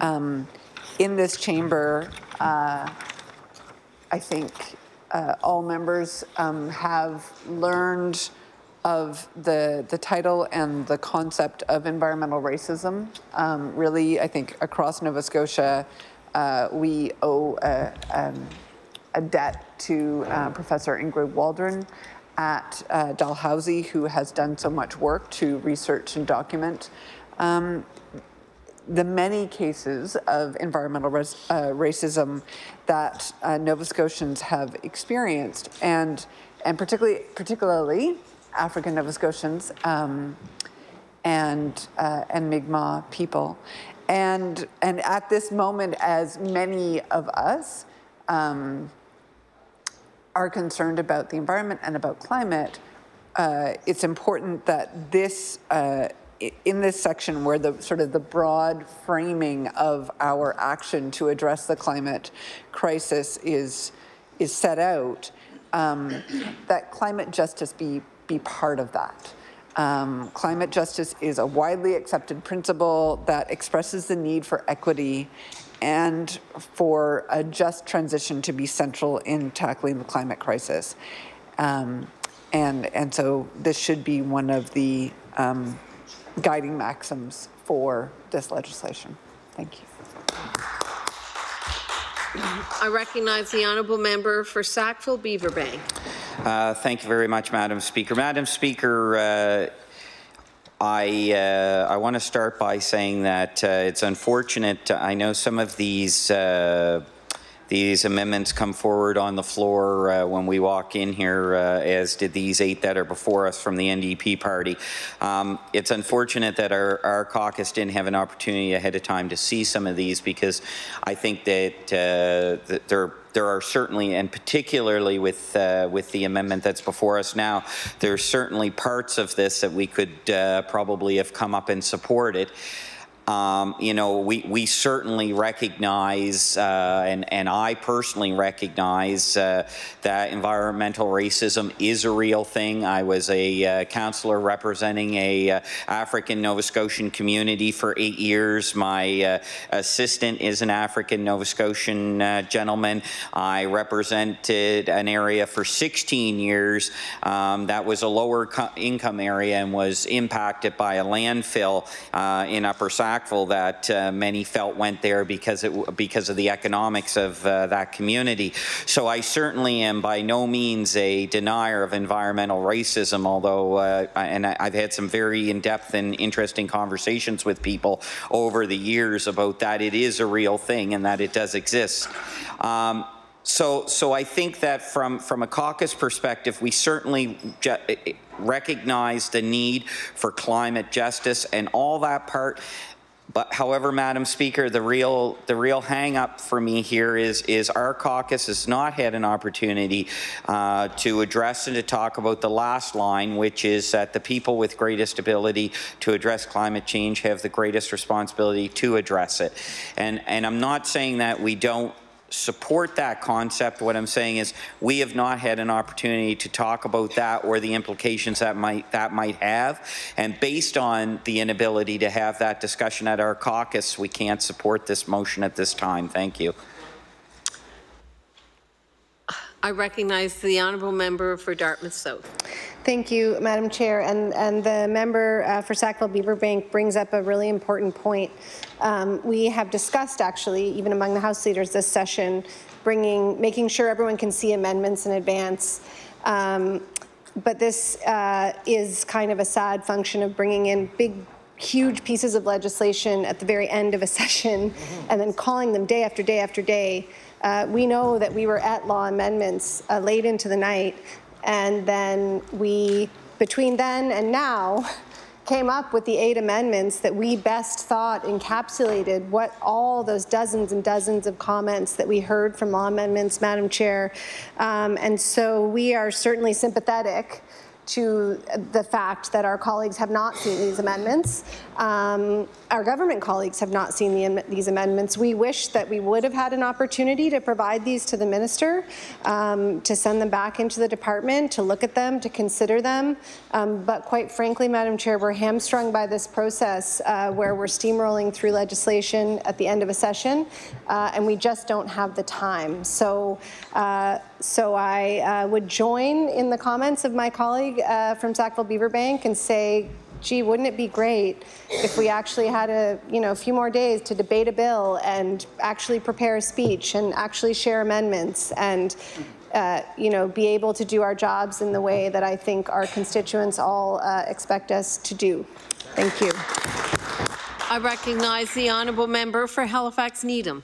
Thank you, and, and I, um, I really appreciate um, the comments from our, our colleague from uh, Sackville Beaverbank. Um, and I just wanted to address the point that, that gave him pause because it, it is a challenging thing to, um, to wrap one's head around that um, for this very precious earth where we live, um, to continue to be a, a, habitable planet, and it is currently the only habitable planet that we know of in the universe, um, that we cannot um, overspend our carbon budget.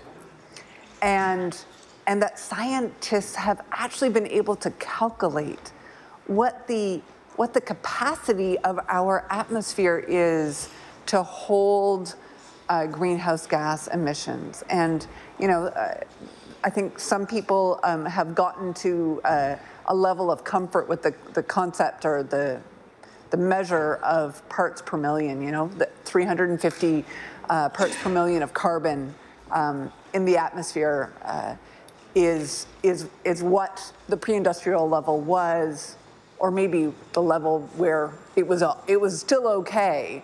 And, and we blew past that at some point um, around my birth, maybe.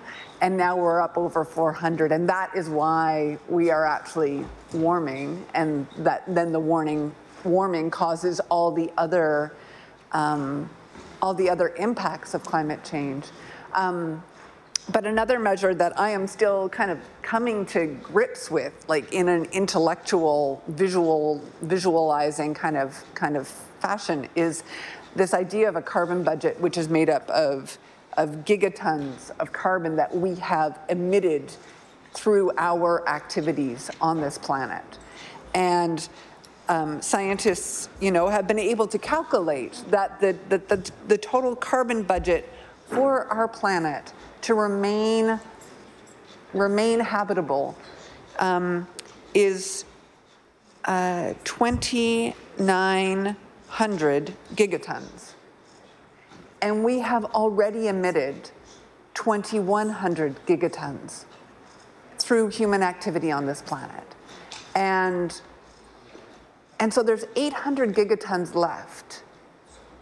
And some societies, some countries, some families, certainly, um, you know, the, the not that many billionaires on this planet are responsible for vastly more um, gigatons of carbon already up in the atmosphere and some of it down in our warming oceans than other people who have never had the opportunity to in any way um, put a burden on our planet um, in order to, uh, you know, benefit from the energy that that comes through emitting emitting carbon.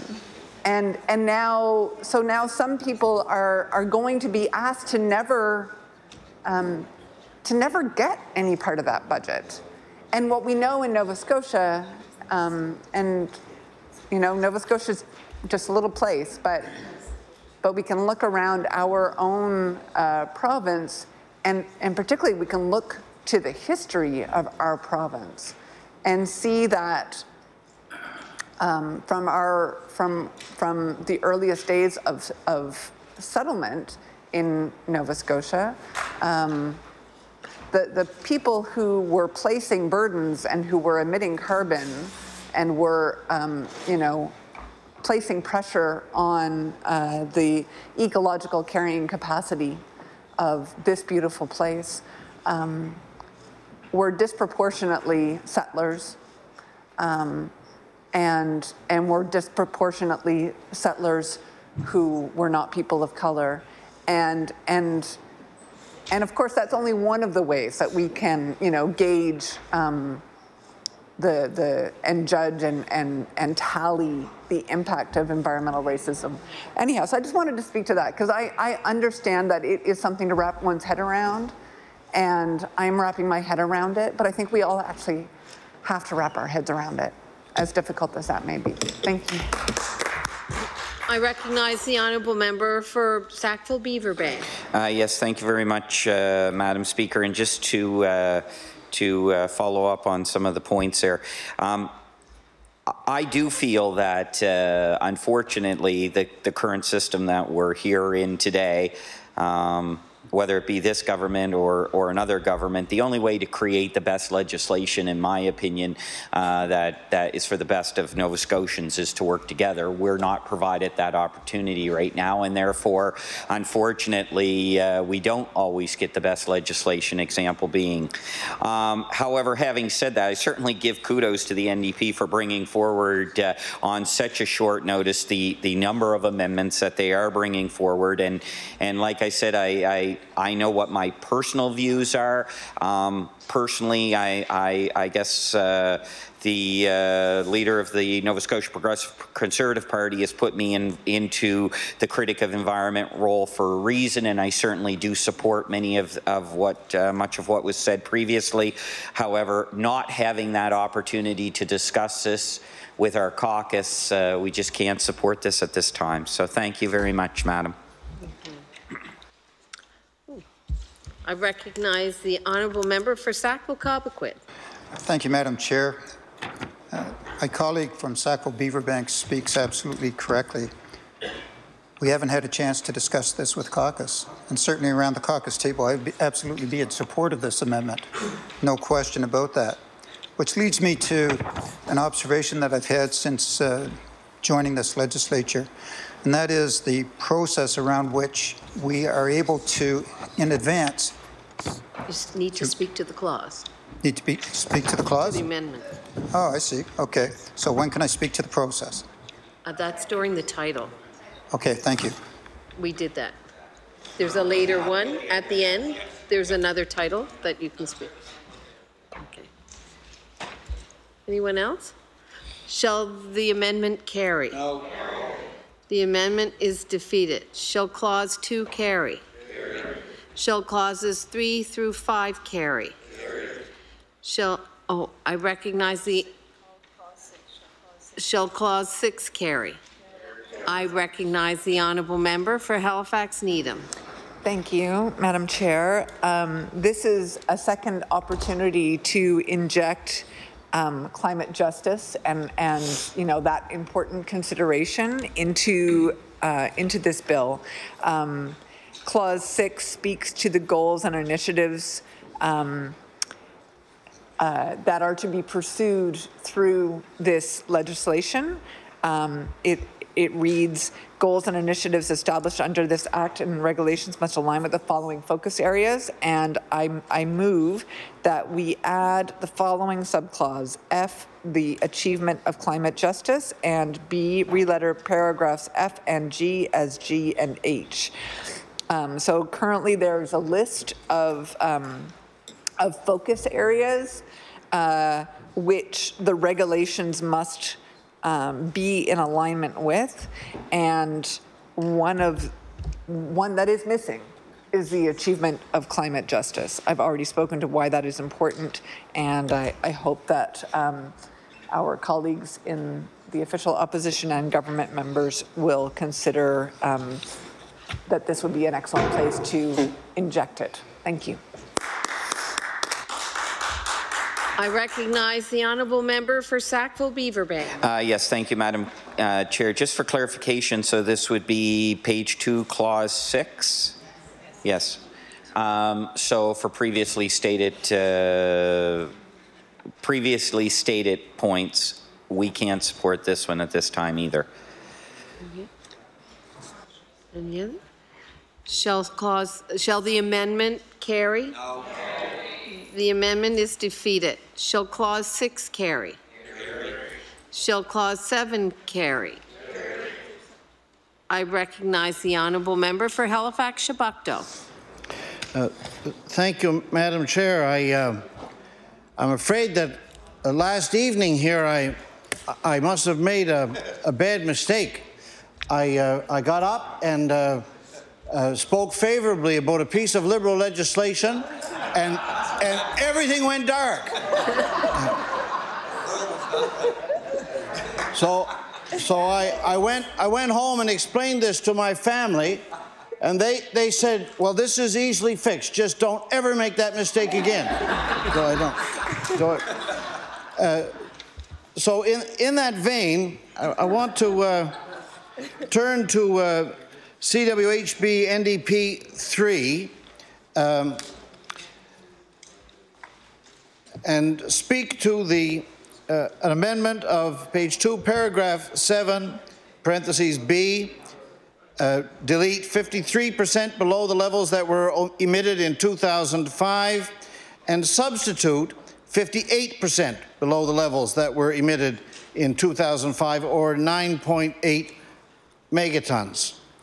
Now, in this 7B clause, uh, if this piece of legislation has a heart, uh, this is probably it. This is the, the real old epicenter of the matter. Um, and so when you're dealing with the, the core and the epicenter of the matter, you, you, you need to be clear about what is the main question that needs to be asked about this thing.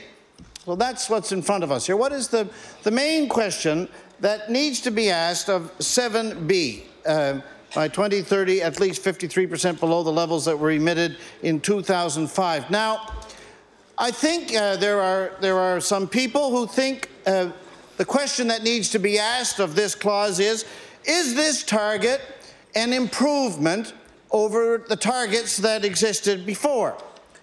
And if that were the question that needs to be asked of this, uh, certainly the answer would be yes, and that would conclude the whole matter and conversation.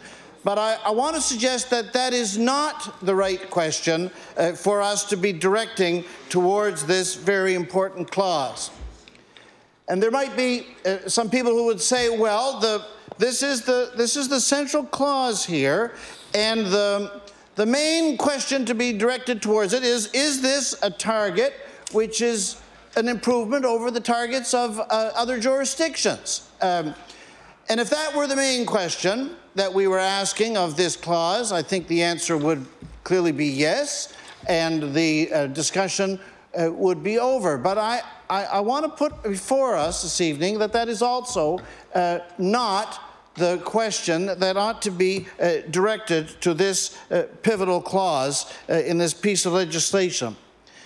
And to understand what the question is that we need to direct to this text here, I think we need to go back a year to October 2018 when the UN brought out that uh, defining seminal report on uh, through the Intergovernmental Panel on Climate Change on uh, confining global warming to, to within 1.5 degrees of pre-industrial levels. And on that that landmark report, with its thousands of pages and its hundreds of uh, scientific witnesses and, and, and authors, can really be boiled down to one key central thought. And that key central thought of that defining report is this that the world must make major and dramatic adjustments in the next 11 years in order to avoid the cataclysmic results of global heating beyond 1.5 degrees. This pivotal UN document really defines the moment where we are today. It establishes the whole framework for the the struggle against global warming. It uh, defines and sets out the framework for the climate emergency and the struggle against it in this climate moment.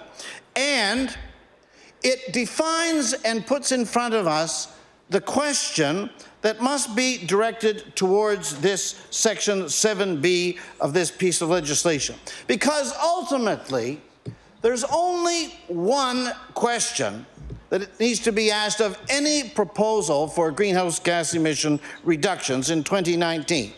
And that question is this Is that proposal or is that proposal not consistent with the UN IPCC framework of limiting global warming to 1.5 degrees? Greenhouse gas emission reduction targets, which are within this framework, are certainly uh, worthy of our deep support. And greenhouse gas emission uh, reduction targets, which are not within this framework, are deserving of our opprobrium, our rejection, and our resistance. So we, so we turn to the Sustainable De Development Goals Act and, and Act and ask the question which we heard so many presenters here yesterday at the Law Amendments uh, Committee uh, ask of, of this bill and speak about uh, in a way that was framed by the posing of that question. Is this target consistent with 1.5 degrees, or is it not? Uh, Madam Chair, here's what I wish to say about this. It is not.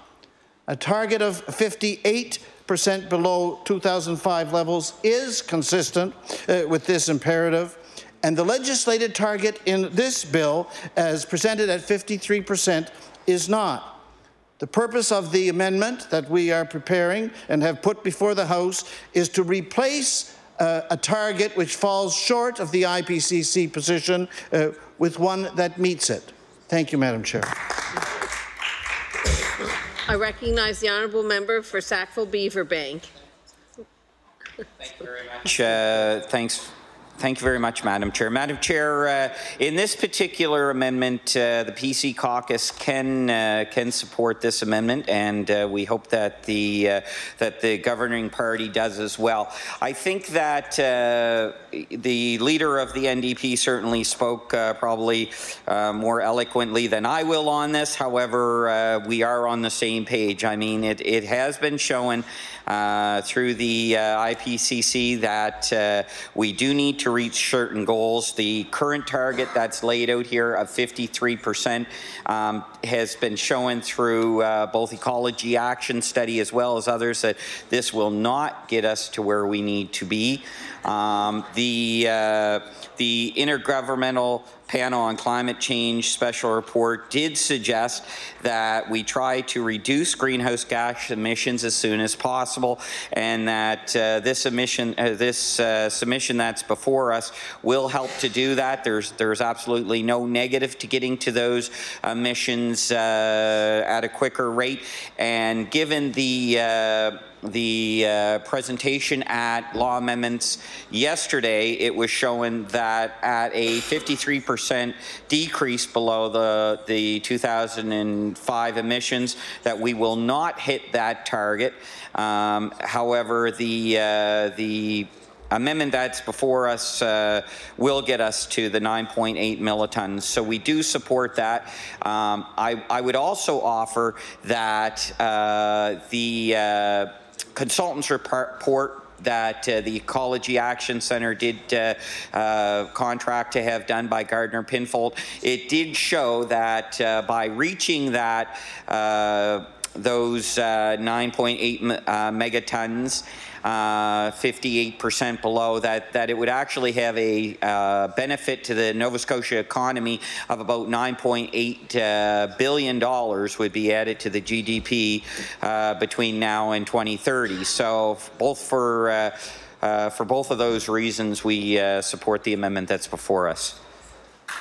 I recognize I recognize the honourable member for Sackville Cobequid. Thank you, Madam Chair. And as I mentioned earlier, I will make some faux pas in the next little while, so thank you for this. I'd like to beg your permission to do an introduction.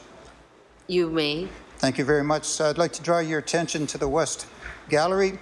We have newly elected and uh, also sworn in ML, or MLA, sworn in, not yet, not you, councillor from uh, Lower Sackville, sworn in uh, last week, and Paul Russell.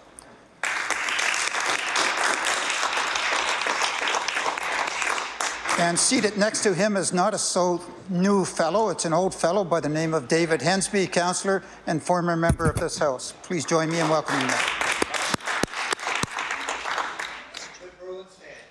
Okay, mm-hmm. no one, no one else speaking? Does the amendment carry?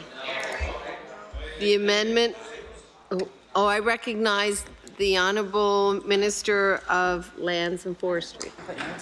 Thank you, uh, Madam Chair. I just uh, wasn't going to say anything, but when I, I hear uh, talk about the targets across the floor, I thought I'd add a few words to the, uh, the debate on this particular amendment. Um, I think it's important to note that, uh, that, for clarification, the IPCC report uh, did say that if all jurisdictions uh, were to get to this level of 53% below uh, 2005 levels by 2030, then indeed we would have an opportunity to keep warming uh, within one and a half degrees. I, I know what the member is referring to and that is the principle that we should be doing more than some of the other uh, less developed jurisdictions. But I wanted to make sure that was clear. Um, but we also do have an opportunity with the uh, the act itself to review every five years, and if those uh, targets have to be updated, then then they can be and should be, and we actually should be surpassing the target that we uh, set out as we have with other targets set in the past. But I'd also like to, uh, I would say, challenge uh, some of the members, particularly in the Conservative Party or progressive, so-called progressive Conservative Party, uh, when they're talking about uh, getting to a specific target and asking to go further, that they explain how they intend to get there. Because when we brought in uh, carbon pricing system here about a year ago, uh, over a year ago, we actually had a plan in place to drive emissions down further, which wasn't supported by, I don't think, either party opposite, but uh, I continuously hear in question period uh, when uh, the Progressive Conservatives ask questions about carbon tax, which doesn't exist here, but we do have a cap and trade system here that allows us to complement an already uh, hard cap in our electricity sector, which is an implicit carbon pricing system we have in regulations, which allows us to drive down our rates, and that is one of the main reasons why we've been able to drive down our uh, GHG emissions in, in the uh, in the province but that only encapsulates 45% of our overall emissions. With our cap and trade system, it allows us to cover about 80 percent of our emissions. And uh, business as usual, without those, uh, without that system, gets us to about 45% by 2030. So this is a stretch target, and one of the mechanisms we'll be able to get there is through the cap and trade system that complements the other implicit carbon pricing system. And if you look at what the experts say, and we've talked about the UN, the IPCC uh, um, Commission, and the IMF, all these uh, organizations have said you don't have a carbon uh, plan without any kind of carbon pricing plan. That is the most cost-effective uh, way to drive down emissions. It is the most effective way to draw down emissions, and that's why uh, numerous all progressive jurisdictions across uh, North America and indeed the world have been uh, implementing different systems that work well for their jurisdiction. Ours is based with help with the Western Climate Initiative, uh, that's an organization that's known as being one of the most progressive uh, systems in, uh, in the world, and we modeled our system off that. We now are a board member of that uh, organization in California. I know the president is taking them on in a lawsuit for trading with Quebec, but it is known as a credible system, and we have opportunities if we want to up auctions to increase that uh, carbon pricing, then we have that opportunity. But I just wanted to make the point that the experts have said uh, many economists have, from Sweden that have won the, the Nobel Prize, the Eco-Fiscal Commission, I could go on and on. They've all agreed that you don't have a plan without some type of carbon pricing. So I just ask members to have some kind of courage in, in saying, like, it's easy to say a target. You could say whatever number you want, but at some point in time, you have to start listening to the science and start listening to the most effective ways to drive down emissions that has happened across jurisdictions we're going to continue to do that. And we have more opportunities because we have courage to say so. Thank you, Mr. Speaker. I recognize the honourable member for Dartmouth. I recognize the honourable member for Dartmouth South. Thank you. Uh, I'd like to um, thank the member uh, for Timberlea Prospect for joining the debate today. uh, it's always refreshing when we hear from everybody. Uh, a few comments, though, on what he presented. Um, yes, yes, we need a carbon pricing uh, structure. Um, but in but but I think at the root of all of the things that we heard yesterday and the amendments that we are proposing today uh, and the government's own motion on the first day of this sitting, we are in a climate emergency. And with respect, to the extent that we didn't wholeheartedly support the cap and trade, it's because we felt as though as with this act, it was the bare minimum. So yes, kudos to, to doing it, uh, we believe in carbon pricing, um, but we think that there's room for improvement. As for the review of the Act in five years, five years is too long. It's too long. We are in a climate emergency, and and I think the reality is, and it's one that we don't like to speak about, is that Canada is one of the worst um, uh, we are one of the worst polluters. And so back to this amendment, to this number, the IPCC report is a con relatively conservative report, actually, that was looking at global numbers, but recognized in that report Um, and I don't remember exactly how they referred to the principle, but basically the principle of collective and distributed responsibility. So that that 53% actually has to be distributed across nations proportionate to the degree to which they pollute. So we're not pulling this number out of the air. This number is science. It comes directly from the report, and it's the combination of that one number and the principle that nations need to reduce the targets need to be set according to how much they pollute. Um, and so with respect, I appreciate the comments um, of all of the members, uh, but I think that, that, that this particular amendment, uh, as, as leader of our party said, goes to the heart of this, um, and we could be more bold. We could be more courageous with this target, and not only could we, but we have to be. And I think if we're serious that it's a climate emergency, if we want to actually transform our economy, which is required in order to get to this target, uh, then we should pass this amendment. Thank you. I recognize the honourable member for Sackville Beaverbank. Yes, thank you very much, Madam Chair. Madam Chair, I guess, uh, you know, unfortunately in this House, um, you know, and, and this piece of legislation uh, before us now uh, is a good example of this, is that our caucus is being looking at and had to have a discussion this morning about supporting an inferior piece of legislation in order for us to not have it thrown back by members across this House that we are anti-education or anti-hospitals or anti-environment. We are certainly not anti-environment. We want to see the best legislation go forward that possibly can. And unfortunately, Madam Chair, it's the lack of consultation and the mightier than thou attitude from some members in this House that they don't cooperate with everybody else. And therefore, as I said earlier, we end up with inferior legislation that we have to vote for because if we don't, we're in the paper saying we're anti-environment. Conservative caucus in Nova Scotia is a progressive conservative caucus in Nova Scotia certainly is not anti-environment. We were the ones that brought forward EGSPA, and uh, as far as I'm concerned, this is just an attempt to wipe that off so Liberals can stand up and say we're, we're environmentalists. They're as far from environmentalists as they come. What I would point out, I recognize that the uh, greenhouse gas targets that are laid out here are ambitious. They are one of the highest, and they are a reflection of what was in EGSPA. So they are one of the highest targets that are in Canada. But I still feel that they are insufficient to meet uh, to meet what when we look at our European counterparts and the ambitious targets that they've set. Um, that science and international agreements have clearly come out and said Nova Scotians must do more, and uh, I don't see the, the amendment that's before us, I do not see it as being um, uh, significant to what is there, that what is currently being uh, su suggested in the bill, but it is significant enough to make the difference to meet that 1.5 uh, target. So we still support that. Thank you, Madam Chair. What else? Okay. Good debating going on here, folks. Does the amendment carry? No. Yes. The amendment is defeated. Shall clause 7 carry? carry? Shall clause 8 carry? I recognize the honourable member for Dartmouth South. North. North. Sorry. Thank you, Madam Chair. Uh, I'd like to draw the uh, the member's attention to CWHB NDP 4 and propose the following amendment. Page 3, Clause 8, A. Add the following subclause. B. Developing a strategy for education regarding climate change to the public school program. And B. Reletter subclauses B to D as C to E.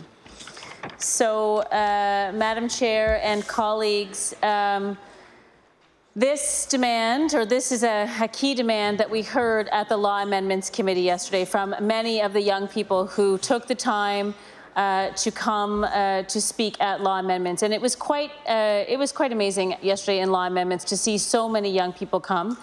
Uh, many of them are the were the leaders uh, of the climate strike, where, which brought 10,000 people to the streets of Halifax a couple of weeks ago. And frankly, Madam Chair, we should listen to them.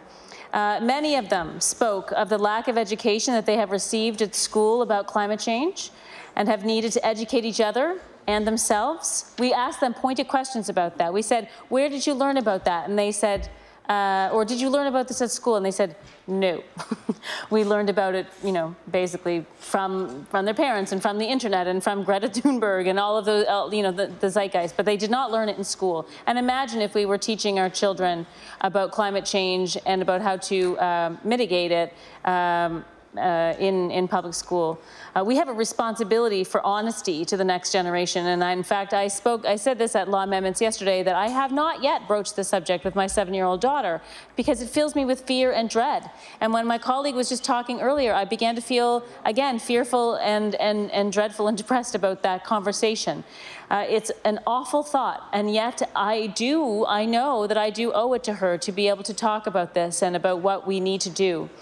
Knowledge is power, Madam Chair, and if we are going to continue to look to our youth to be on the forefront of the climate movement, then we have a responsibility to furnish them with the information and the science.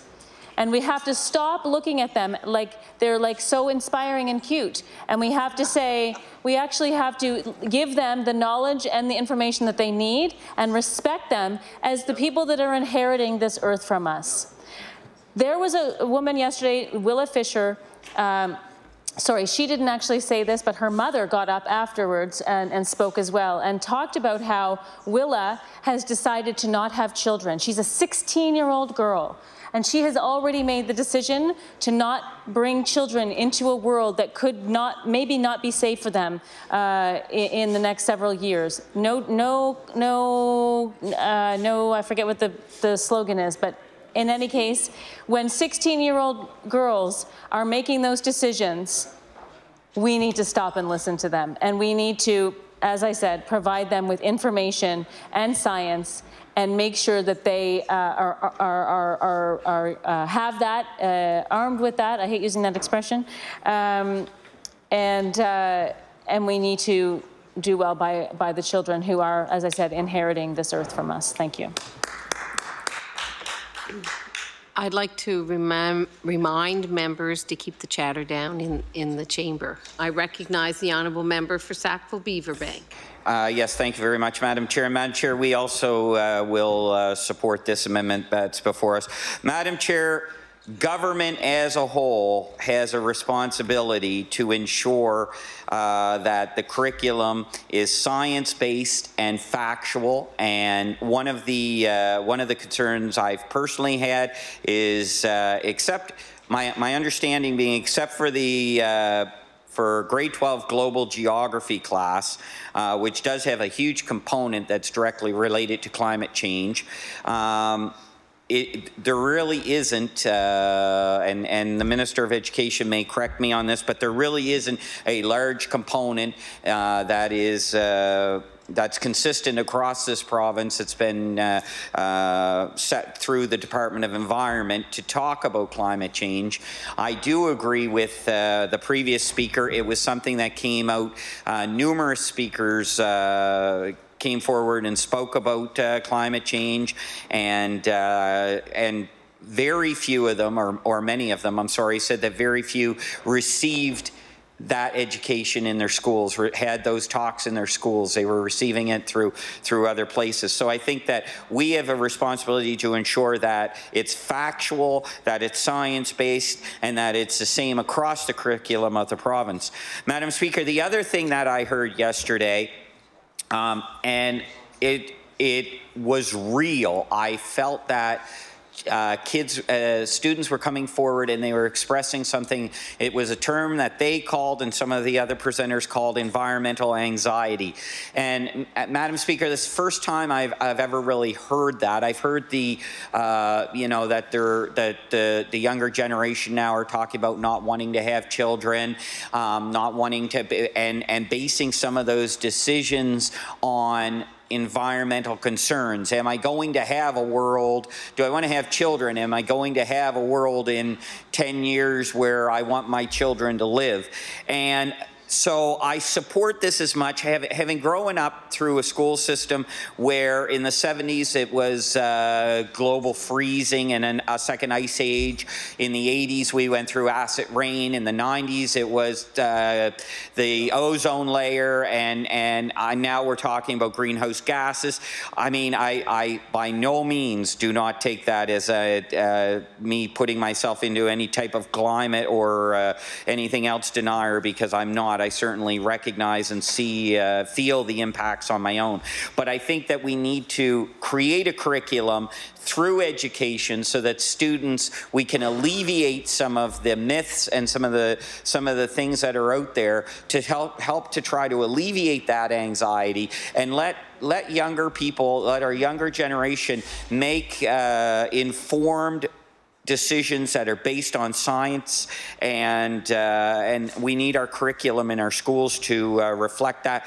And and as I've said, Madam Speaker, my understanding is other than Global 12 uh, geography, that's not happening. I had my 11 uh, year old who's in grade six come home the other day, and uh, and I, I felt that sense of anxiety because it was a discussion that they were having in school in the school, and I, I uh, applaud her teacher for for attempting to have that but without having uh, some type of an education component in the public school systems, without having that defined curriculum, I think uh, it, it leaves a lot up to interpretation and, uh, and uh, which potentially can just fuel that anxiety. So we support this as well.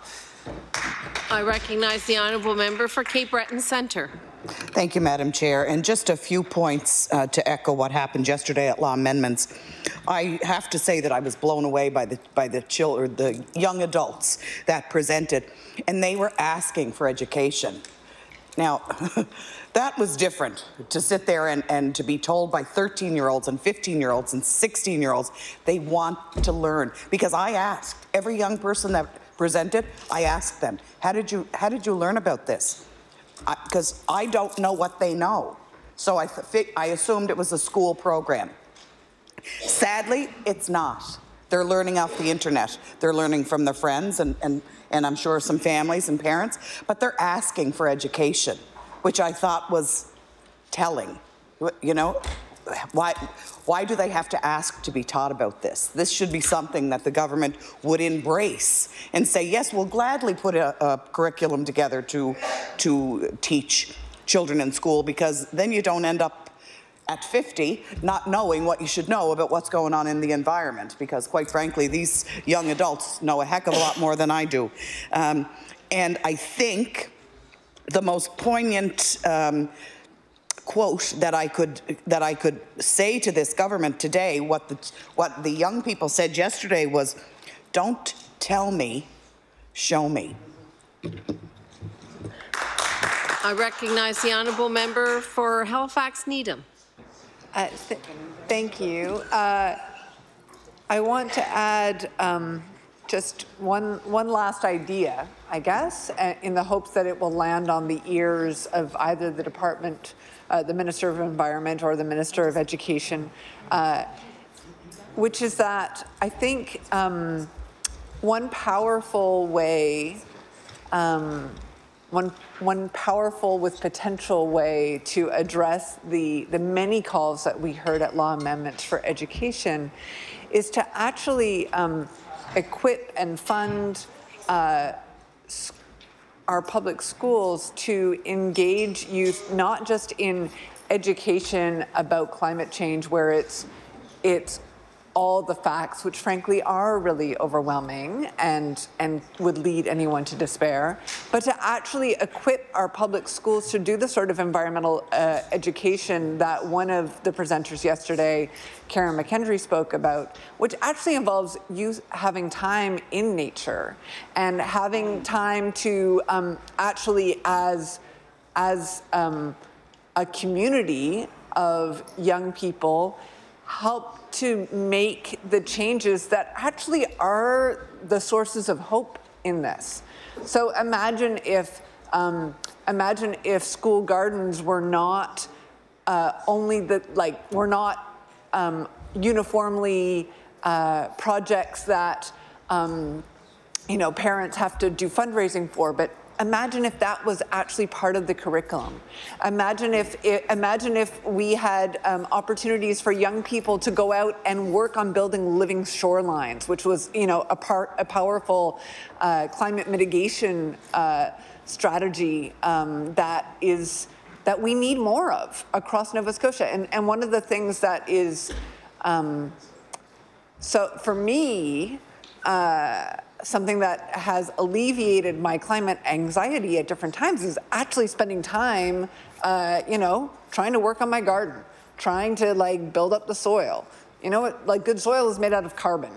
When you grow things, they are, you know, trees grow by taking carbon out of the atmosphere and putting them into the bark and the leaves and the roots and into the soil. So let's not just educate so that let's not just educate to march. Let's let's educate uh, or educate to um, you know fuel anxiety. I think that anxiety is 100% justified, but I think it's also on us to provide opportunities where youth can build skills, relieve some of that anxiety through through action and frankly through through time in our natural world, which is like one of the best places to uh, to, to feel some ease from that anxiety. Thank you.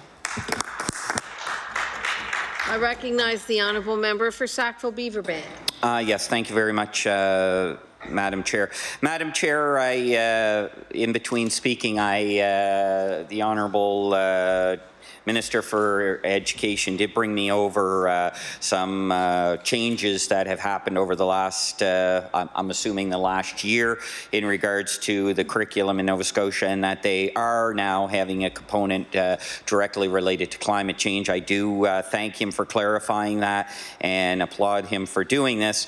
Um, however, I don't think that it uh, mitigates the the motion that's before us. In fact, it would enforce it because uh, it would entrench it within this particular bill and ensure uh, that that was something done. So I don't see, um, I recognize we are doing that. Thank you very much for bringing that to my attention, uh, Minister.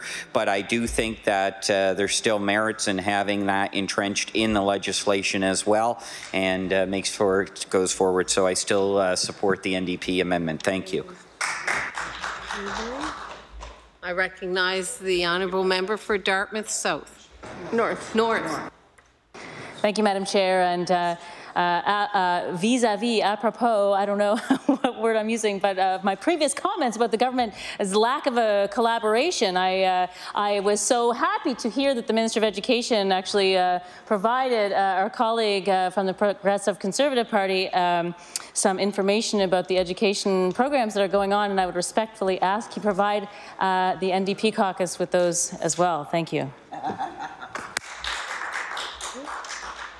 Okay. All right. Does the amendment carry? No.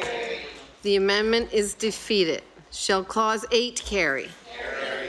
Shall clause 9 carry? I recognize the honourable member for Dartmouth North.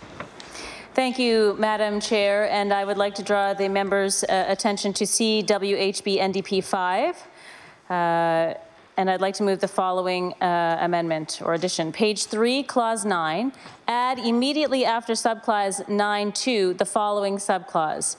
3. Notwithstanding subsection 2 or the regulations, additional money from the fund must be made available to communities disproportionately impacted by climate change, environmental racism, and environmental injustices. Uh, and so, Mr. Chair, um, I, uh, I would like to just speak for a moment on this um, amendment. Uh, generally, I think that this clause, clause 9, is um, is a very good one. Uh, you know, this this uh, the Sustainable Challenges Fund um, is really an important uh, part of this legislation, I think, and I and I do wholeheartedly support this fund.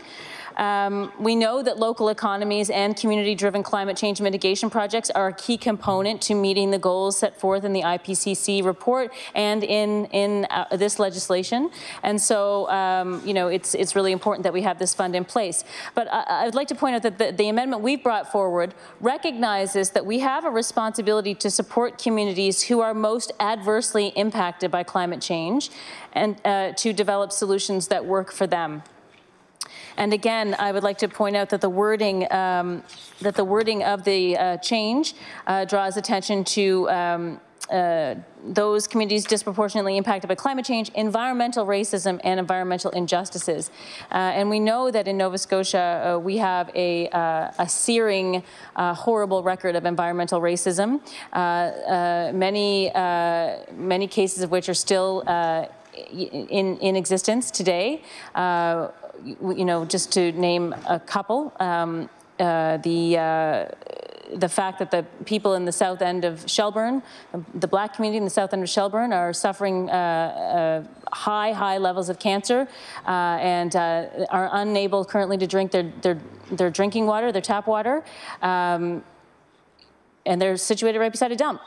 Uh, we also have, uh, you know, the example of the Mi'kmaq uh, uh water protectors fighting Alton gas on the Shubenacadie River. Uh, so those are just two, two very um, obvious examples. Um, due to the reasons of historical injustices, these communities be, we need to forefront these communities with this this uh, um, sustainable challenges fund uh, and and assist them in their pathways forward thank you recognize the member for sackville cobequid uh, thank you very much, Mr. Speaker. Mr. Sackville Beaverbank, sorry. Thank you very much, Mr. Speaker. Mr. Speaker, uh, we'll support this one as well. Um, certainly recognizing, as was previously discussed uh, around this bill, the uh, the reality of environmental racism and environmental justices. At this time, I would I would like to uh, raise a few issues uh, with number nine, uh, section number or, or, clause number nine, Mr. Chair. Um, Mr. Speaker, and that would be, first of all, uh, the uh, questions around the Sustainable Communities Challenge and Fund to begin with.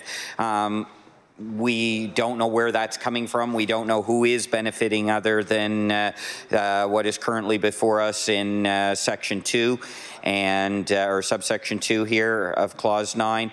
Um, we don't know where the funding is actually coming from there. The minister hasn't uh, hasn't really given direction to that. So, um, but I, I specifically uh, wanted to, at this time, also raise concerns that I had uh, in regards to that fund, that it, uh, and it so states the money in the fund must be managed and used in accordance with the regulations. And then I went, oh my goodness, quote, if any. So if any regulations around this fund, then the money for this fund must be used to create competitive opportunities, encourage communities, climate. So, so I, we do support uh, the amendment that the NDP are bringing forward. We recognize that it will help marginalized communities across the province. However, uh, based on uh, on clause 9 subsection 2 there may not be any because there may not be any regulations according to that. So we will support the motion that's before us.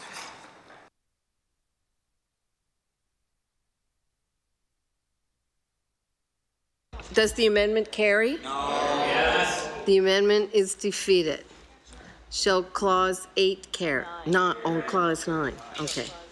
Shall nine, clause 9 carry? carry?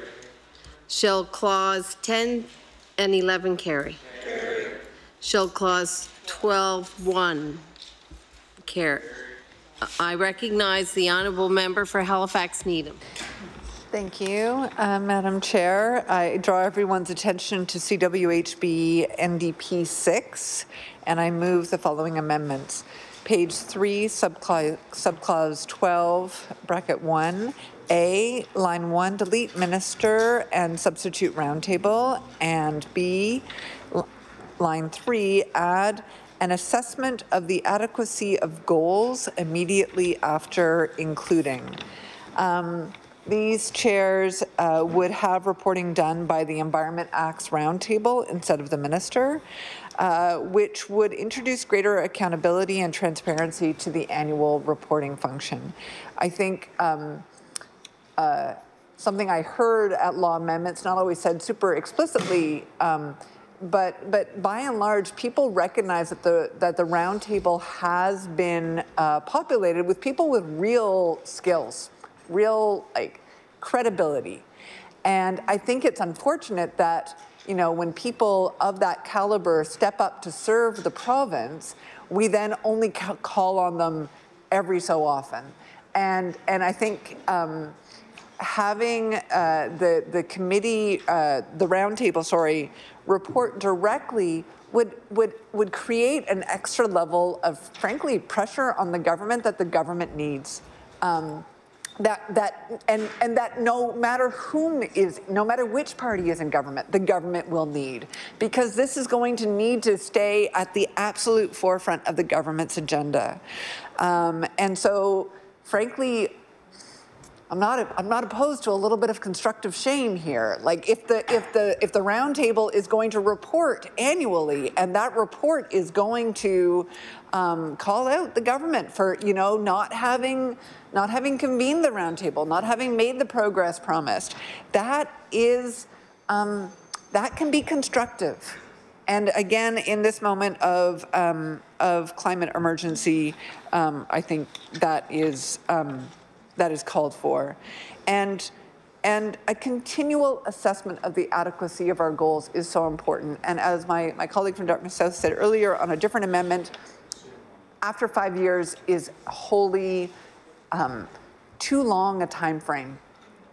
Uh, one thing that we know and that scientists talk about is, is that there are feedback mechanisms in, uh, you know, that are, that are part of the mechanism of climate change as, as snow melts, as glaciers melt, we end up with more of our planet being not white, but, but brown or, or blue, um, not reflecting as much heat back up into the atmosphere. So, so it, it becomes a feedback loop where climate change um, begets more climate change. And so we may need to really get more aggressive. Um, we've already proposed an amendment that would that would um, set us on, you know, to a greater level of ambition right right now. But but in another two years, maybe that's when the roundtable would say, you know what? Yes, this was you know an ambitious target for Canada at the time, but now the evidence shows that we must do more. We must we must um, we must uh, be brave and undertake the changes that are required. And so this amendment would um, also enable enable that and and uh, uh, give the roundtable um, that responsibility. Thank you.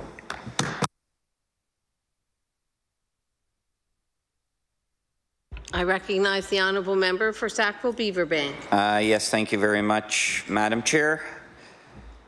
Um, Madam Speaker. Chair. Chair.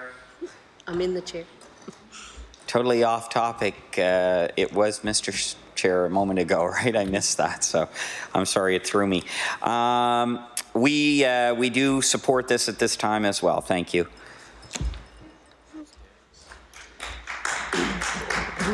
Shall the amendment carry? Yes. The amendment is defeated. Shall clause 12.1 carry? carry? Shall clause 12.2 carry? carry? Shall clause 12.3? I recognize the honourable member for Halifax Needham. Uh, Madam Chair, again on CWHB NDP 6, page 3, subclause 12.3, delete and substitute the following. Three, the minister shall provide the roundtable with all necessary support and information in preparing an annual report under subsection one. Um, I don't think I need to say anything uh, to it, but that's what we would like to see. Thank you. I recognize the honourable member for Sackville Beaverbank. Yes, thank you, uh, Madam Chair. And uh, yes, we, we certainly support this particular amendment. Uh, The current form, uh, using the word may, uh, certainly uh, leaves a lot of uh, questions there, and uh, we would uh, much rather see it, it as a shall, that the minister shall consult the roundtable, and that the minister shall provide the support to the roundtable that they need to be able to operate. Um, the current clause that is before us, um, that word may just uh, for us is, is by no means strong enough. Um, in the current legislation that we have, the EGSPA Act, it, I believe it is shall, not may. Um, and unfortunately, uh, that hasn't happened. Um, and I did raise this uh, during the uh, second reading of this bill as to whether or not, uh, because that was part of the legislation, it was law, and the fact that it didn't happen, uh, I question that. Um, this, uh, the amendment that's before us certainly goes back uh, to the uh, the original intent of the original EGSPA and uh, shows that it shall happen and not may happen at discretion of the minister or anyone else. So we will support this. Does the amendment carry? The amendment is defeated. Sh- Shall 12-3 carry? Shall Clause 13 carry? Shall 14-1, I recognize the honourable member for Halifax, Chebucto. Thank you, Madam Chair. Uh, I'm uh, speaking from the change sheet CWHB NDP 7, uh, which seeks to amend this clause 14 so as to delete the present 14.1 and substitute the following. The governor in council shall, after public consultation and before this act comes into force, make regulations A, establishing goals to achieve sustainable prosperity consistent with the principles and focus areas set out in this act, and B, setting ambitious numeric targets with timelines in support of this act's long-term objectives, including, but not limited to, targets and timelines for, one, the creation of green jobs, including transformation of existing employment. Two, increased energy efficiency and conservation. Three, generation of electricity from renewable sources. Four, electrification of public transit and personal vehicles. Five, reduction of emissions of nitrogen oxide. Six, reduction of emissions of sulfur dioxide. Seven, reduction of emissions of mercury. Eight, reduction in the solid waste disposal rate. Nine, increased consumption of local food. Ten, increased local food production. And 11, legal protection for an increased percentage of the total land mass of the province. Uh, now, uh, this amendment uh, is seeking to ensure that all of those areas that in the previous, the old Environmental Goals and Sustainable Prosperity Act, that all of those areas uh, must, in the new legislation, in its regulations, um, be strengthened by having uh, numeric targets and concrete deadlines. So by means of this amendment, uh, this principle would apply uh, to the nine areas of, those, of the former legislation which are not included in the present legislation uh, renewable energy, energy efficiency, nitrogen oxide emissions, sulfur dioxide emissions, mercury emissions, solid waste reduction, local food consumption, local farm support, and land mass protection. The amendment additionally to these nine would establish uh, for the new legislation uh, two new areas of targets. One in the area of green jobs creation, and a second one in the area of electrification of public transit and personal vehicles. Uh, for which this amendment would require also uh, numeric targets and concrete deadlines. Now, the green jobs creation target area is one that recognizes our responsibility to take advantage of the incredible opportunity to be at the front of this economic wave. And the electrification of transportation target embodies a recognition that transportation comprises the largest portion of Nova Scotia's energy at 44%. So the thinking behind this amendment is that all uh, 11 of these areas, the, the nine from the former legislation and the two which we are hereby proposing adding, all 11 of these are crucial to finding the path out of the present climate emergency, uh, and therefore call for all 11 of them uh, being mandated by legislation. I should also point out uh, that nothing in this amendment would preclude the addition of other target areas uh, to this list. Thank you, Madam Chair. I, rec I recognize the honourable member for Sackville Beaverbank. Yes, thank you. Thank you again, Madam Chair. Madam Chair, uh, we certainly support all of uh, all of these uh, this amendment that's before us. I guess uh, to make a couple quick comments. Um, unfortunately, uh, I know that uh, the amendment will not pass because if the current government wanted to address the things that are in this amendment, they would have made amendments to EGSPA, which is what we wanted anyhow. Because all, as as the leader of the NDP party did state, all the uh, targets and objectives that are li uh, listed in this amendment are encapsulated in EGSPA, and uh, that was our opportunity. I know that obviously this this amendment will not pass because uh, the Liberal government does not want EGSPA. They would have amended that. So we see that. I, I also support this, and, and I do recognize uh, the uh, the the uh, inclusion of green jobs here, as well as uh, the electrification of uh, public transit and personal vehicles. I spoke in this House in the past uh, in regards to uh, where the world market for uh, automotive manufacturers are going. They are moving away from uh, their dependency on fossil fuel and gas. I think it was Yodi I, uh, I spoke about once before uh, that their whole 2019 fleet is coming out as EV vehicles.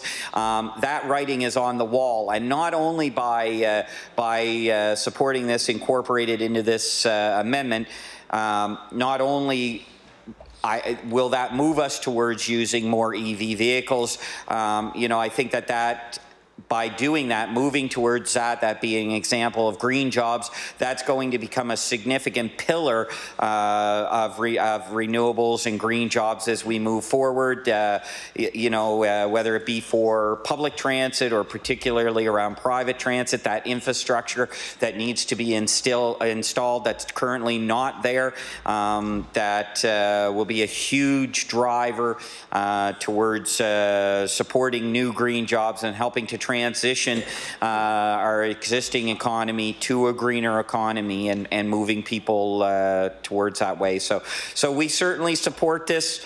Unfortunately, as I said, I know uh, I know that none of the other amendments have passed. I know that this amendment won't pass.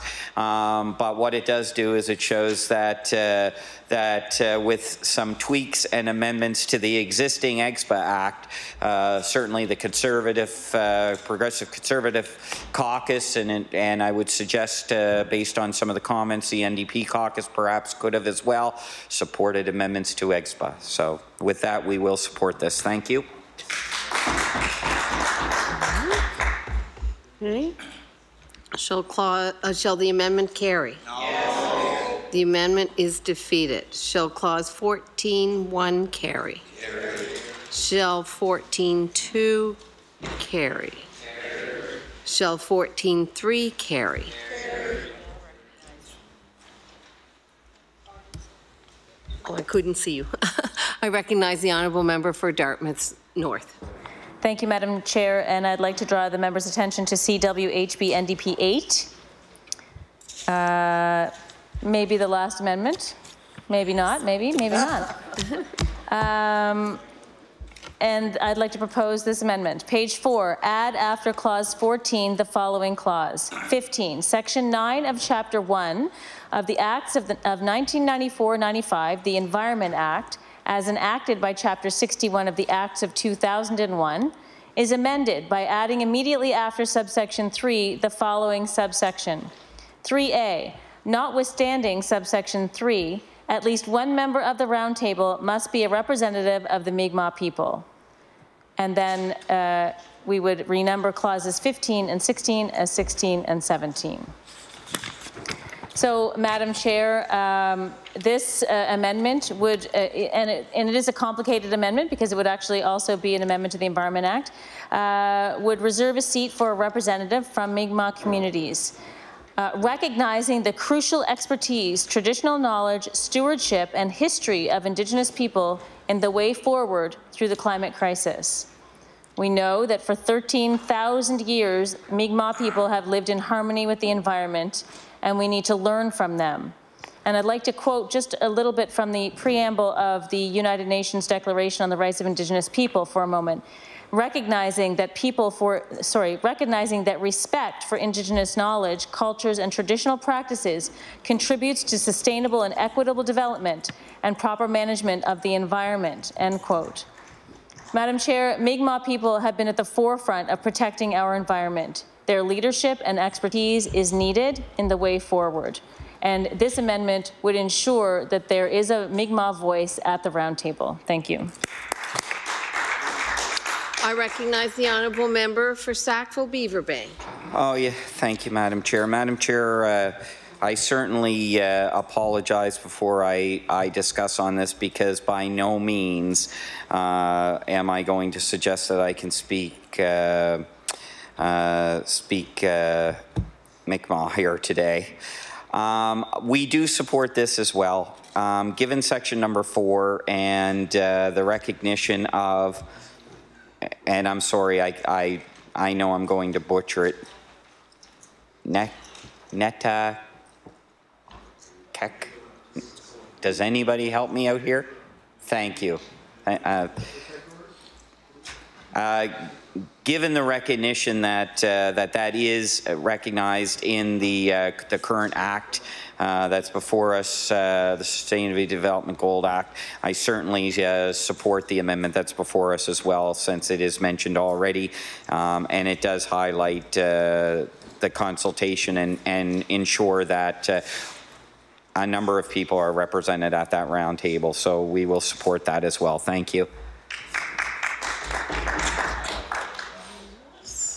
Okay, does the amendment carry? No. The amendment is defeated. Does clause 15 carry? Carry. Does clause 16 carry? Shall the title carry? And someone wanted to speak to that. Oh, sorry. Okay. Um, we'll recognize the honourable member for Sackville-Cobequid. Thank you, Madam Chair. Let me know if I'm off topic. So this is where I can talk about process and such? Yes. Okay, thank you very much. So, coming from business and coming from another order of government, I've and I've learned a little bit of, about process and how we go about doing things. But I do want to preface this by saying, because there was a comment that alluded to uh, perhaps a lack of understanding or lack of knowledge around environmental matters. I come from a, an area where acid rain um, from the New England states in the 60s and 70s into the 80s before the cap and trade in the U.S. affected greatly our lakes and streams, rivers here in Nova Scotia. We would know that. And people started to take measures to reduce that and to bring back the the lakes and the rivers. Uh, but, you know, the cap and trade in the U.S. did work uh, and is working and has uh, affected us pretty good. In the 60s and 70s, living in Wallace Heights, Shannon Park, Tufts Cove area, the emissions out of the Tufts Cove generating plant before scrubbing would take the cladding and disfigure the cladding of the buildings in that area, as well as take the finishes off vehicles and Light and Power, perhaps at the time, or Nova Scotia Light and Power, uh, would take steps to mitigate that. So there has been some work done in that area. I was a member of the Environmental Control Council back in the 80s and uh, didn't chair, but I was very active on the Halifax Harbour Cleanup Review Committee. We consulted with stakeholders, with scientists, with the public, in great deal before we brought back recommendations. And what we started with was certainly not where we ended up. Otherwise, you would have had um, treatment plants off York Redoubt. And that wasn't going to happen. So we, ha- we have now, and I do remember, because we have a, a boat going into Halifax Harbor, launching at various points in Halifax Harbor, and one time I was there and I was on a slipway and I was actually slipping. I did not realize that it was raw sewage coming out and that I was stepping in. So recognizing that, there were actions taken by the municipality to clean that situation up. I also chaired the Highway 101 Sackville Landfill Closeout Committee, the dump. What was environmentally sound about that? So in cleaning that up, that eventually led to learnings. And by the way, it was the, the Liberal government of the day that sat that there because nobody could agree where it should go. The learnings were great. We had leachate, we had uh, buses deposited there, we had uh, biomedical waste put there. It, it was not a sanitary landfill by any stretch of the imagination. And through the government and others, and through consultation, efforts were made to look at the three R's reduce, recycle, reuse. Some would argue there's a fourth R, and that's uh, re elect. So now what we need to do is to take some action here and make things happen. Being on the HRM, we, we underwent a solid waste management review where we looked at better composting, better reuse of our recyclables, source separation, and that was a very hot and heated public consultation, which colleague of mine, the former councillor Reg Rankin, was first and foremost in there. First and foremost because what we saw was when the Sackville landfill closed, we had to site another one. And because of that, Otter Lake was the chosen location. However, it wasn't without those other environmental concerns that we had. Again, public consultation, knowledge to make an informed decision was so important. Extended producer responsibility, something that we need to talk about, what we do. Emissions from vehicles, municipality putting in more bike lanes, cycling is becoming vogue where it had been in Europe for many, many years to reduce carbon emissions. Member of the Sackville Lakes and Parks Association, urban forest, uh, urban forest, making things green, planting trees, creating oxygen, scrubbing the air. These are all environmental things.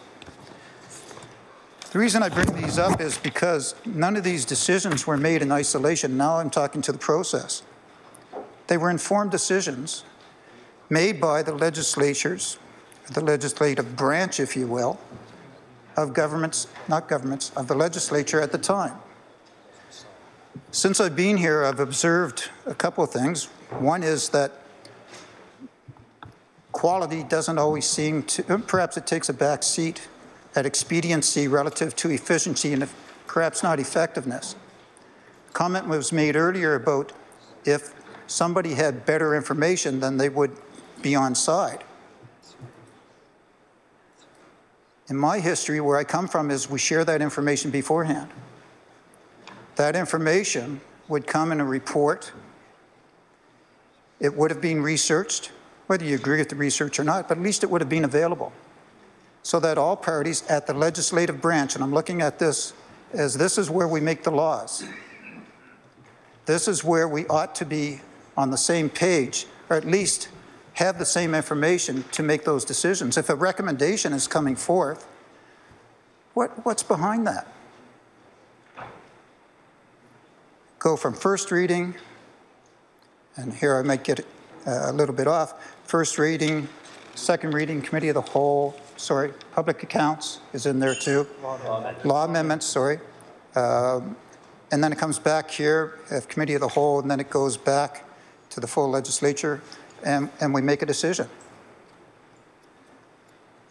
That can be what? What's the shortest time frame?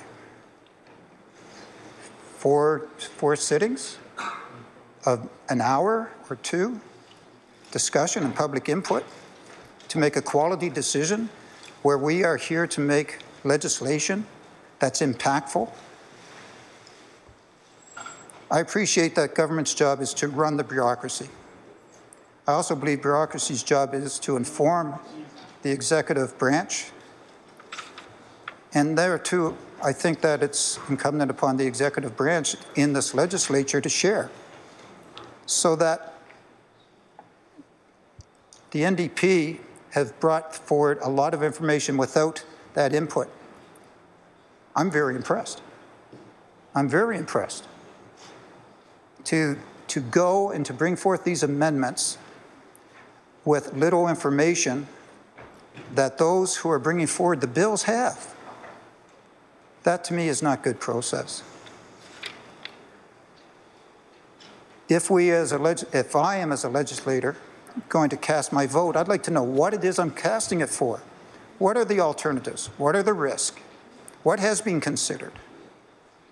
I'm sure that the bureaucracy takes to the executive committee or the executive branch that information and that you rely on that to make a decision. Well, why not share it?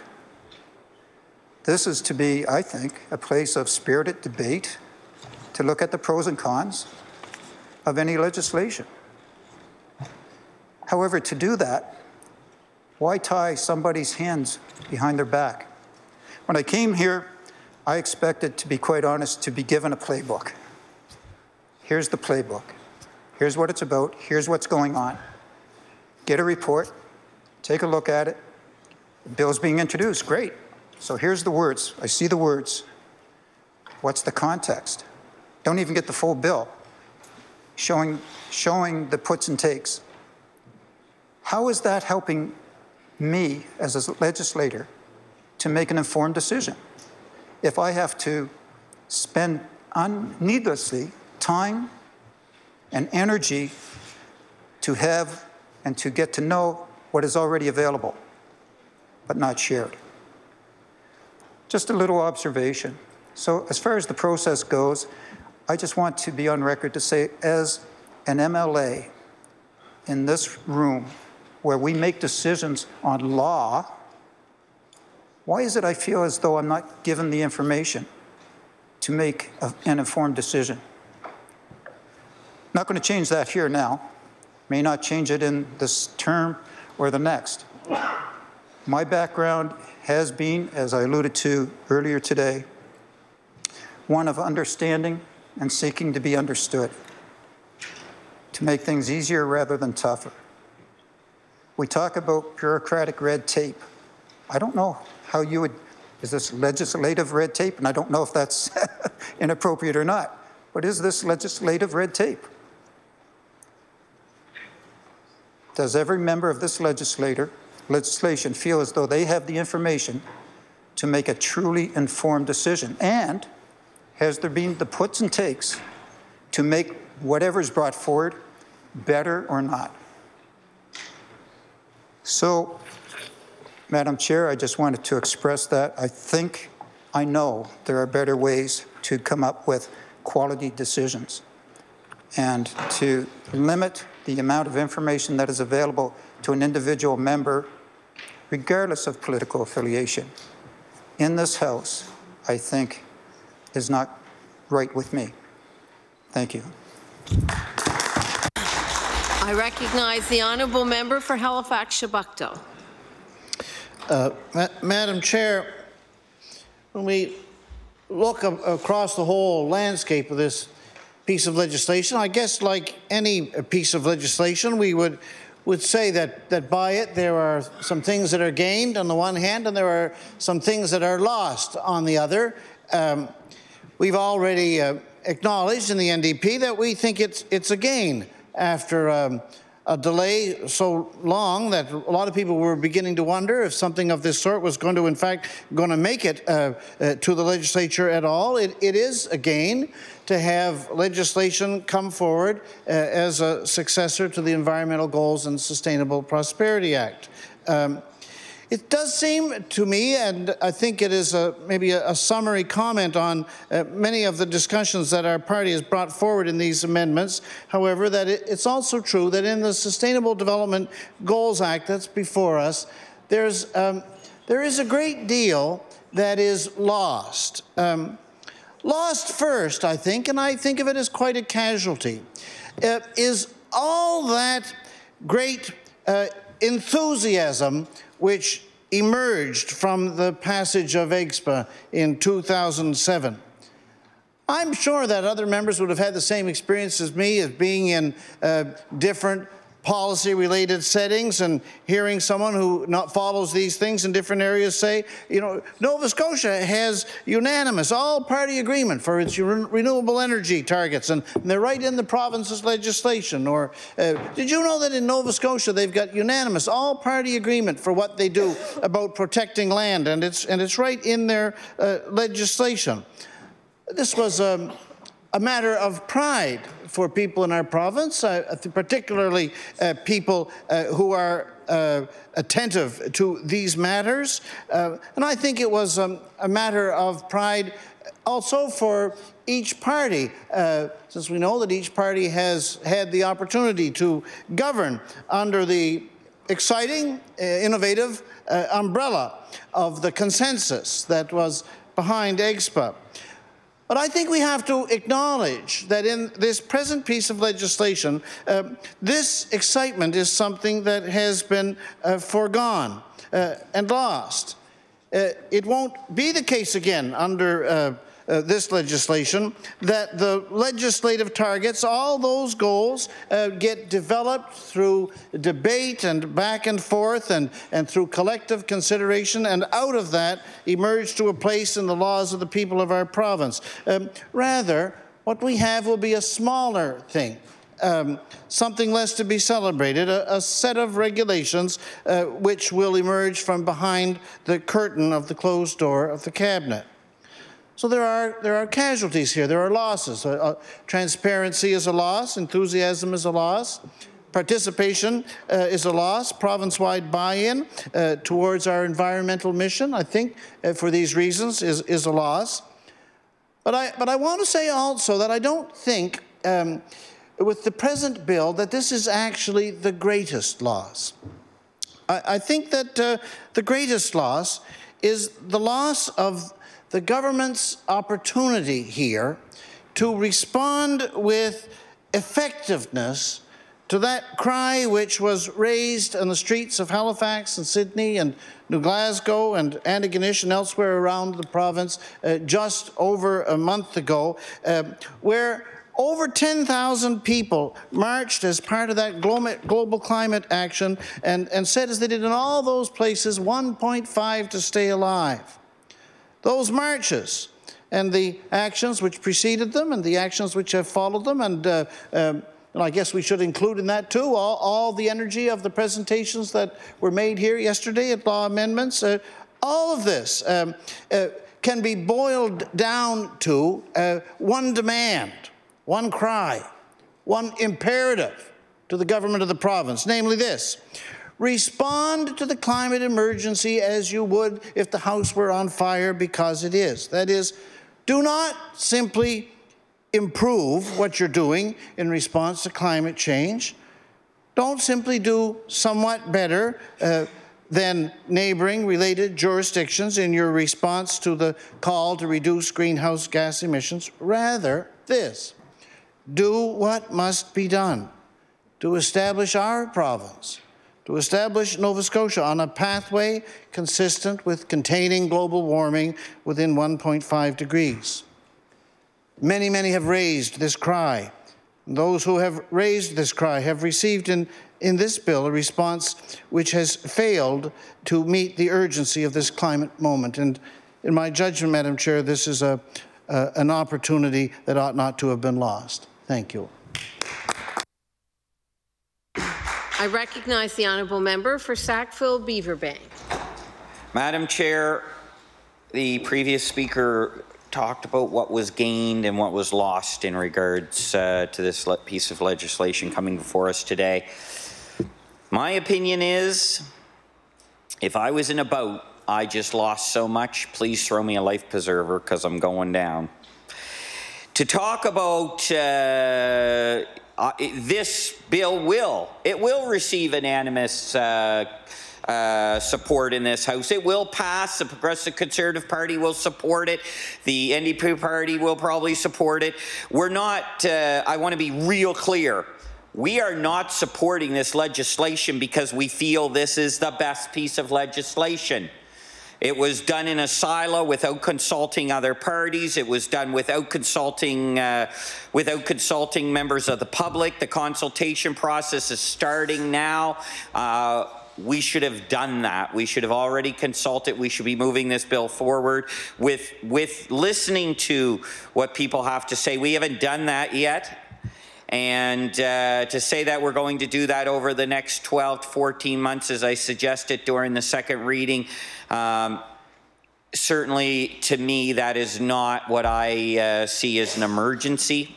I think that, uh, you know, during the law amendments, I did have an opportunity to ask one of the presenters. I asked her how old she was. She said she was 15. And I asked her what her definition of an emergency was. And, and she gave me a definition that is, to me, is an emergency. It shows urgency. It shows importance. It shows priority. It shows doing it now. The house is on fire. There's an emergency. I'm out of here. I need to go. I need to act now. And uh, unfortunately, that's not what's happened. This passing today does not, uh, during third reading tomorrow, I'll say the exact same thing, does not uh, move us forward tomorrow. There's no significant changes that are going to happen the day after this bill is passed because it's the commitment of 12 to 14 months worth of consultation that should have already happened. Don't let the government pretend that they care that there's a climate emergency. They call an emergency and we have a debate and then we go through and and where we are here. I said on se on second reading this department has shuffled through four ministers over the last two years, and I respect all four of those people, but I don't respect that this file has not moved forward. We are going, we have to support it because we are being strong armed from past, my past experience being in this house is if, if we stand up and we suggest things to make a better bill for the for the the residents of Nova Scotia if we stand up as an opposition party and bring forward uh, any amendments or any suggestions they get shot down. So and you know my grandfather I quote him a lot here used to tell me a stop clock is right twice a day. So even if we're opposition at least we got to be right twice. So but no none of the amendments the amendments that were brought forward here today I'm so frustrated uh, Madam Speaker they would have made they would have, or Madam Chair, they would have made uh, better legislation. They would have made stronger legislation. But uh, obviously, this government doesn't want that. Um, I'll support this when it comes. Not because it's the best, not because it's strong, not because I think it's great. I'll support it because I don't want somebody saying, well, Brad Johns didn't support environment.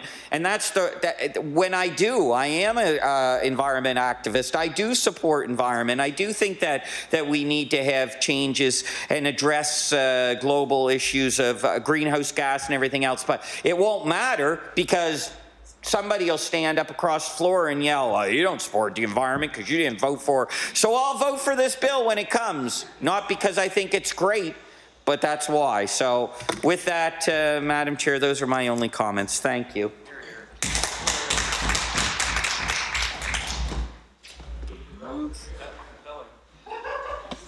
Shall the title carry? Carry. Shall the bill carry? carry. The bill is carried.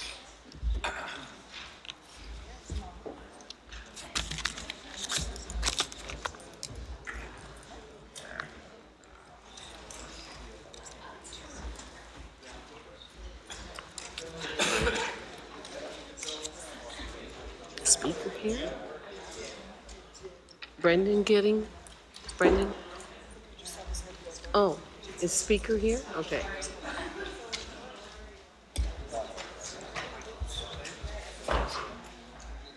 He's coming, okay.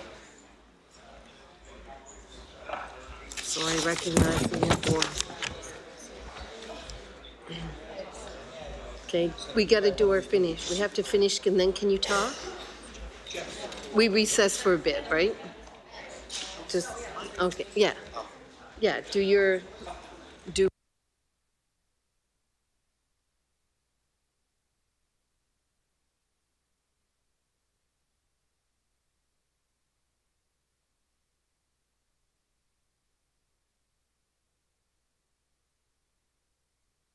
I recognize the Honourable Government House Leader. Thank you, Madam Chair. I move that you do now rise and report these bills. The motion is carried. The committee will now rise and report its business to the House.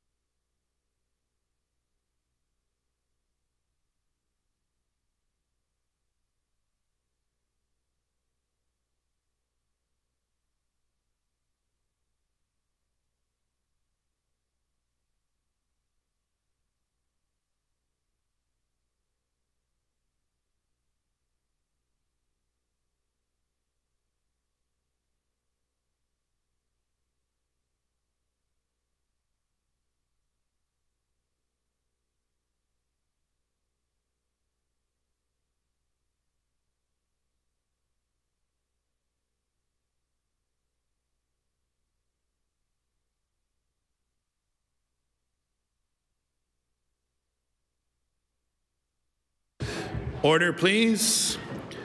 The chairman of the Committee of the Whole House on Bills will now report. That the Committee of the Whole has met and considered the following bills. Bill number 183, 195, 204, 213 without amendments, and Bill 180 with certain amendments. And the chairman has been instructed to recommend these bills to the favorable consideration of the House. Order that these bills be read a third time on a future day. The Honourable Government House Leader. Thank you, Mr. Speaker. Would you please call public bills for third reading? We'll now call public bills for third reading. Mr. Speaker, would you call Bill number 152, the Plastic Bags Reduction Act? We'll now call Bill number 152, the Plastic Bags Reduction. And we will go back to the Honourable Leader of the New Democratic Party with 58 minutes left before we were so rudely interrupted last night. The Honourable Leader of the New Democratic Party. Uh, thank you, Mr. Speaker. Uh, really, to speak precisely, the, the very last thing that happened before we lost the power last night uh, is that the Minister of Health applauded something that I said. Uh, so I'm gonna, so we're, we're going we're to ask the member for Antigonish to maintain his cool and, and, and restrain his enthusiasm this evening while I try to get through a few words about the Plastic Bag Act. Uh, I, wa I want to just back up a half an inch to uh, where I uh, began uh, to say that uh, we we do think that this is a, a, welcome piece of legislation, and and we we begin with that thought with the whole complex of things about this subject that are uh, so clearly as background known. So we know that marine plastic uh, pollution has increased tenfold since 1980. We know that 80% of all marine debris is composed of plastics. We know from the UN report uh, on this subject earlier this year that marine plastic pollution is directly affecting today 267 species. Uh, we know that that includes 44% of seabirds, 43% of marine animals, and we know that in a province that is as defined by the, the ocean as Nova Scotia is, where the health of the ocean is such a, a determinative thing um, of, about our prospects, both present and future, uh, we know then that a ban on single-use plastic bags is something that amounts to common sense. I, I said last night, I want to say again, uh, that this is one of those things towards which we can just turn and say, it's time. that uh, we have seen this decision made in a range of other jurisdictions, Victoria out west, our own neighbours on PEI, uh, and uh, it's time for us to make this same decision here in Nova Scotia. And in making it, um, it's perhaps a fitting moment to acknowledge the, the many organizations in our province who, over quite a number of years, have been working to bring about uh, this decision. I'll speak about an organization like Plastics Free Lunenburg, for example, or Plastics Free St. Margaret's Bay. And they and, and Clean Nova Scotia, who have been working with businesses and consumers to cut down on the use of single-use plastics and, and have made great progress on reducing the amount of plastic that ends up in our province's ocean and uh, also in our landfills. Certainly it's important to mention the effective advocacy and education programs in this respect of the Ecology Action Centre and how um, instrumental that has been in beginning to curb the use and therefore the disposal of those three to 500 million plastic grocery bags that are part of the picture here for us every year in Nova Scotia. And certainly there's a great deal of credit should be reflected also on the municipalities of our province. The Halifax Regional Municipality has worked extensively on this issue, researching and working collaboratively with other municipalities in the province to find solutions to this problem. They've been right to point out that plastic waste management represents a significant cost to municipalities and that provincial leadership on this subject is something that's called for. I would also like to acknowledge the contribution uh, of the uh, Nova Scotia Federation of Municipalities in setting out this issue as one of their uh, core uh, priority areas for the organization and for the advocacy work that they've done for a provincial extended producer responsibility program. I'm also happy to point out that this particular piece of legislation is in line with the piece of legislation which had been brought forward previously by our own party. It's called the Plastic Bag Reduction Act, which we brought forward here and introduced earlier this year. Um, it is true that the bill we brought forward uh, goes farther than the current legislation in a couple of areas. One of those areas is that it provides for an education campaign around uh, plastic bags and it provides also for the ability to phase the ban in differentially for retailers of different sizes, and it provides, too, for the promotion of uh, locally produced alternatives to plastic bags. But, but in saying that, I, uh, it's not to take away in, in any way from the importance of the legislation that's before us. We also uh, think it's worth uh, noting in a uh, positive and commending way that, this present legislation uh, provides uh, exemptions for charities and food banks. Um, at the same time, though, uh, in uh, closing these few remarks, I, I, want to say that it's important for all of us uh, when we think about the, the single-use plastic bag ban and this piece of legislation, it's important not to get carried away and overstate the case. We know that plastic bags are only a, a, a portion of the comprehensive threats that are being experienced at present by our oceans, whether we're talking about overfishing or acidification or all of those warming related dangers that are posed by melting sea ice and climate change. And it's also true that uh, we want to acknowledge that the promise of a single-use plastic bag ban depends ultimately on there being established a extended producer responsibility program and on the development of thorough and comprehensive regulations, particularly on the regulation of other types of single-use plastics. I will also remind the government that we will need robust public education on the matter so that people are supported through this change with the information they need to make adjustments in their practices and in their lives uh, away from single-use plastic products. The regulations should, as quickly as is possible, um, continue to move in the direction of the phasing out of other single-use plastics. The regulations also will need to include a schedule for minimum fees for plastic bag alternatives to ensure that we don't end up making, in the aftermath of this bill, uh, uh, a wholesale switch to paper or to heavier types of plastic, neither of which would have a, a more beneficial impact. This is a, a, problem that actually emerged in the UK after plastic bags were banned there and retailers switched to free reusable bags, which were also made out of plastic, and about a billion of them ended up in landfills. So we can learn from the practices of uh, other jurisdictions.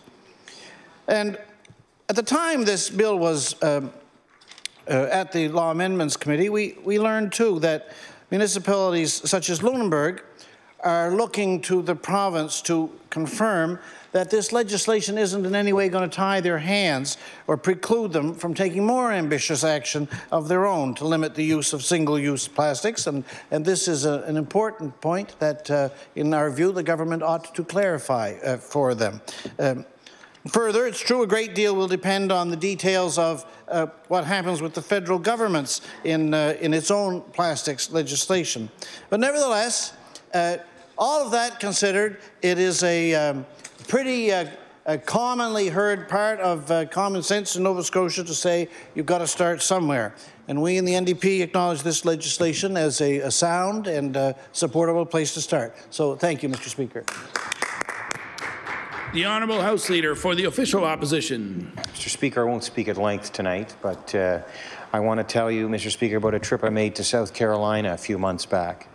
And I was noticing all the paper bags uh, because many times we would go to the grocery store to get some food and and uh, to prepare meals. And um, so, Mr. Speaker, I know that in, in South Carolina, my colleague just spoke about learning from other jurisdictions. Many of the counties along the coast have banned plastic bags because uh, they are impacting wildlife on the coasts, and uh, whether it's sea turtles, what have you. And uh, so, you know, I guess what struck me is is getting rid of plastic bags is one thing, but if they're only going to be replaced by paper bags, uh, that of course consume resources, create pollution, um, is a difference being made. And when we sit here, Mr. Speaker, I think we have to be thinking about passing bills that are uh, effective for the environment. So that's something I'm thinking about. And um, I think that we should be moving towards reusable bags. And I don't think it's so difficult. It is a cultural change. Um, I know uh, in my own case, Mr. Speaker, I remember uh, shopping in, uh, in Halifax here, and one of the stores uh, had, had gotten away from plastic bags. And I remember finding it to be quite irritating uh, when I would shop. But you know, that was at one point in time. I've since realized it's not such a big, big deal. And uh, I know there's other countries in the world, and my, my wife was born in, in Prague, and uh, they have, uh, in their experience there, they use little bags called síťovka. And they are little bags that are, are made, basically made out of mesh, and you can, you can com compact them into a very small piece of material that, that would go into a purse or other type of handbag. Perhaps, uh, perhaps a briefcase or something for some of us here. Uh, but Mr. Speaker, um, you know, there it's no big deal. It's part of the culture. And I think that's ultimately what, what this bill needs to be about, which is changing the culture here or helping to lead the culture here towards a change where people use reusable bags. And, um, you know, if we can't all get by something or, or, or come to agreement on that, um, or, or, as a society be able to move in, a, in such a small way, uh, towards reusable bags, it, it leaves me questioning how are we going to get all the other things done we need to do that we can do to help with the environment. So I want to speak a bit uh, before I take my place, Mr. Speaker, about consumption. And I, I, believe it's not just our consumption, but our unnecessary consumption we must think about. Uh, do we really need to be buying all the things we're buying? I know that statement may not be good for the economy, but it may be less harmful at first thought when we consider that uh, we can buy local, we can buy quality, we can buy only what is needed, and we can take care of it. Uh, we must change our culture of disposable consumption. It is wasteful, and unnecessary. And it may be making money for somebody, but it's probably far away from where we live here in Canada, Mr. Speaker. Um, but, uh, you know, a lot of these things that we are buying, I think we have to remember in some cases they're adding very little to our lives. And it becomes a waste of our time to be buying these things because I'm sure we can all think of things that we're, we've purchased that we're not using, that we've forgotten about, that we let go to waste, and sometimes we've actually even purchased it again because we forgot we had it. So, Mr. Speaker, I, I would say those things are adding very little value to our lives. And um, I know a lot of people associate their happiness with things they buy. And I think, Mr. Speaker, many of those things aren't really responsible for our true happiness. Uh, if we look at the marketing that's out there, I remember some one day somebody said to me, said, Alan, all marketing is designed to make you feel bad about yourself or something you don't have. And ever since then, I, I, I thought, you know what, he, he was right on because that's what it's all about. Um, and, uh, you know, we need to free ourselves from this culture of disposable consumption. And I think that uh, we could start, Mr. Speaker, uh, by uh, considering the bags that we're carrying that consumption in. Thank you.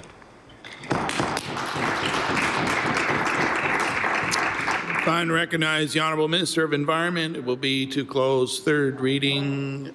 The Honourable Member for Kings North. Mr. Speaker, and uh, I believe there's uh, a few of us who might want to say a few words on this uh, bill. And um, I guess uh, I, I, don't want to say a whole lot except to say that um, I was very interested when I, I, was in law amendments, and I know there was uh, a number of presenters on this uh, bill uh, uh, banning plastic bags and uh, there was a theme that ran through the presentations which I think is, in, is notable for our uh, for us here in this legislature to think about. And one, one that theme was three different groups uh, recommended that there be a fee on paper on the paper bags or the replacement bag. And uh, that was the Ecology Action Center, the Lunenburg plastic-free, plastic-free Lunenburg, and also actually the, um, the, the presenter who was representing the Canadian Plastics Industry Association. So three different groups recommended that whatever was used to replace plastic checkout bags, that there be a fee attached to it. And um, all three uh, groups really were citing the same reasons, and it's uh, it's because of uh, another issue which is called human nature. And uh, uh, even, even in 2019, people throw garbage out on the road and, and, and human nature of trash. There's a one spot I drive to my cottage and there's regularly on the left, on the right side of the road, going up the hill in a certain spot, somebody occasionally throws their garbage out. And people, human nature to uh, react in a certain way and, and how that applies to this bag ban is that without sufficient fees, in the UK they found that people would just use a heavier plastic bag which was meant to be reused and uh, there was over 1 billion of these more heavy plastic bags distributed every year uh, and thrown out after one use. So unless people pay for something, they don't value it. So if they receive a plastic bag, whether it's a, a thin checkout bag or a heavier bag, if they, if they don't have any value attached to that replacement bag, they will throw it out. So likewise with paper bags, what we were told in law amendments was that in order to gain any environmental benefit, a paper bag had to be used at least four times before it was thrown out. Uh, in other words, a paper bag had four times the negative environmental impact than a, a, a thin checkout plastic bag. And uh, it's a little bit hard for me to fathom that, but when I think about that, I think about the amount of fossil fuels that go into cutting a tree down, uh, transporting it to a, a, a sawmill, uh, a wood mill, a paper mill, and converting that into a paper bag and, and, and the amount of fossil fuel involved in tr trucking that paper bag to the checkout store and, and all of that, the sort of the life cycle fossil fuel impacts on that that that paper bag has. And in order for it to have the same environmental impact that a single plastic bag has, you'd have to use that paper bag anywhere from four to 28 times, we were told.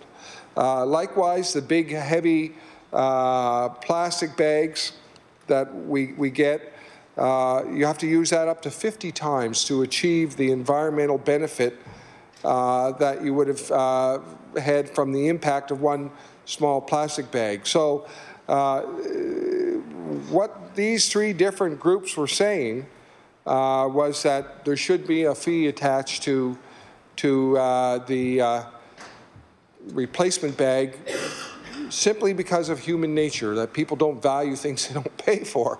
And if you pay for it you'll tend to uh, you'll tend to take care of it and reuse it. So uh, I found it very interesting to know that there is this issue of of what are what is the true cost of the alternatives and uh, the true environmental impact. And I, I don't feel and, and we are supporting this this bill but I don't feel that that that has really been looked at. And I think the the it would behoove the government to take a little bit of time to try to do some investigation on what is the true true life cycle costs of these plastics and how can we do a better job. And uh, I know that uh, the, the guy from the plastic industry, who uh, Joe Hruska, who, uh, who presented, said that he believed that his industry would actually produce and sell more plastic in Nova Scotia because of this ban than it would have otherwise, because the replacement bags will get will get used up, and that without a, a cost associated with the replacement bag, uh, that, that he believed that would be the case. The Lunenburg Plastic Free uh, said the same thing had happened in the UK. And they believe there needed to be a ban, a disincentive built in or, or an incentive to maintain or keep that plastic bag. And uh, in fact, the Ecology Action Center said the same thing. So three very, very different groups saying, telling us the same thing. So the question is, what is the right answer? And, and, and part of that answer may be, and I realize we're going to pass this bill tonight, but to take a little bit of time to think about what are the life cycle impacts. And I think we could do a better job working with the plastic industry on that. They have some concerns. And, uh, and, and also uh, concerns very much mirrored by the Ecology Action Center.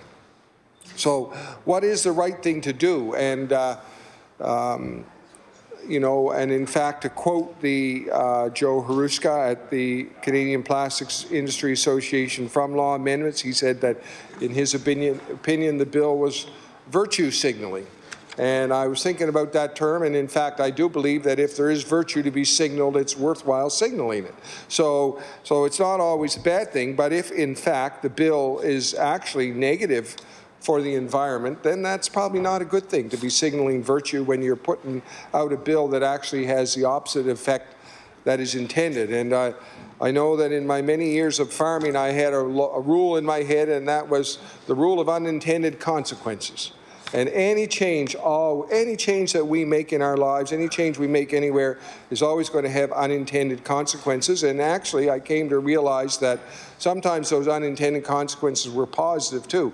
We tend to look at the negative a lot and say, okay, because I did this, we did this change, this change, but sometimes there's positive unintended consequences too. So it's not always bad, but we've been warned about an unintended consequence because of human nature uh, about this bill, and I think it would it would behoove the government to take a little bit of time uh, once this bill passes and, and try to look at what is the true cost here, what is what is really happening to uh, in our uh, in our province with with uh, you know human nature as as it is. I mean, we we know people still throwing garbage out and uh, out the window of the car, and uh, uh, unfortunately, it's still going on. I'd like to see it come to a stop, and um, and hopefully it will someday. But anyway, I wanted to make that point that I think the government needs to consider its actions on this bill. It's the right thing to do in, in one sense. In another sense, I think we've been warned about unintended consequences, and I think we should take that warning seriously. Thank you. The honourable member for Halifax Needham.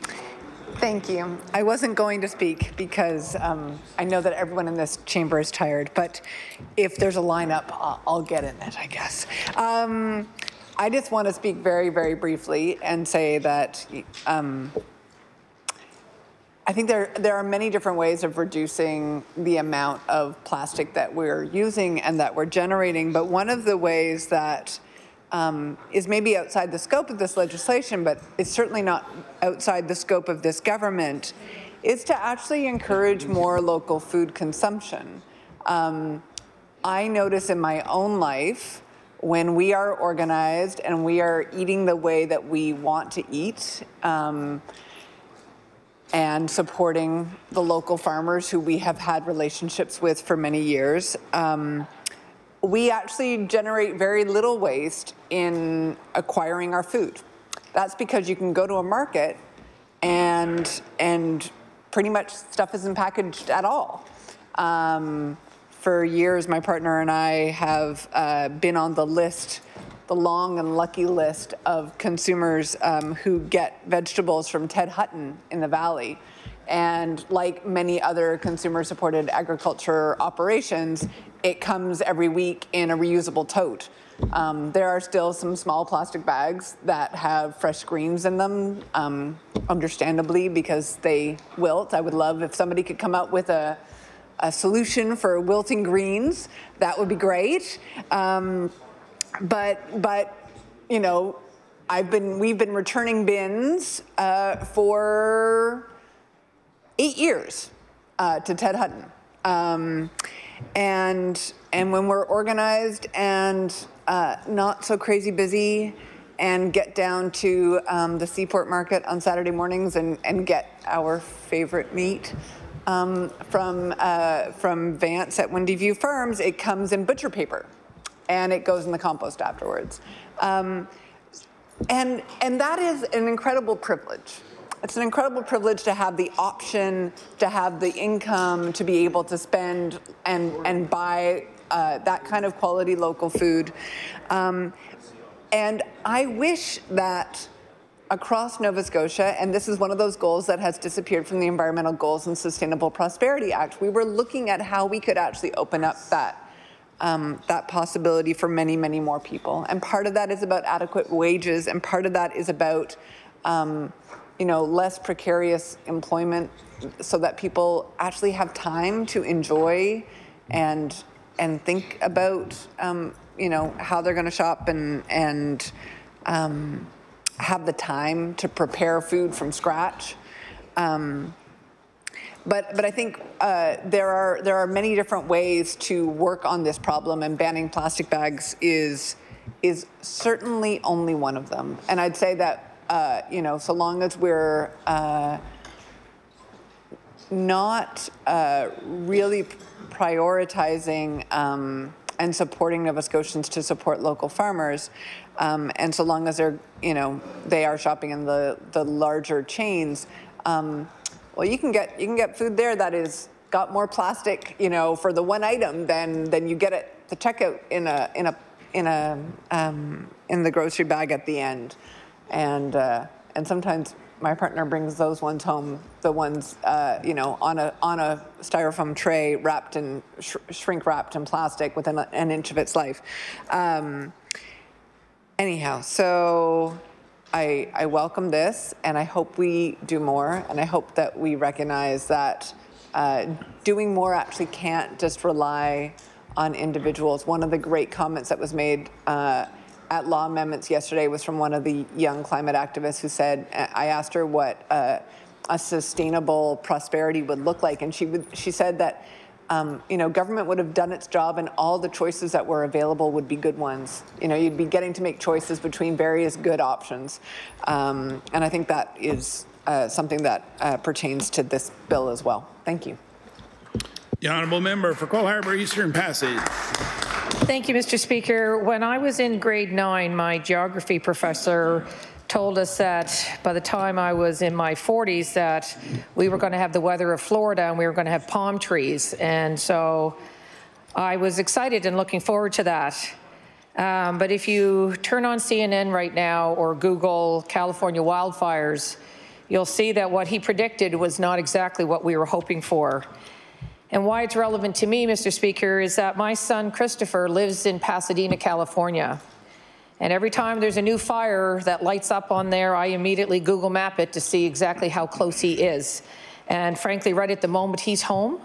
Uh, and I thank God for that because right now um, he would be about 20 minutes away from, from where the devastation is going on. So I know people don't like the word health crisis or environmental emergency, um, but he's living surrounded by uh, that very situation. When I was 10 years old, we were one of the first people to have composting in the backyard, and my friends thought we were, we were a little crazy. And uh, then when we were 20, I remember getting seat belts, and I hated them because they wrinkled my dress. And of course, uh, that seems silly now. Then when I was in my 30s, uh, 650 of us got sick at Camp Hill Hospital from the environment inside a building, and it was one of the worst disasters in occupational history. And I watched a movement go on to get our first uh, environmental health center and to get the province to go scent free. And now no one thinks about it. It's everywhere. Kids aren't to wear scented products. Teachers uh, can send a kid out of the classroom for wearing that. And who'd have thought that 35 to 50 years ago? When we turned 40, then I suddenly wasn't allowed to send my kids to school with peanut butter because one kid might get sick. So we adapt to our changing environment. And uh, so this bill is, is a good step in the right direction.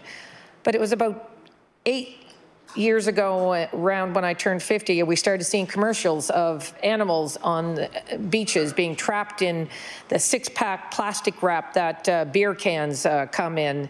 And, you know, animals getting cut open on the beach and they're just plastic guts uh, flowing out everywhere. So things have things have changed and times have changed. And one of the movements that happened last year was something called uh, Break Free from Plastic. And it was an initiative started by a, a young gentleman who went to school with my sons. And it was called Proud to be Straw Free. So if you've ever been in a restaurant in HRM where they don't offer straws automatically, this young gentleman, uh, through working with Greenpeace Halifax, uh, gets to take the credit for that. So there's over 140 restaurants in this area who will not automatically offer you a straw, and these are small steps in the right direction. So I've already spoken about how I feel about this bill personally, and you know how our party feels about it on a um, caucus level. But I wanted to share with you a few of the thoughts of my constituents because they're the ones uh, whose voice I really want you to hear. The first is that, uh, Barb, do you really think that this will make that much of a difference? In the in the scheme of things. And there are a lot of people who are skeptical about this because they see this as a very small step in the right direction. Others have said, I like it, we can all make a little difference if we all move in the same direction. The worst thing that can happen is that we'll have less garbage on the streets and a greener planet as a result.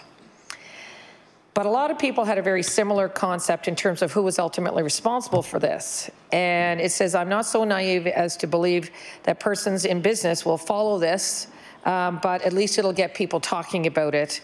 And uh, so they're putting a lot of the emphasis on the businesses who are um, wrapping things in plastic.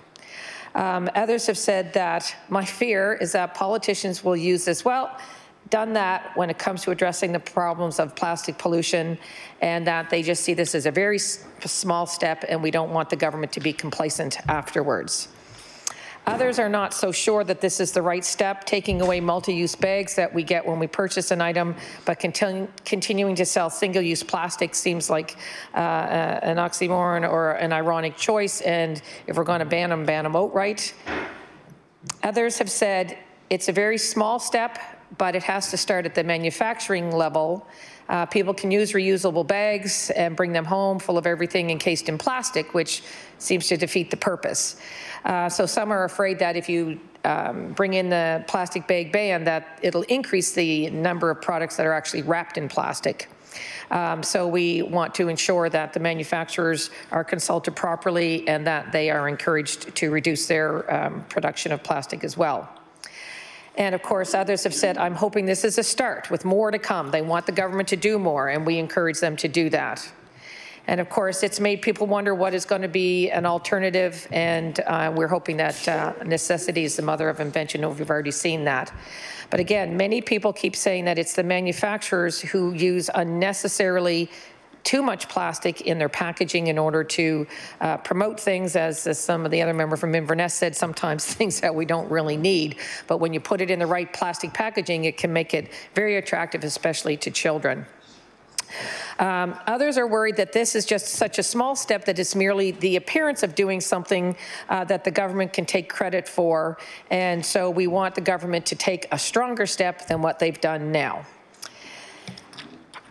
So, Mr. Speaker, I'll, I'll end this by saying that uh, we all want to improve uh, the environment. We all want to take steps. Um, I'd love to be able to say that when the Friends of McNabs Island go out to do a cleanup, that there's nothing to clean up, um, and that when my community goes out to uh, take uh, their environment days to clean up, that they might be able to use their uh, energy to other things. But until such time, um, we'll encourage this government to continue to take strong steps uh, in the future. And uh, with that, I'll take my seat. Thank you. Thank you very much. I'll ask the member to table those correspondence with the sources clearly identified on each one, that the quotes that you read. Thank you very much. The honourable member for Cumberland North. Thank you, Mr. Speaker. I stand to speak to Bill 152, an act to reduce the use of plastic bags and other single-use plastics.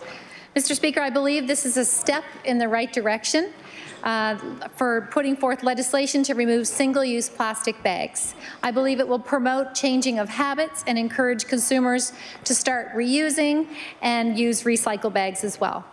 We are, while I'm happy that this legisl legislation is coming forward, we're certainly not leaders for many jurisdictions are much further ahead of us. Vermont, for example, passed legislation last year which comes into effect July of 2020 that put forth a ban on plastic bags, styrofoam food trays, and plastic straws. These changes that we're putting forth um, will not come easy. I know firsthand back in 2013, I opened a organic local food store in downtown Amherst called Manassa Local Food. And I made a decision before I opened the store not to bring in single-use plastic bags. I had brown paper bags available for my customers and cotton reusable bags.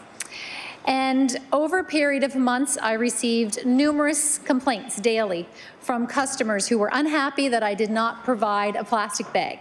And some actually refused to shop at my store unless I started providing single-use plastic bags. So it is going to take time for consumers to adjust to our legislation, but I believe it is a positive step forward. Uh, a couple of positives uh, also that I believe about this bill are that I believe the private sector actually want this bill. Uh, large retail stores have been asking for this legislation for some time. Uh, secondly, I also believe this was the right step, making it a provincial bill. Um, there was some discussion before this session that provincial government was going to leave it up to individual municipalities to put forth their own legislation. I do believe the provincial bill is the right decision to make. I think future consultations with our private sectors uh, will be important, uh, including the Canadian Plastics Industry Association. Uh, I was happy to see that they came to law amendments and shared their view. Um, I do have a very um, large industry plastics uh, leader uh, in Amherst. They're actually the largest employer in Cumberland North outside of our healthcare industry. They employ over 400 people. And I've had several meetings with the CEO of that company, and they're doing amazing work. They are they're plastics that they are making are efficient. They're they're leaders in the industry, and I do believe it's important that we include industry and private sector in our in our work going forward with future legislation. Uh, we all know the Ivany report spoke uh, how important it is that we engage private sector and that all of our decisions should make sure that government and private sector are working together. An example of their industry leadership uh, in the in the document that they provided at Law Amendments, it shared that they their association, the Canadian Plastics Industry Association, have a goal, a sustainability goal for uh, by 2040 that 100% of their plastics packaging is reused, recycled, or recovered. Uh, two recommendations that the plastics industry expert made that I support uh, are, are, one, creating an all-party committee on climate change and review the carbon impact of Bill 152. Um, my colleague from Sackville-Cobequid was sharing earlier about uh, you know, the differences between uh, municipal government and, and this legislature. And Uh, two weeks ago, I had the honor of attending a Canadian Parliamentary Association meeting in Victoria, BC. And it was encouraging to learn how other legislation, legislatures across the country um, are working together. And I, I, was enlightened to know that um, not all legislatures are quite um, as combative, maybe, for lack of a better word, as ours uh, can sometimes get. Uh, PEI, for example, Mr. Speaker, um, are very collaborative, and in fact, all of their committees, um, the, the um, opposition have a majority vote. So I thought that was, that was really interesting how their legislature. So I, I do support more collaboration in our work, and even the plastics industry are recommending an all-party committee on climate change and I support that recommendation. Another recommendation they made was to introduce a 100% locally made recyclable reusable bag with 40% recycled content that can be recycled locally. I thought that also was a really good idea that they put forth. I believe also, Mr. Speaker, there are potential opportunities for our forestry industry as wood and paper uh, could take the place of uh, plastic forks, plastic bags, plastic straws. So there are opportunities, and I would like to table a document that CBC put out in um, June of 2019 that talked about the ban on single-use plastics could actually be a boon for the forestry industry. So I'd like to table that, that document. Some people will be upset about this bill and some people that I know well because of the inconvenience. And, but I believe um, that some of my colleagues have already talked about the importance of reducing our waste is one of the solutions that we must be looking at when we're addressing climate change. And I felt uh, it kept coming up in my mind. I do want to mention one of my first if probably not my first mentor uh, in living green and in, in, with environmentalism was actually my grandmother. She was born in 1920. She lived through the post-depression era and she wasted nothing. She did not have garbage. She did not have garbage and I, I remember helping her with um, bringing in the produce in the fall and I remember that all of she got milk in bags and all of the plastic milk bags she would wash and hang to dry. And then in the fall, when it was time to freeze the green beans and other vegetables, she used all of those plastic bags that she had saved all year, and, and that's what she used to freeze her vegetables. But she wasted nothing, and uh, I think uh, we have a lot to learn from, from our elders. Yes. So with that, Mr. Speaker, I will sit and, and I do uh, want to say I support Bill 152. Thank you. Fine recognize the Honourable Minister of the Environment. It will be closed third reading of Bill number 152, the Plastic Bags Reduction Act. The Honourable Minister of the Environment. Thank you, Mr. Speaker, and uh, certainly want to start off by thanking all my colleagues. Um, this bill is a step forward, but your your voices and uh, the I heard the comments around changing the culture plays as big a role in what we're going to do today as just what this bill is. So I really do want to thank everybody for their comments. Uh, I won't be too lengthy here, but I'd certainly like to say that uh, this is, as most have said, a very important first step. Uh, it is going to change the way that we uh, think. It's a very important day for Nova Scotians today, and um, it certainly will help reduce what we need to do and in, uh, in what goes into our landfills. Uh, millions of uh, plastic bags are going to be taken out of circulation, and that's an important feat.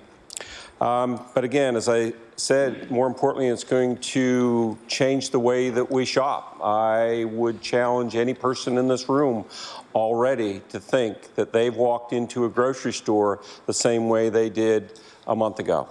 I think we all have different ways to think now, and, and um, that's important. Uh, Nova Scotians told us it's time to make change, and that's what we're doing. And we are taking that next step. We agreed with them and this is an important day. Um, we also have heard from, as it was noted, Plastic Free Lunenburg, and they've asked us to ban other items such as plastic uh, uh, items as cutlery, straws, um, lids, cups, single-use items. And I will say to the House here today um, that we are ready when the time is to move to that next step. Um, there are some Nova Scotians uh, that have already asked to take this, take that next step, and I applaud them. Um, so for others, just simply eliminating uh, single-use checkout bags will be a major challenge. We know that. Um, so we left the door in this legislation, Mr. Speaker, to regulate distribution of other single-use items down the road. Mr. Speaker, uh, we've also heard about the need to change or charge for alternatives. I think that's one of the biggest speaking points that we've heard on this bill. Uh, I have put thought into that. Our staff has, our caucus has, and uh, this bill does not include a uh, minimum charge for alternative bags, and we did that uh, purposefully and thoughtfully, I believe. Um, but let's uh, be firm on this, Mr. Speaker. Many businesses will do that and that's important to know. Uh, many may choose not to offer bags at all, and that's a choice for them to make. Um, we're going to encourage all Nova Scotians to bring their usable bags, reusable bags when they shop, and to let retailers know what their preferences are. Just a few points that I would like to make um, in that regards is um, uh, myself, I think we shouldn't use bags, period.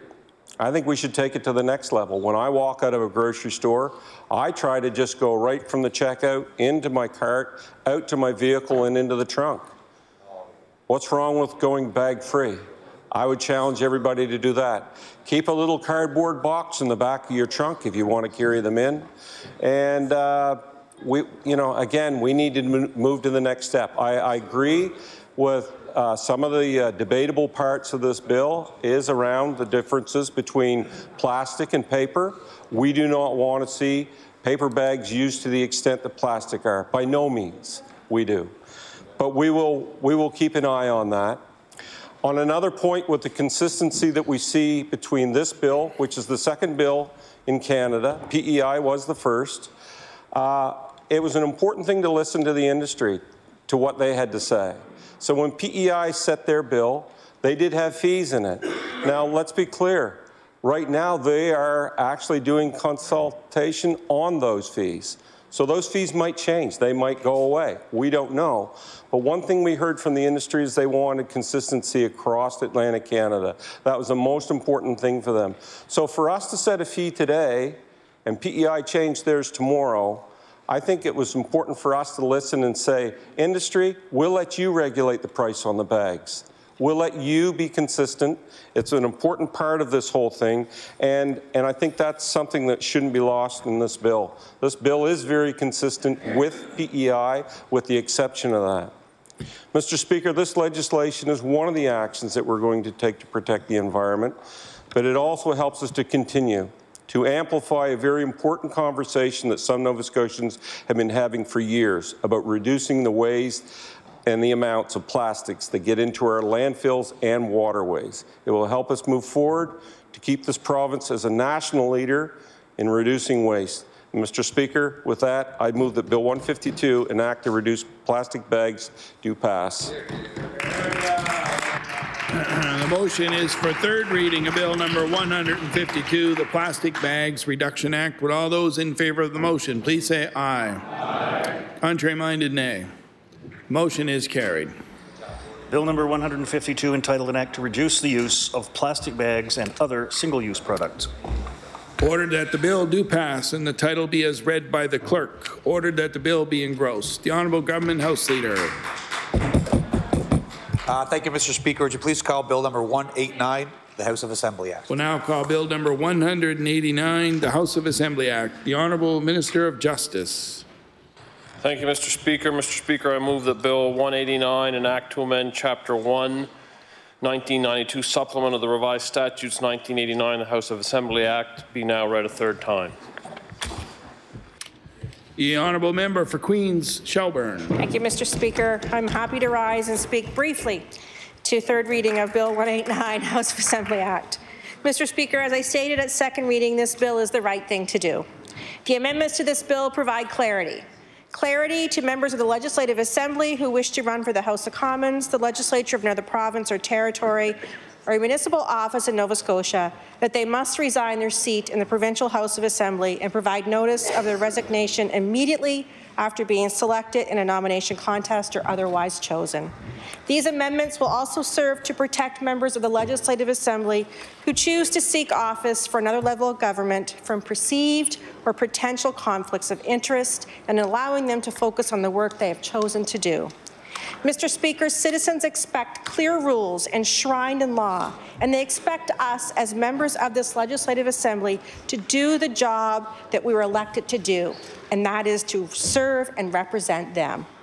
They deserve to be represented. And I'll take that a step further, Mr. Speaker, in saying I feel when an MLA steps down to seek election to a different level of government, by-elections should be called within 30 days, so constituents do not go without representation.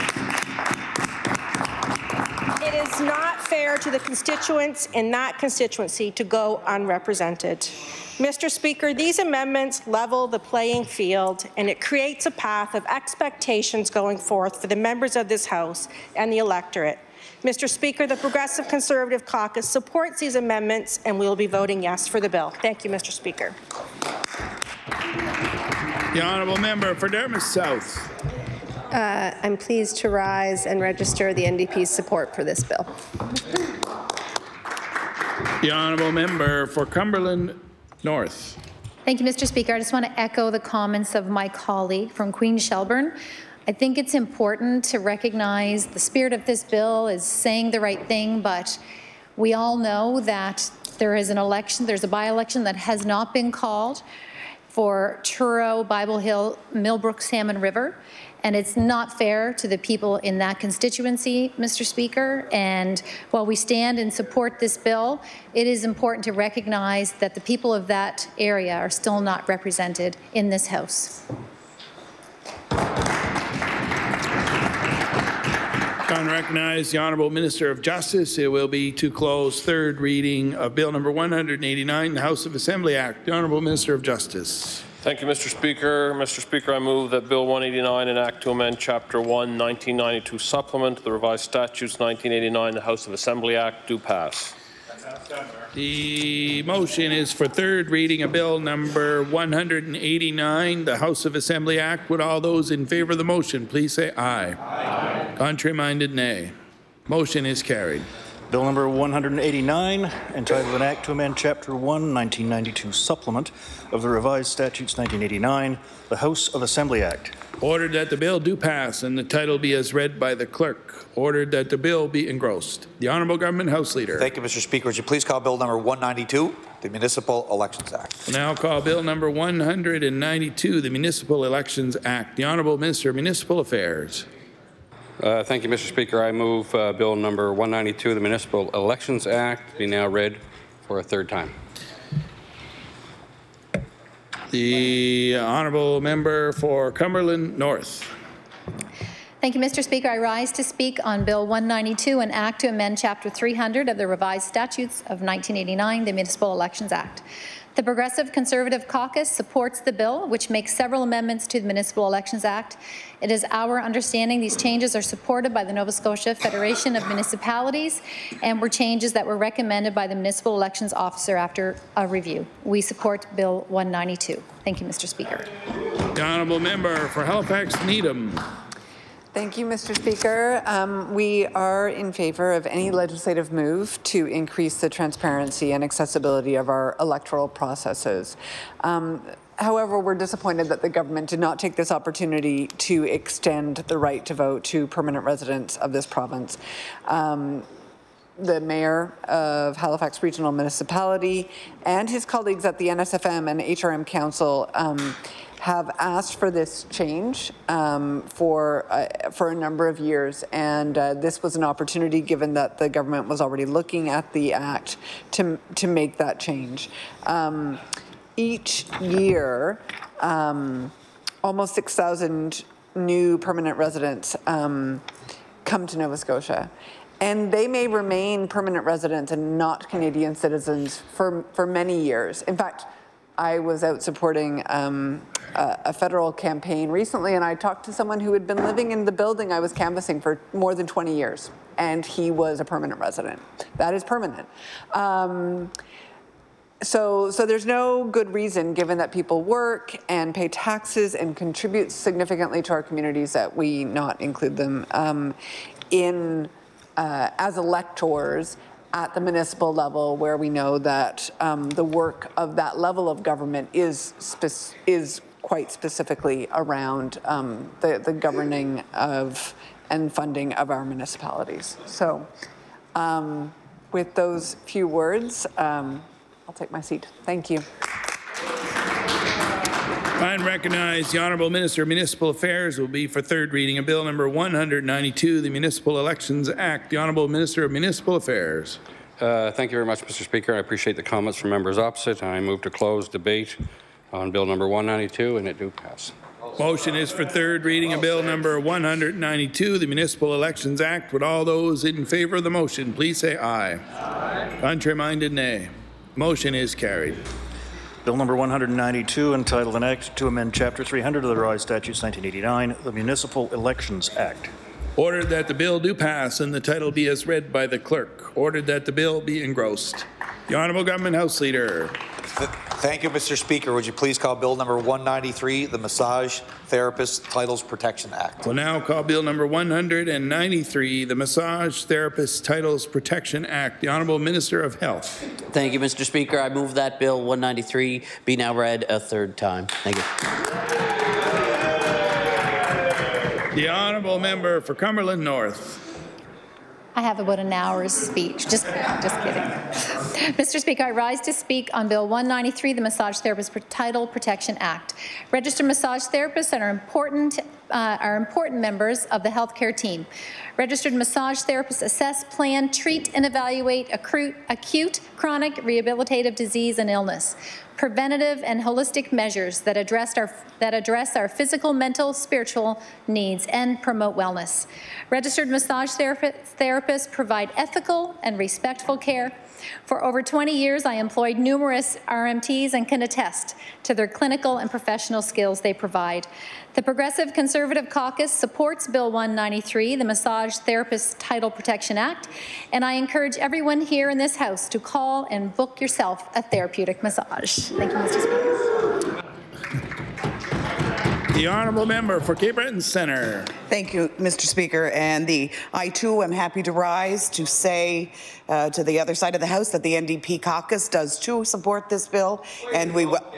I know. I know.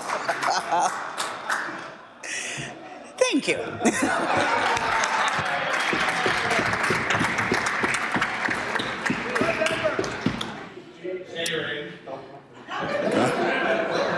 Gosh, what a, what a difference a couple of days makes here, eh? The Honourable Minister of Health, if I'm recognized, the Honourable Minister will be to close Bill number 193, third reading, the Massage Therapist Titles Protection Act. The Honourable Minister of Health.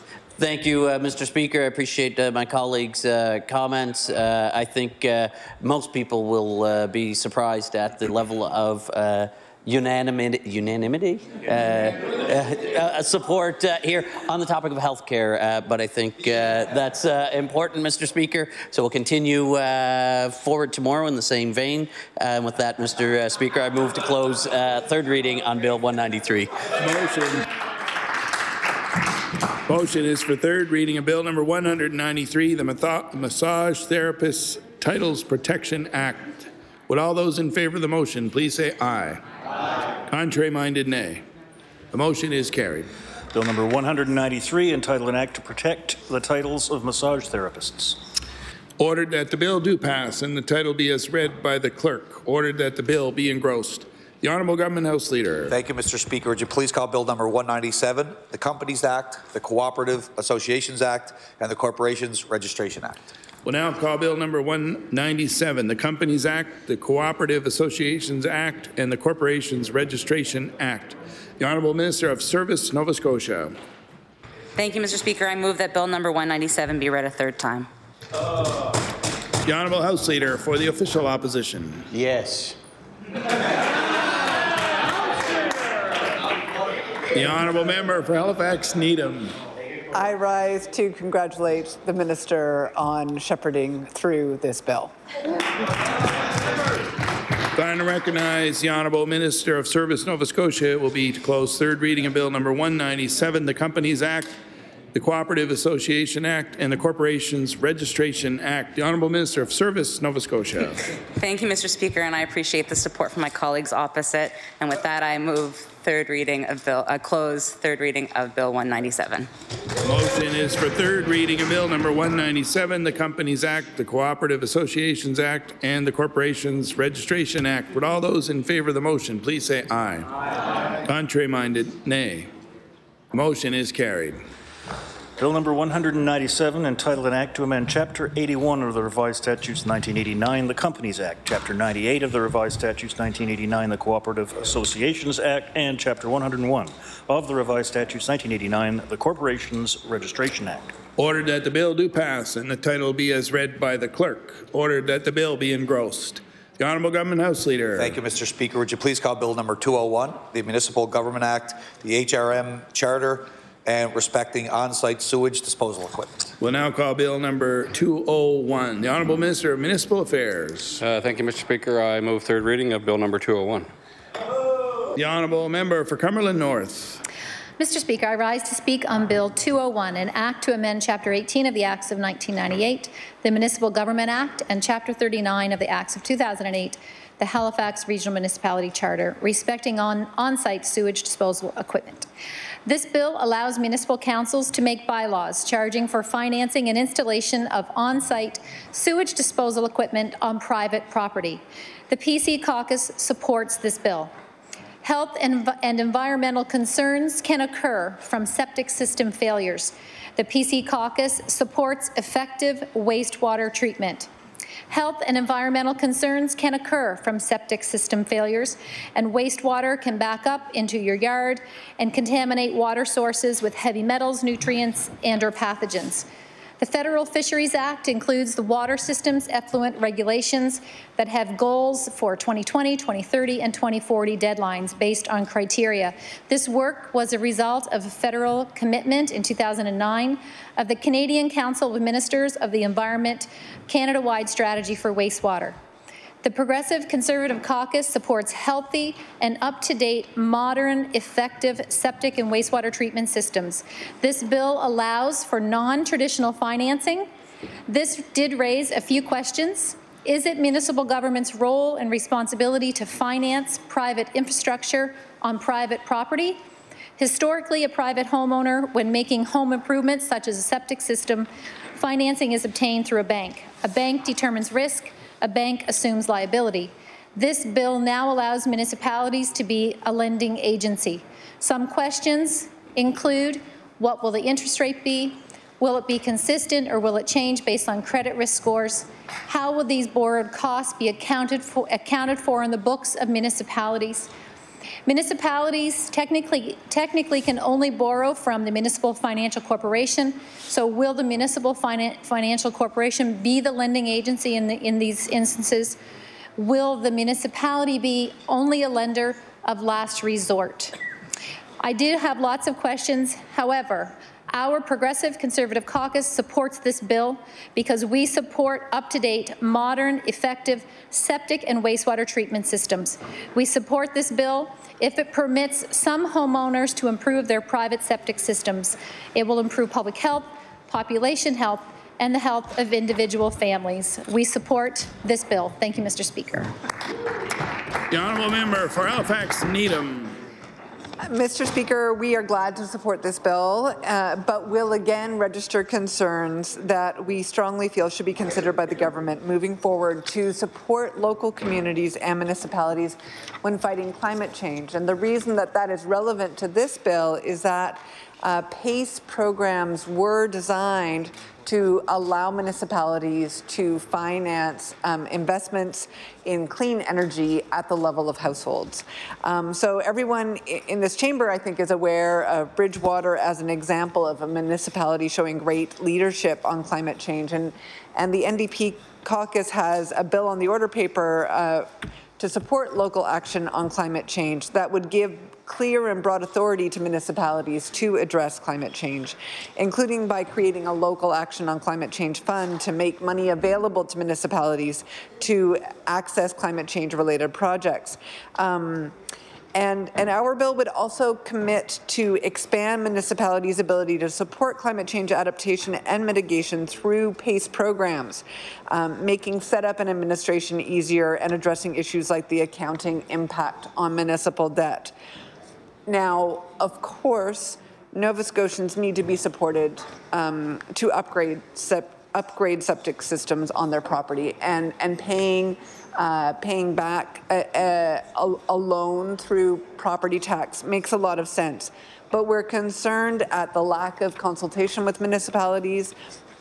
We're concerned at the ability of smaller municipal units to administer this program and, and rightly, there are restrictions on the size of PACE programs. And so um, taking PACE programs into the area of sewage treatment when they were designed for clean energy could potentially limit uh, deep retrofits of people's homes and, and, installation of clean energy projects.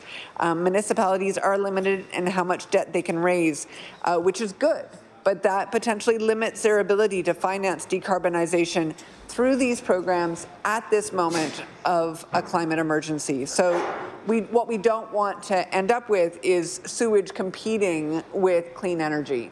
Um, both are, are necessary and good, and uh, for the province to download um, uh, download responsibility for helping to finance sewage programs without actually providing the assistance to municipalities to go full steam ahead on local action on carbon uh, on climate uh, change mitigation would be would be a real mistake. Um, so, uh, with all that said. Um, we do support this legislation, and I guess we just really look to the government to demonstrate its leadership by working with municipalities to make sure that there are not unintended consequences as a result of this bill. Unrecognized, the Honourable Minister of Municipal Affairs will be to close second reading of Bill Number 201, the Municipal Government Act and the Halifax Regional Municipality Charter, an act to amend respecting on-site sewage disposal equipment. The Honourable Minister of Municipal Affairs.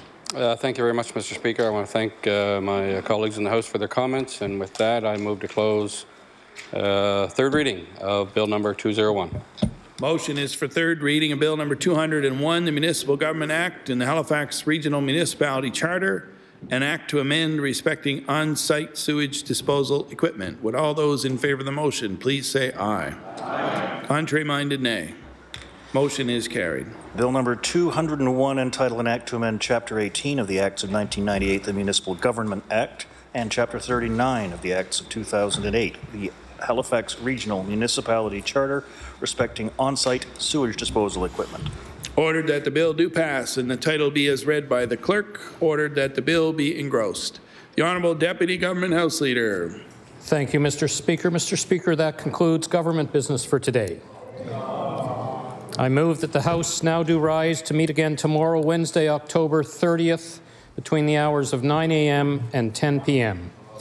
Following the daily routine and question period, uh, we'll move to opposition business, which will be provided by the House Leader, the official opposition momentarily. And following that, uh, government business will include third reading on public bills 180, 204, and 213, and private bills, uh, third reading of private bills 183 and 195. The Honourable House Leader for the official opposition. Mr. Speaker, uh, tomorrow we'll be calling notices of motion uh, number 18 and 853. We'll also be calling bill number 217, an act to amend the Liquor Control Act. Uh, the first two resolutions will be debated for 15 minutes each, and the bill debated for 10 minutes each for clarification. Thank you. Motion is for the House to adjourn to rise again tomorrow, Wednesday, October 30th, between the hours of 9 a.m. and 10 p.m. Would all those in favor of the motion please say aye? aye. Contrary-minded, nay. Motion is carried. House now stands adjourned until tomorrow at 9 a.m.